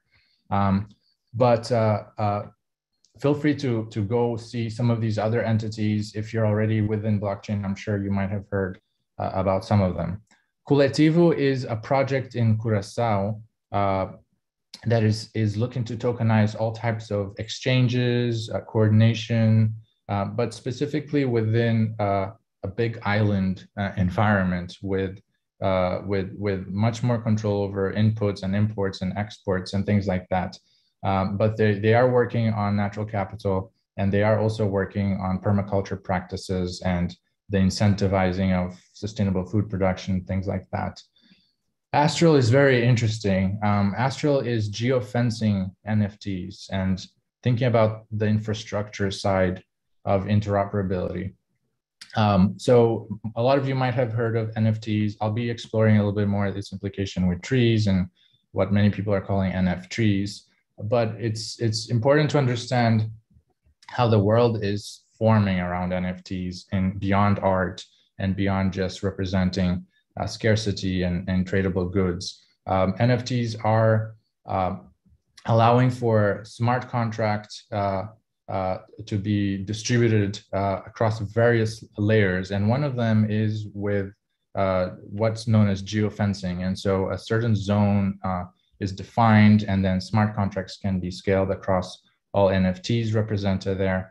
But it is great for interoperability, particularly when including other things like interplanetary file uh, system, uh, or perhaps, for example, um, some of the ledger and registry work that uh, Regen Network is doing, uh, some of the storage uh, stuff that Filecoin is doing. We really need interoperability. And so that's why this is not just about climate work. This is really uh, so many innovations coming together that are creating a bit of an explosion in, in refi.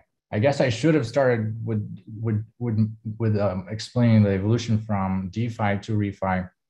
So um, about couple two years ago or, or so, we had really the first DeFi movements, which were was decentralized uh, money uh, uh, working for itself and for for those who participate in it. Uh, it's called decentralized finance. There's been an evolution of that. We consider ourselves now in DeFi 2.0.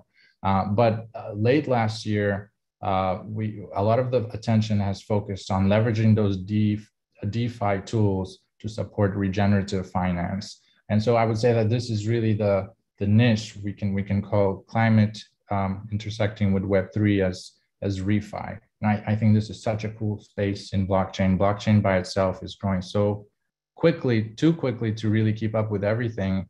Um, but if you are interested in, in regenerative practices, um, just you know Google refi and you'll see a ton of, of projects. Uh, to explore other projects, I would, however, go on on refi DAO as they are a DAO supporting all other refi projects. Um, okay, so trees. Well, let's let's just I guess come to a couple agreements, uh, which is around some of the global targets that are shaping up for, for tree planting. Um, we're familiar with the Paris Agreement. Um, there's been uh, COP26, or as part of the Paris Agreement, uh, uh, I believe Article Article Six specifically. Um, and so all these uh, countries around the world, whoops, all these countries around the world are coming to to agreements around the evolution of the carbon markets, uh, from voluntary carbon markets to compliance carbon markets.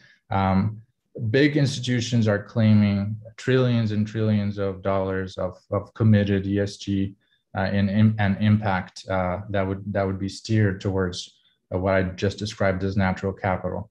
But at least we can we can find some hope that the world is waking up to to this problem of reforestation really being the foundation of climate and uh, degradation of, of, habitats and whatnot. So uh, the one trillion tree target is is very much uh, a north north star for Silvi, and everything we do is is is trying to support this cause. Not that we can do it alone, uh, but that we can help at least um, build tools and resources and coordinations and techniques uh, to, to get more people uh, to participate in tree planting. For context, um, if we're to divide a trillion trees by the world's population, um, that's 125 trees per person. Uh, say we assume that half of those trees will be reforested under sort of industrial centralized um, uh, sort of large scale projects, uh, then what would remain is about one tree per person per year for us to within one generation meet these meet this target. Um, I would say that that is a very achievable goal. Um, can't expect everybody to to want to plant trees, but I do believe that um, even just a, a few trees, if we are to bring this into our life a little bit more, we might all of a sudden be able to at least scale the emotional attachment and you know the the, the conscious awakening that society might might have for trees. Um, there are a lot of business cases for tree planting. Um, increasingly, it's it's it's thought that you know within the next trillion trees we'll find um, the next billion users from a from a commercialization perspective that that there's, there's a lot of opportunity there. We're not necessarily looking at this from a, a money making opportunity. We're thinking about this more from like a platform. How can we support other user adoption? A lot of people are working on meta metaverses and having metaverse uh, gamification that supports real world causes for example so how could we fill that uh, that demand um, so a, a, few weeks ago we finally announced Silvi uh, publicly. Uh, this was after um, the Buckminster Fuller program last year. the beginning of this year, we initiated um, a fellowship with Kernel. I strongly recommend Kernel to anybody. You don't need to be very technical with, with Web3 or blockchain, but if you're thinking about this space, I highly recommend checking out Kernel. Um, so Kernel has uh, uh, uh, its own collection of, of grants within Gitcoin. This is the Gitcoin page, and this is just a, a quick uh, uh a, screenshot of what uh, the Web3 grants can do for you. We ended up raising Uh, about $8,500 within 48 hours. Uh, that was just one grant round. It was the 13th round. There will be more. And uh, there's a lot of attention to climate solutions which has matching funds behind that. So if you're working on a project that is regenerative or that even is just looking at Web3 as a whole, check out both kernel and Gitcoin and feel free to, to ask me any questions around the applications or the, the setting up of, of these pages. Now, in, in this uh, announcement of Silvi, we obviously pitched our solution, um, a bulk of which really involves uh, two things. Uh, one is to be able to incentivize tree planting. We need to figure out how this can actually work. Um, incentivizing both from a gamification perspective, making it interesting and fun and, and rewarding, uh, but also truly a monetary incentive, uh, being able to uh, pay for tree planting at scale without necessarily the, the old systems of reforestation and logging uh, in place. Um, and then the second uh, part of the solution and really needed for gamification to happen is to just try to improve as much as possible while leveraging uh, the technologies we have access to today, uh, the traceability around those trees. So with traceability, one can both um, hold accountability on tree planting, have have transparency um, on, on tree planting, which is one of the big problems of today. A lot of companies claim to be reforesting the world um, and you know committing guaranteeing tree planting, but there's no necessarily uh, guaranteeing of of, of um, old growth or maturing of forest canopy and the returning of bird populations. Uh, uh, and, and for that to happen, you really need to have traceability on trees over many, many years, or at least to be able to model with a high degree of confidence um, how that's coming to life.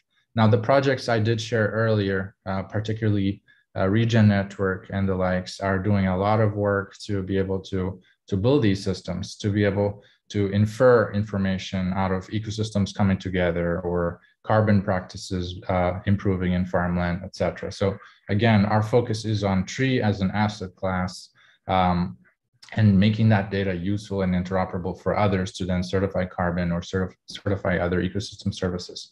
I do also believe that the world has a lot of room for more uh, social media type of participation in, in climate. Uh, so the community effects uh, effectively uh, around uh, climate action. Um, and so traceability would, would extend beyond just having ground truth produced for trees, but have traceability around stewardship and participation and the community, uh, the communities around trees. So I'll cover that just a little bit more in the next slide. Um, our background with education also means that a lot of our work and early stages of piloting our technologies are focused on schools. As, as mentioned, we already have a bit of a background in environmental science, uh, in citizen science, and um, sort of curating uh, curriculum and, and, and um, activities. Uh, so we are leveraging that supply chain. I do think it's very relevant. Uh, we have millions and millions of schools and science classrooms around the world, many more than nursery sites, for example. Science classrooms, uh, most popular activity is the germination of a seed across K-12, even into, into um, higher ed. Things like genetics are, are usually in, involve botany, um, but we, we germinate seeds to learn about physiology and anatomy and metabolisms and you know we see leaves under the microscope so it's just such a cool uh, environment that already exists with with a good appetite for for botany and for gardening um, it just a little bit of an optimization is needed to maybe shift growing lettuce in ziplocs on your window to maybe sourcing non-invasive trees that will have ecological impact near you um, and, and ultimately uh, stewarding them until they make their way on the ground. Um, okay, so I guess this is the, the most important slide to understand um, uh, what we're doing.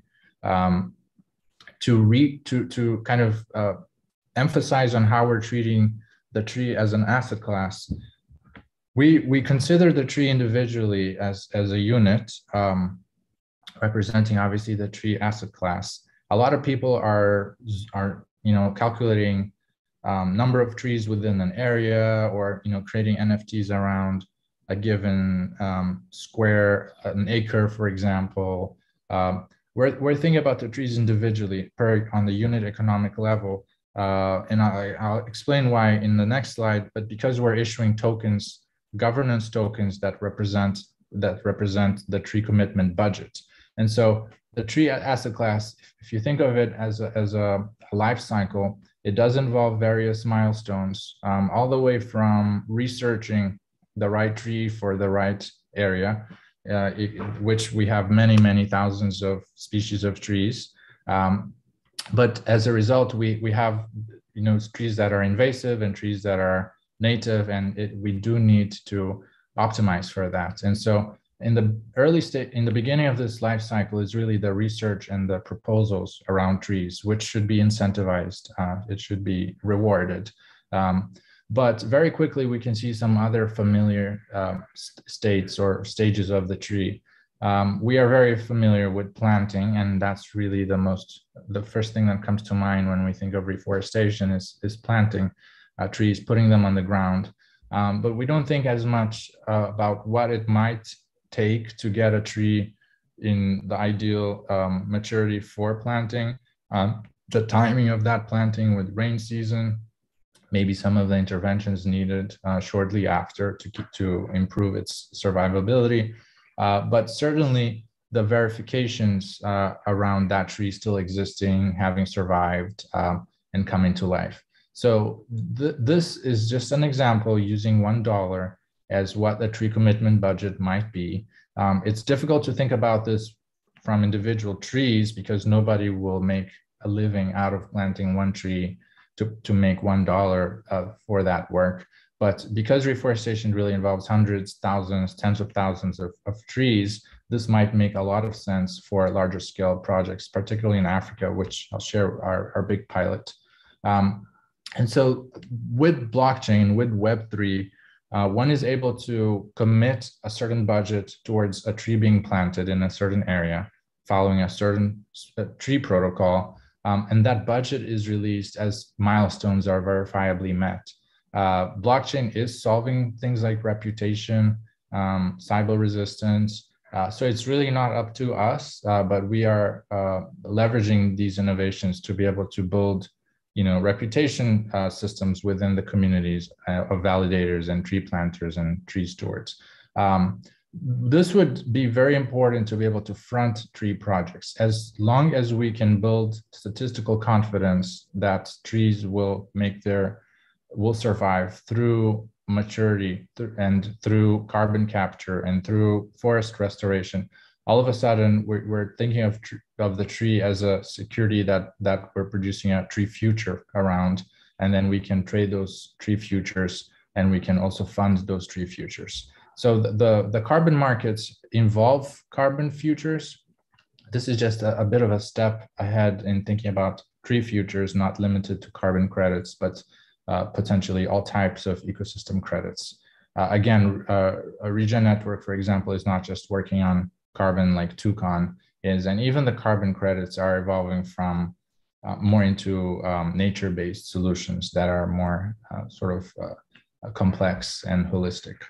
Um, but for for for those of you um, interested in in really how this comes together from a blockchain perspective, um, trees, uh, sorry, we, we would have a dual token system. Um, one would be a governance token. Uh, we're working on these smart contracts through through an early a partnership grant. Uh, hopefully, some announcements will will come out uh, soon. But as a dual dual token system, our governance token would reflect a tree. Uh, so we would not be issuing tokens that are not uh, funded by by tree commitments. they would be issued as pairs. Um, and one is more of an ERC20 uh, style token. Perhaps this this can evolve into uh, being deployed in, in, in, amongst the more most efficient uh, blockchain layers or or layer twos. Uh, but the other are NFTs representing the, the trees themselves. So the NFTs would hold the ID of a tree, uh, the metadata of the tree, such as the participants, the timestamps, the smart contracts, um, and those miles, milestones being verifiably met. Uh, because there are all types of tree planting difficulties around the world, think labor markets alone, for example, um, it might cost more to plant in Kenya than to plant in in uh, in, in Florida. Uh, so the the the governance token would be normalized as seen here, which is basically the the the public market token but then we would have different baskets uh, that would really represent the different uh, price points or market conditions for those trees. Uh, things like risk-free value and, um, and and and the market price would would obviously be normalized against the governance token. So uh, we we are we're we're hiring and looking for developers, particularly Solidity and smart contract developers. If you or anyone you know might be interested in, in chatting about this, would, would totally love to. Um, but yeah, beyond that, there's a bunch of tokenization that's that's needed uh, to support you know things like registering a tree, locating a tree, verifying a tree. Um, logging an observation or an intervention or proof of watering, for example. And this is all being built uh, within the app, the Silvi app. Uh, originally, we started in, in, uh, in Florida as part of the greater uh, circular design, incorporating all of the Just Learn app. And since then, uh, we've really refined this to support the tree life cycle as was described a couple of slides ago. Uh, so basically, this app supports more asset classes than trees, uh, including like aquaponic systems and beach cleanups and ponds and and and, and um, lakes and stuff. Uh, but for the tree, it it we we've shortlisted a couple of data points that are collected automatically and others that are that have to be input um, depending on what state of of the tree you're in. Right now at home, I'm germinating and propagating trees. I try to bring some of those photos into the slides uh, uh, later on in this presentation. So I'll be covering that um, in just a bit more. But there's a lot of GIS um, work within the app um, and zoning um, and um, uh, co co coordinate uh, improvements. So, you know, as you, as you know, phones are quite accurate. They've become very accurate with coordinate systems, but not super, super precise.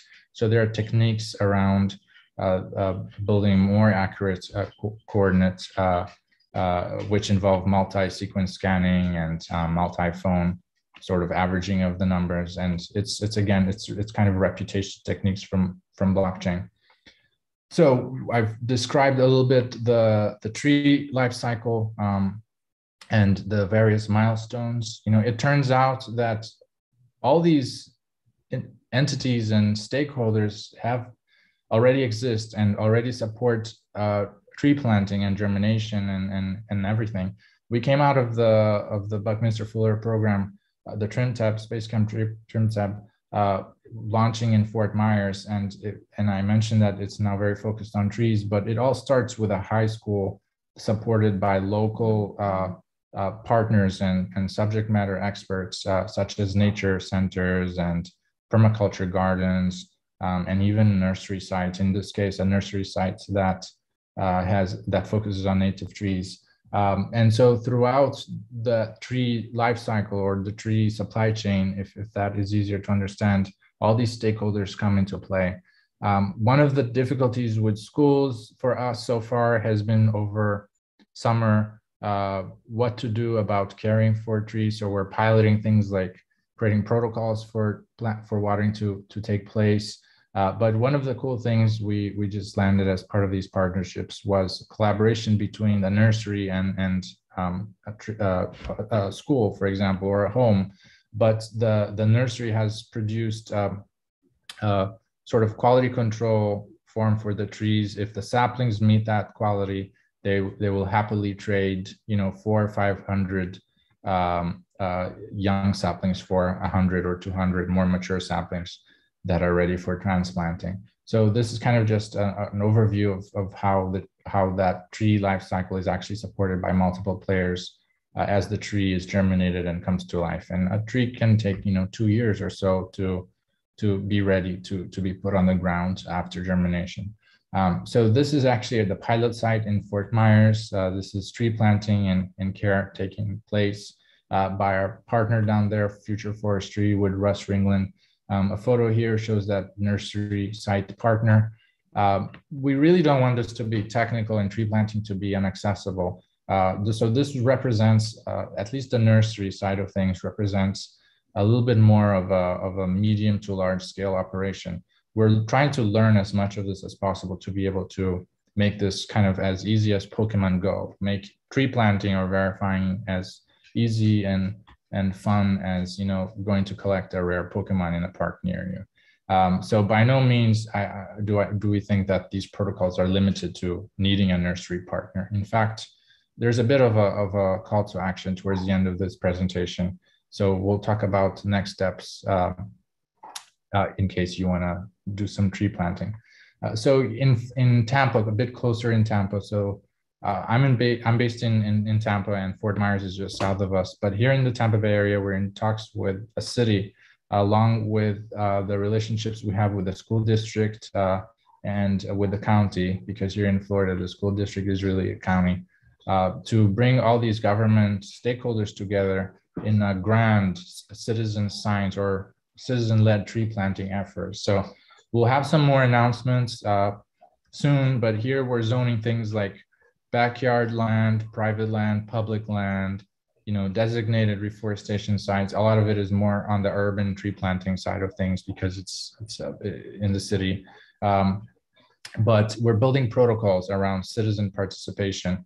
Uh, they don't necessarily have participatory models, uh, but they do have budgets for tree care and tree planting. So uh, we're we're co-developing this this program to tap into these budgets and perhaps have some sort of economic innovation, economic development innovation to to engage local citizens um, in, in in tree care.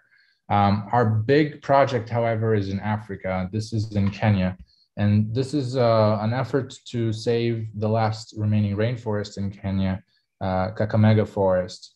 Um, our focus here maintains with schools, with uh, education stakeholders. Uh, it does have consultants and commercial operators, but our true goal here is to connect uh, about 100 schools surrounding this forest in its reforestation efforts, uh, which goes well beyond million tree plus opportunity.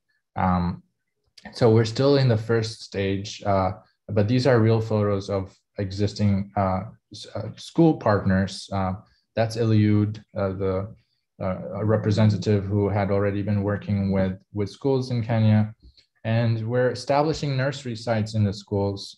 We're looking to subsidize a lot of education work by providing uh, ultimately the the the budgets that that are locked uh, in performance based for the trees, but re released directly to the education school uh, stakeholders.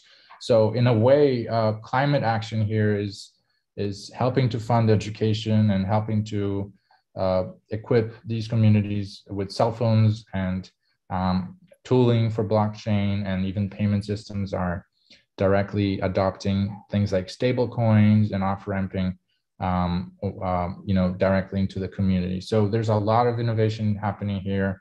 We're super excited for for this project and it will continue uh, to grow. Uh, if there are any partners uh, interested in, in, in discussing this more uh, i would love to we really want to broker this to the rest of the world not just the carbon credits but all types of organizations. One of the things we're doing, just for context, uh, can't announce too much yet, but I'm waiting. I'm waiting on some developments there. Is we're partnering with a, a clothing um, line that will represent tree plantings um, per per for their apparel. So there will be different uh, collections of of t-shirts uh, that represents tree plantings. There's a famous company called Tentree that does something very similar uh, the only difference is that we would have uh, QR codes within the, the, shirts that show directly how the trees are doing and where they are um, and how, how they are traded on the secondary markets. Um, so our technology roadmap uh, here is, is, is to, again, I saw a comment uh, alluding to the Pokemon Go thing. I, I do think that Pokemon Go is the perfect example or analogy of, of what we're doing. Uh, it already happened a few years ago, so it was very doable then, and it was involving com complex things like AR. Um, the reality is that everybody now basically has access to a phone, and there's a lot we can do uh, with phone technology and with internet to support, um, uh, you know, tree planting uh, uh, and tree accountability and community building around the same. But our, our high tech uh, developments here are to build real time inference for things like volume of a tree, state of a tree, trunk you know, girth and thickness and diameters. Um, and so the, the goal here is to really be able to capture information about trees in real time, um, to, to have that data compressible and interoperable with the rest of the Web3 space. Uh, this is a very recent vision-based scanning of a, of a rock on, on Reddit um, but it does incorporate a lot of the technologies that we're looking to integrate for tree planting and tree scanning. Um, so, so yeah, it was Earth Month. We're we've been very focused uh, in Florida and Tennessee on the distribution of of trees. There's actually a, a, festival coming up in July called Fireflies in Tennessee, uh, reach out to me if you're interested in, in meeting some of the uh, conscious communities that were already present at Regenaissance uh, in December um, um, and from Costa Rica and all over. We'll be planting a lot of trees in, in Tennessee. Um, ultimately, our trees uh, that are supporting some of our pilots are not all germinated uh, at home or, uh, you know, in, in some of the ways that I'll show in the next slide, but they're, they are state registered nurseries that already support reforestation. So what we're doing is sourcing uh, these saplings, often quite affordable, um, and we're just adding uh, um, support systems to them uh, bef before being distributed and, and, deployed within our pilot sites. For one, there we're incorporating things like QR codes and uh, stickers. These are tags, they, they are reusable. So it's not single use. Um, and the there's also a biodegradable pot that we're including with, with the saplings. Those can go directly on the ground. Our goal is to make this obviously zero waste um, with the only current uh, uh, potential waste being the tags, but even them, even those are reusable. So after they retire, are they don't they are not retired after being used for a tree. They would be they would go towards another tree. But these are unique QR code identifiers uh, as well as URL redirects, so that for an existing steward using Silvi, all they have to do is scan the QR code and they will be prompted to update that tree information within seconds um, and of course, if it's a new user, they would be prompted to sign up. Um, if they are unregistered QR codes, they would be prompted to be registered for associated tree. Um, and uh, yeah, so there's a there's a lot we're doing with QR codes, and it's a lot of fun. And you know, we're, we're printing them just by the masses. I have them all over. So uh, a bit of a, a takeaway challenge uh, today I will be sharing a little form for you in a second uh, in case you're interested in cheese or signing up with Silvi whenever it comes out. Uh, but I, I did want to just encourage you to, to think about that one tree a year at least uh, uh, uh sort of task that you could adopt at home, you know, as under a light bulb, if that's all you have. Um, with just a little bit of, of soil or a recycled jar or something, it's, it's really very easy. Uh, during the Buckminster Fuller uh, Institute's program, uh, Vandana Shiva was invited to be a guest uh, speaker, and she talked about seed banks and how a lot of the the the real change happening uh, with with with seed bank and seed storage and sort of biodiversity conservation, mostly in the agriculture settings, but with a lot of potential for ecological settings as well, uh, comes from a very um, both uh, indigenous and smallholder farmer type of scale, uh, almost subsistence farmer. They are the ones truly caring for that seed diversity. So a year ago, I had no idea I would be excited to see, you know, a, a tree that has its pods ready uh, for for collection, or even the nuances of mahogany. Um, but it's very doable. Uh, it's entertaining, highly entertaining, and I encourage you to think about finding trees that you'd like to propagate near you um, and not even worry about having to buy seeds online, but just finding what Mother Nature already has to offer near you. This is just a bit in an ascending order uh, of, of difficulty, sort of different germination techniques out there. Um, so we're all familiar with super simple, you know, seed germination in, in, in, in a paper towel, for example. Uh, you could do this uh, directly on soil. Uh, the paper towel just helps a little bit with the humidity and the stability, uh, but but it's not necessarily needed. Um, it is very useful for things like cold stratification.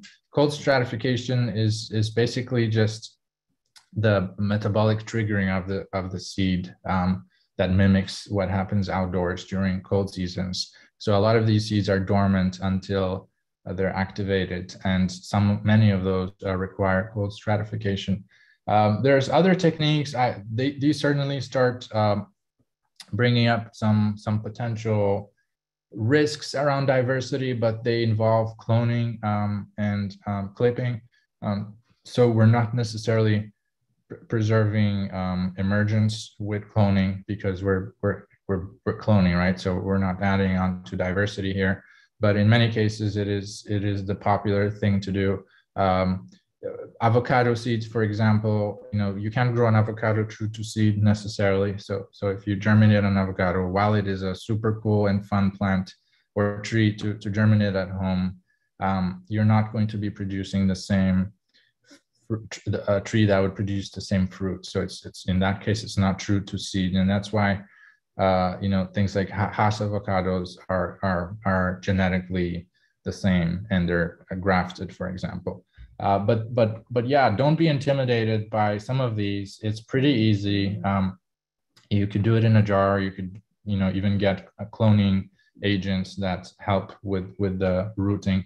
Um, you do want to consider things like humidity levels. Uh, so after rooting, for example, you maybe want to cover. But basically, uh, any tree out there would would allow for some type of, of germination technique to take to take place. I am working with mahogany, with pines, and with spruce. Um, I also have some acacias, uh, and, and it's all a, a, lot of fun. So here's some photos of my setup um, um, using aquaponics to germinate, using trays. These are spruce. Uh, there's some tomatoes there in the middle of the pines. Don't don't mind that. But this shows all types of different settings, uh, uh from grow tent uh, to just you know pot with soil. This one lives in the in the balcony. Um, this one is in an aquaponics system, and you know it's a huge learning experience to see what does better where. But it's it's also a lot of fun, and there's some uh, mango seeds there drying up uh, and getting ready for germination as well. So with that, um, I'm leaving this open. We're going to start looking at some questions there. On the right is uh, a QR code to sign up for Silvi. We'll be opening up, it up. Uh, we are focusing on, um, you know, bioregions uh, and, and also where we can subsidize some work. So if you're in Florida, for example, not only will we be providing QR codes to, to your trees and shipping them to you, uh, but we might even uh, be able to provide saplings. Uh, but if you're somewhere further out than Florida, uh, things become a little bit more remote. And we're talking to all types of partners to help build integrations and interoperability. Um, so it, it, it, it's not going to be like a one-time pilot release. It's it might happen over time, but we're so excited to connect with as many folks as possible around the world as the uh, uh, uh, uh, uh protocols uh, expand and and and continue to be built around this methodolo methodology of of, of participating as a citizen in reforestation near you while leveraging things like a home or a school. Um, and then on the left here is my Twitter handle. I horrible on Twitter, but I've finally committed to it. So find me there if you can. And then that's Silvi, Silvi, uh, also the, the Twitter handle. So let me just uh, see if there's any questions here so that I can answer them. Um, Djimo, there was a couple um, connections that were made within the chat. Okay. Let me check.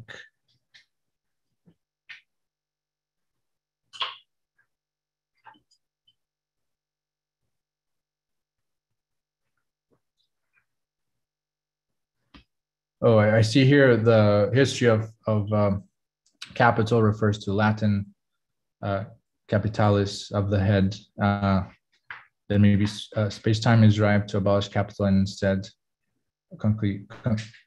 co-create corporeal. That's cool. I also recently found out that securities uh, were originally like legally created uh, around like I think citric citric trees. So the idea that an investment could be made into a farm that grew trees that produced fruit that was then sold for money um, just you know turned that asset class into a security. So basically, uh, we, we, if, if only we could bring natural capital back into this world um, and still, you know, be able to have the SEC, for example, uh, respect nat natural capital's potential, that would be really cool. Let me see here. Any questions? Um,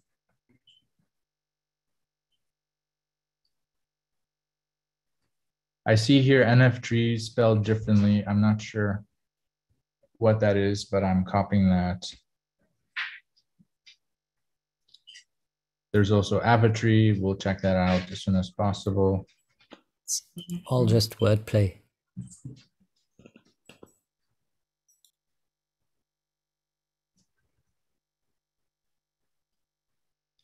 Haven't heard of Tree Sisters. Thanks for putting that in. Yeah, curious if there are any more questions, if anybody wants to come up and, and ask direct questions.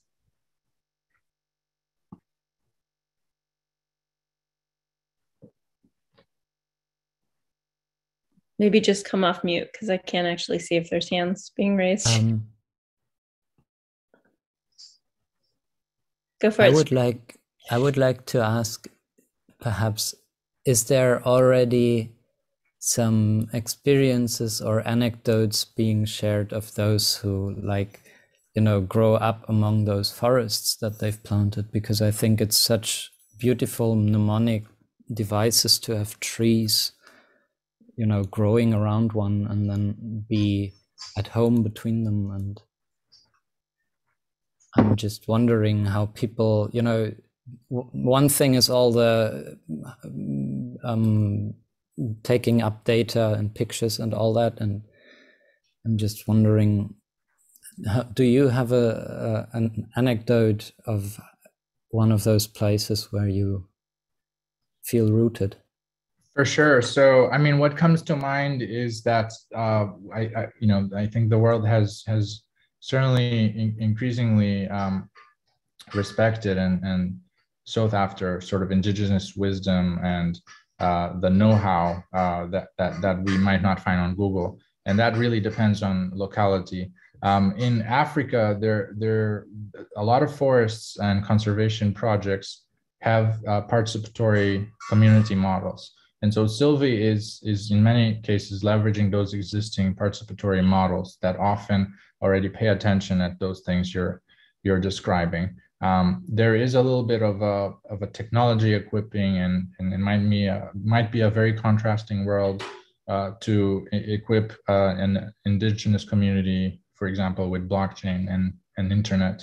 Um, so, so that might be a conversation worth having but uh, they are the, the technology's role in my opinion is to leverage as much as possible that know-how that in, that indigenous wisdom um, and and you know often cases the the libraries of of of, of skill sets around medicinal uses and ecosystem services and uh, food services etc it'd be great to do storytelling on that which is something we haven't necessarily started uh, uh, we will be doing an NFT drop, but it's much more of an ecological storytelling around uh, tree, uh, keystone tree species. Uh, but something that would be very cool is to work with artists uh, to talk about the role of communities in, in this as well. I love how you're weaving so many different technologies in here as well. And there's a lot of opportunity to get engaged just from a, a layperson's perspective, which is also very beautiful from the planting of trees. And then just if you haven't gone on uh, Djimo's, I guess, form, it's not quite a website, um, it offers the opportunity to, do you send people the seeds or how does that work? Right. So it depends on what bioregion you are, and if we will, to what extent we will support you, um, and hopefully over the long run, we'll we will be able to support anybody, uh, at least with with the with the the software uh, and the blockchain tools.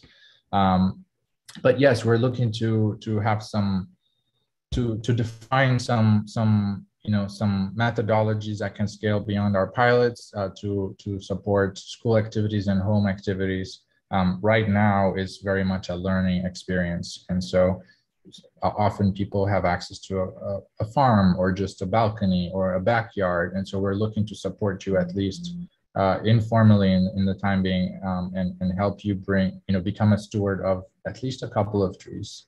And that's the main goal. Beautiful.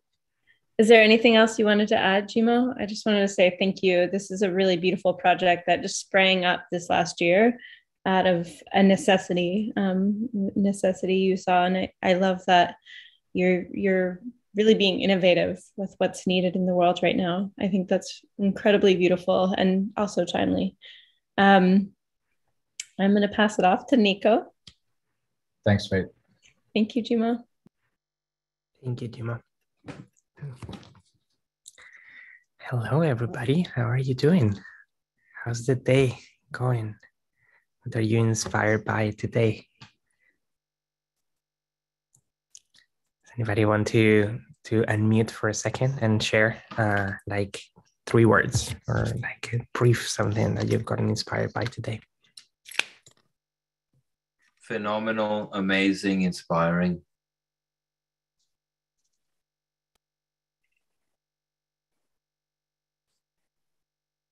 Yes, Jarno, more of that. Did you catch that, Nico? I did. Anybody else that feels called to share? Oh, I suppose I can jump in. I've been listening to that whole presentation and for a good part of all of today's things. And yes, what an amazing uh, collection of people sharing some really uh, inspiring, innovative approaches.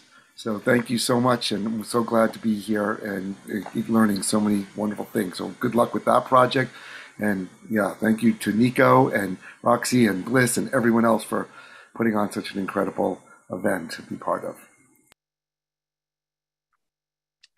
there is anybody to thank is the citizens of Regenera, uh, the city and uh, their celebration. And I'm going to spend some time um, now um, telling you a little bit about Regenera and, and its story. Um, so I'm going to share my screen uh, as we go through this. Uh, uh, uh, uh, give me one second. And let's put a little bit of a soundtrack here to have some background. Let me know if the music is too loud and I can lower it down a little bit. If there'll be music, I can stop the stream. Uh, you think it might be copywritten because the laws of the internet get grumpy. The laws of the internet. Laws, what are those things? Can you see the screen? Yes. Yeah. Um, okay, cool. So, Nico, Yes. if you'll play music, I will stop it. So, do you want to give me the screen for just a second and you can say, welcome the people on the stream to come on in so that we don't get. I can stop the music if you prefer. No, no, no. I think the music is good. I think we need music. Music is life. Okay, Um, I'll stop the screen then. Just give me go two ahead. seconds and we Mhm. can uh we can thank our our wild traversing travelers who are out there in the multiverse. Uh let me, let me find you because I lost you. I've lost you.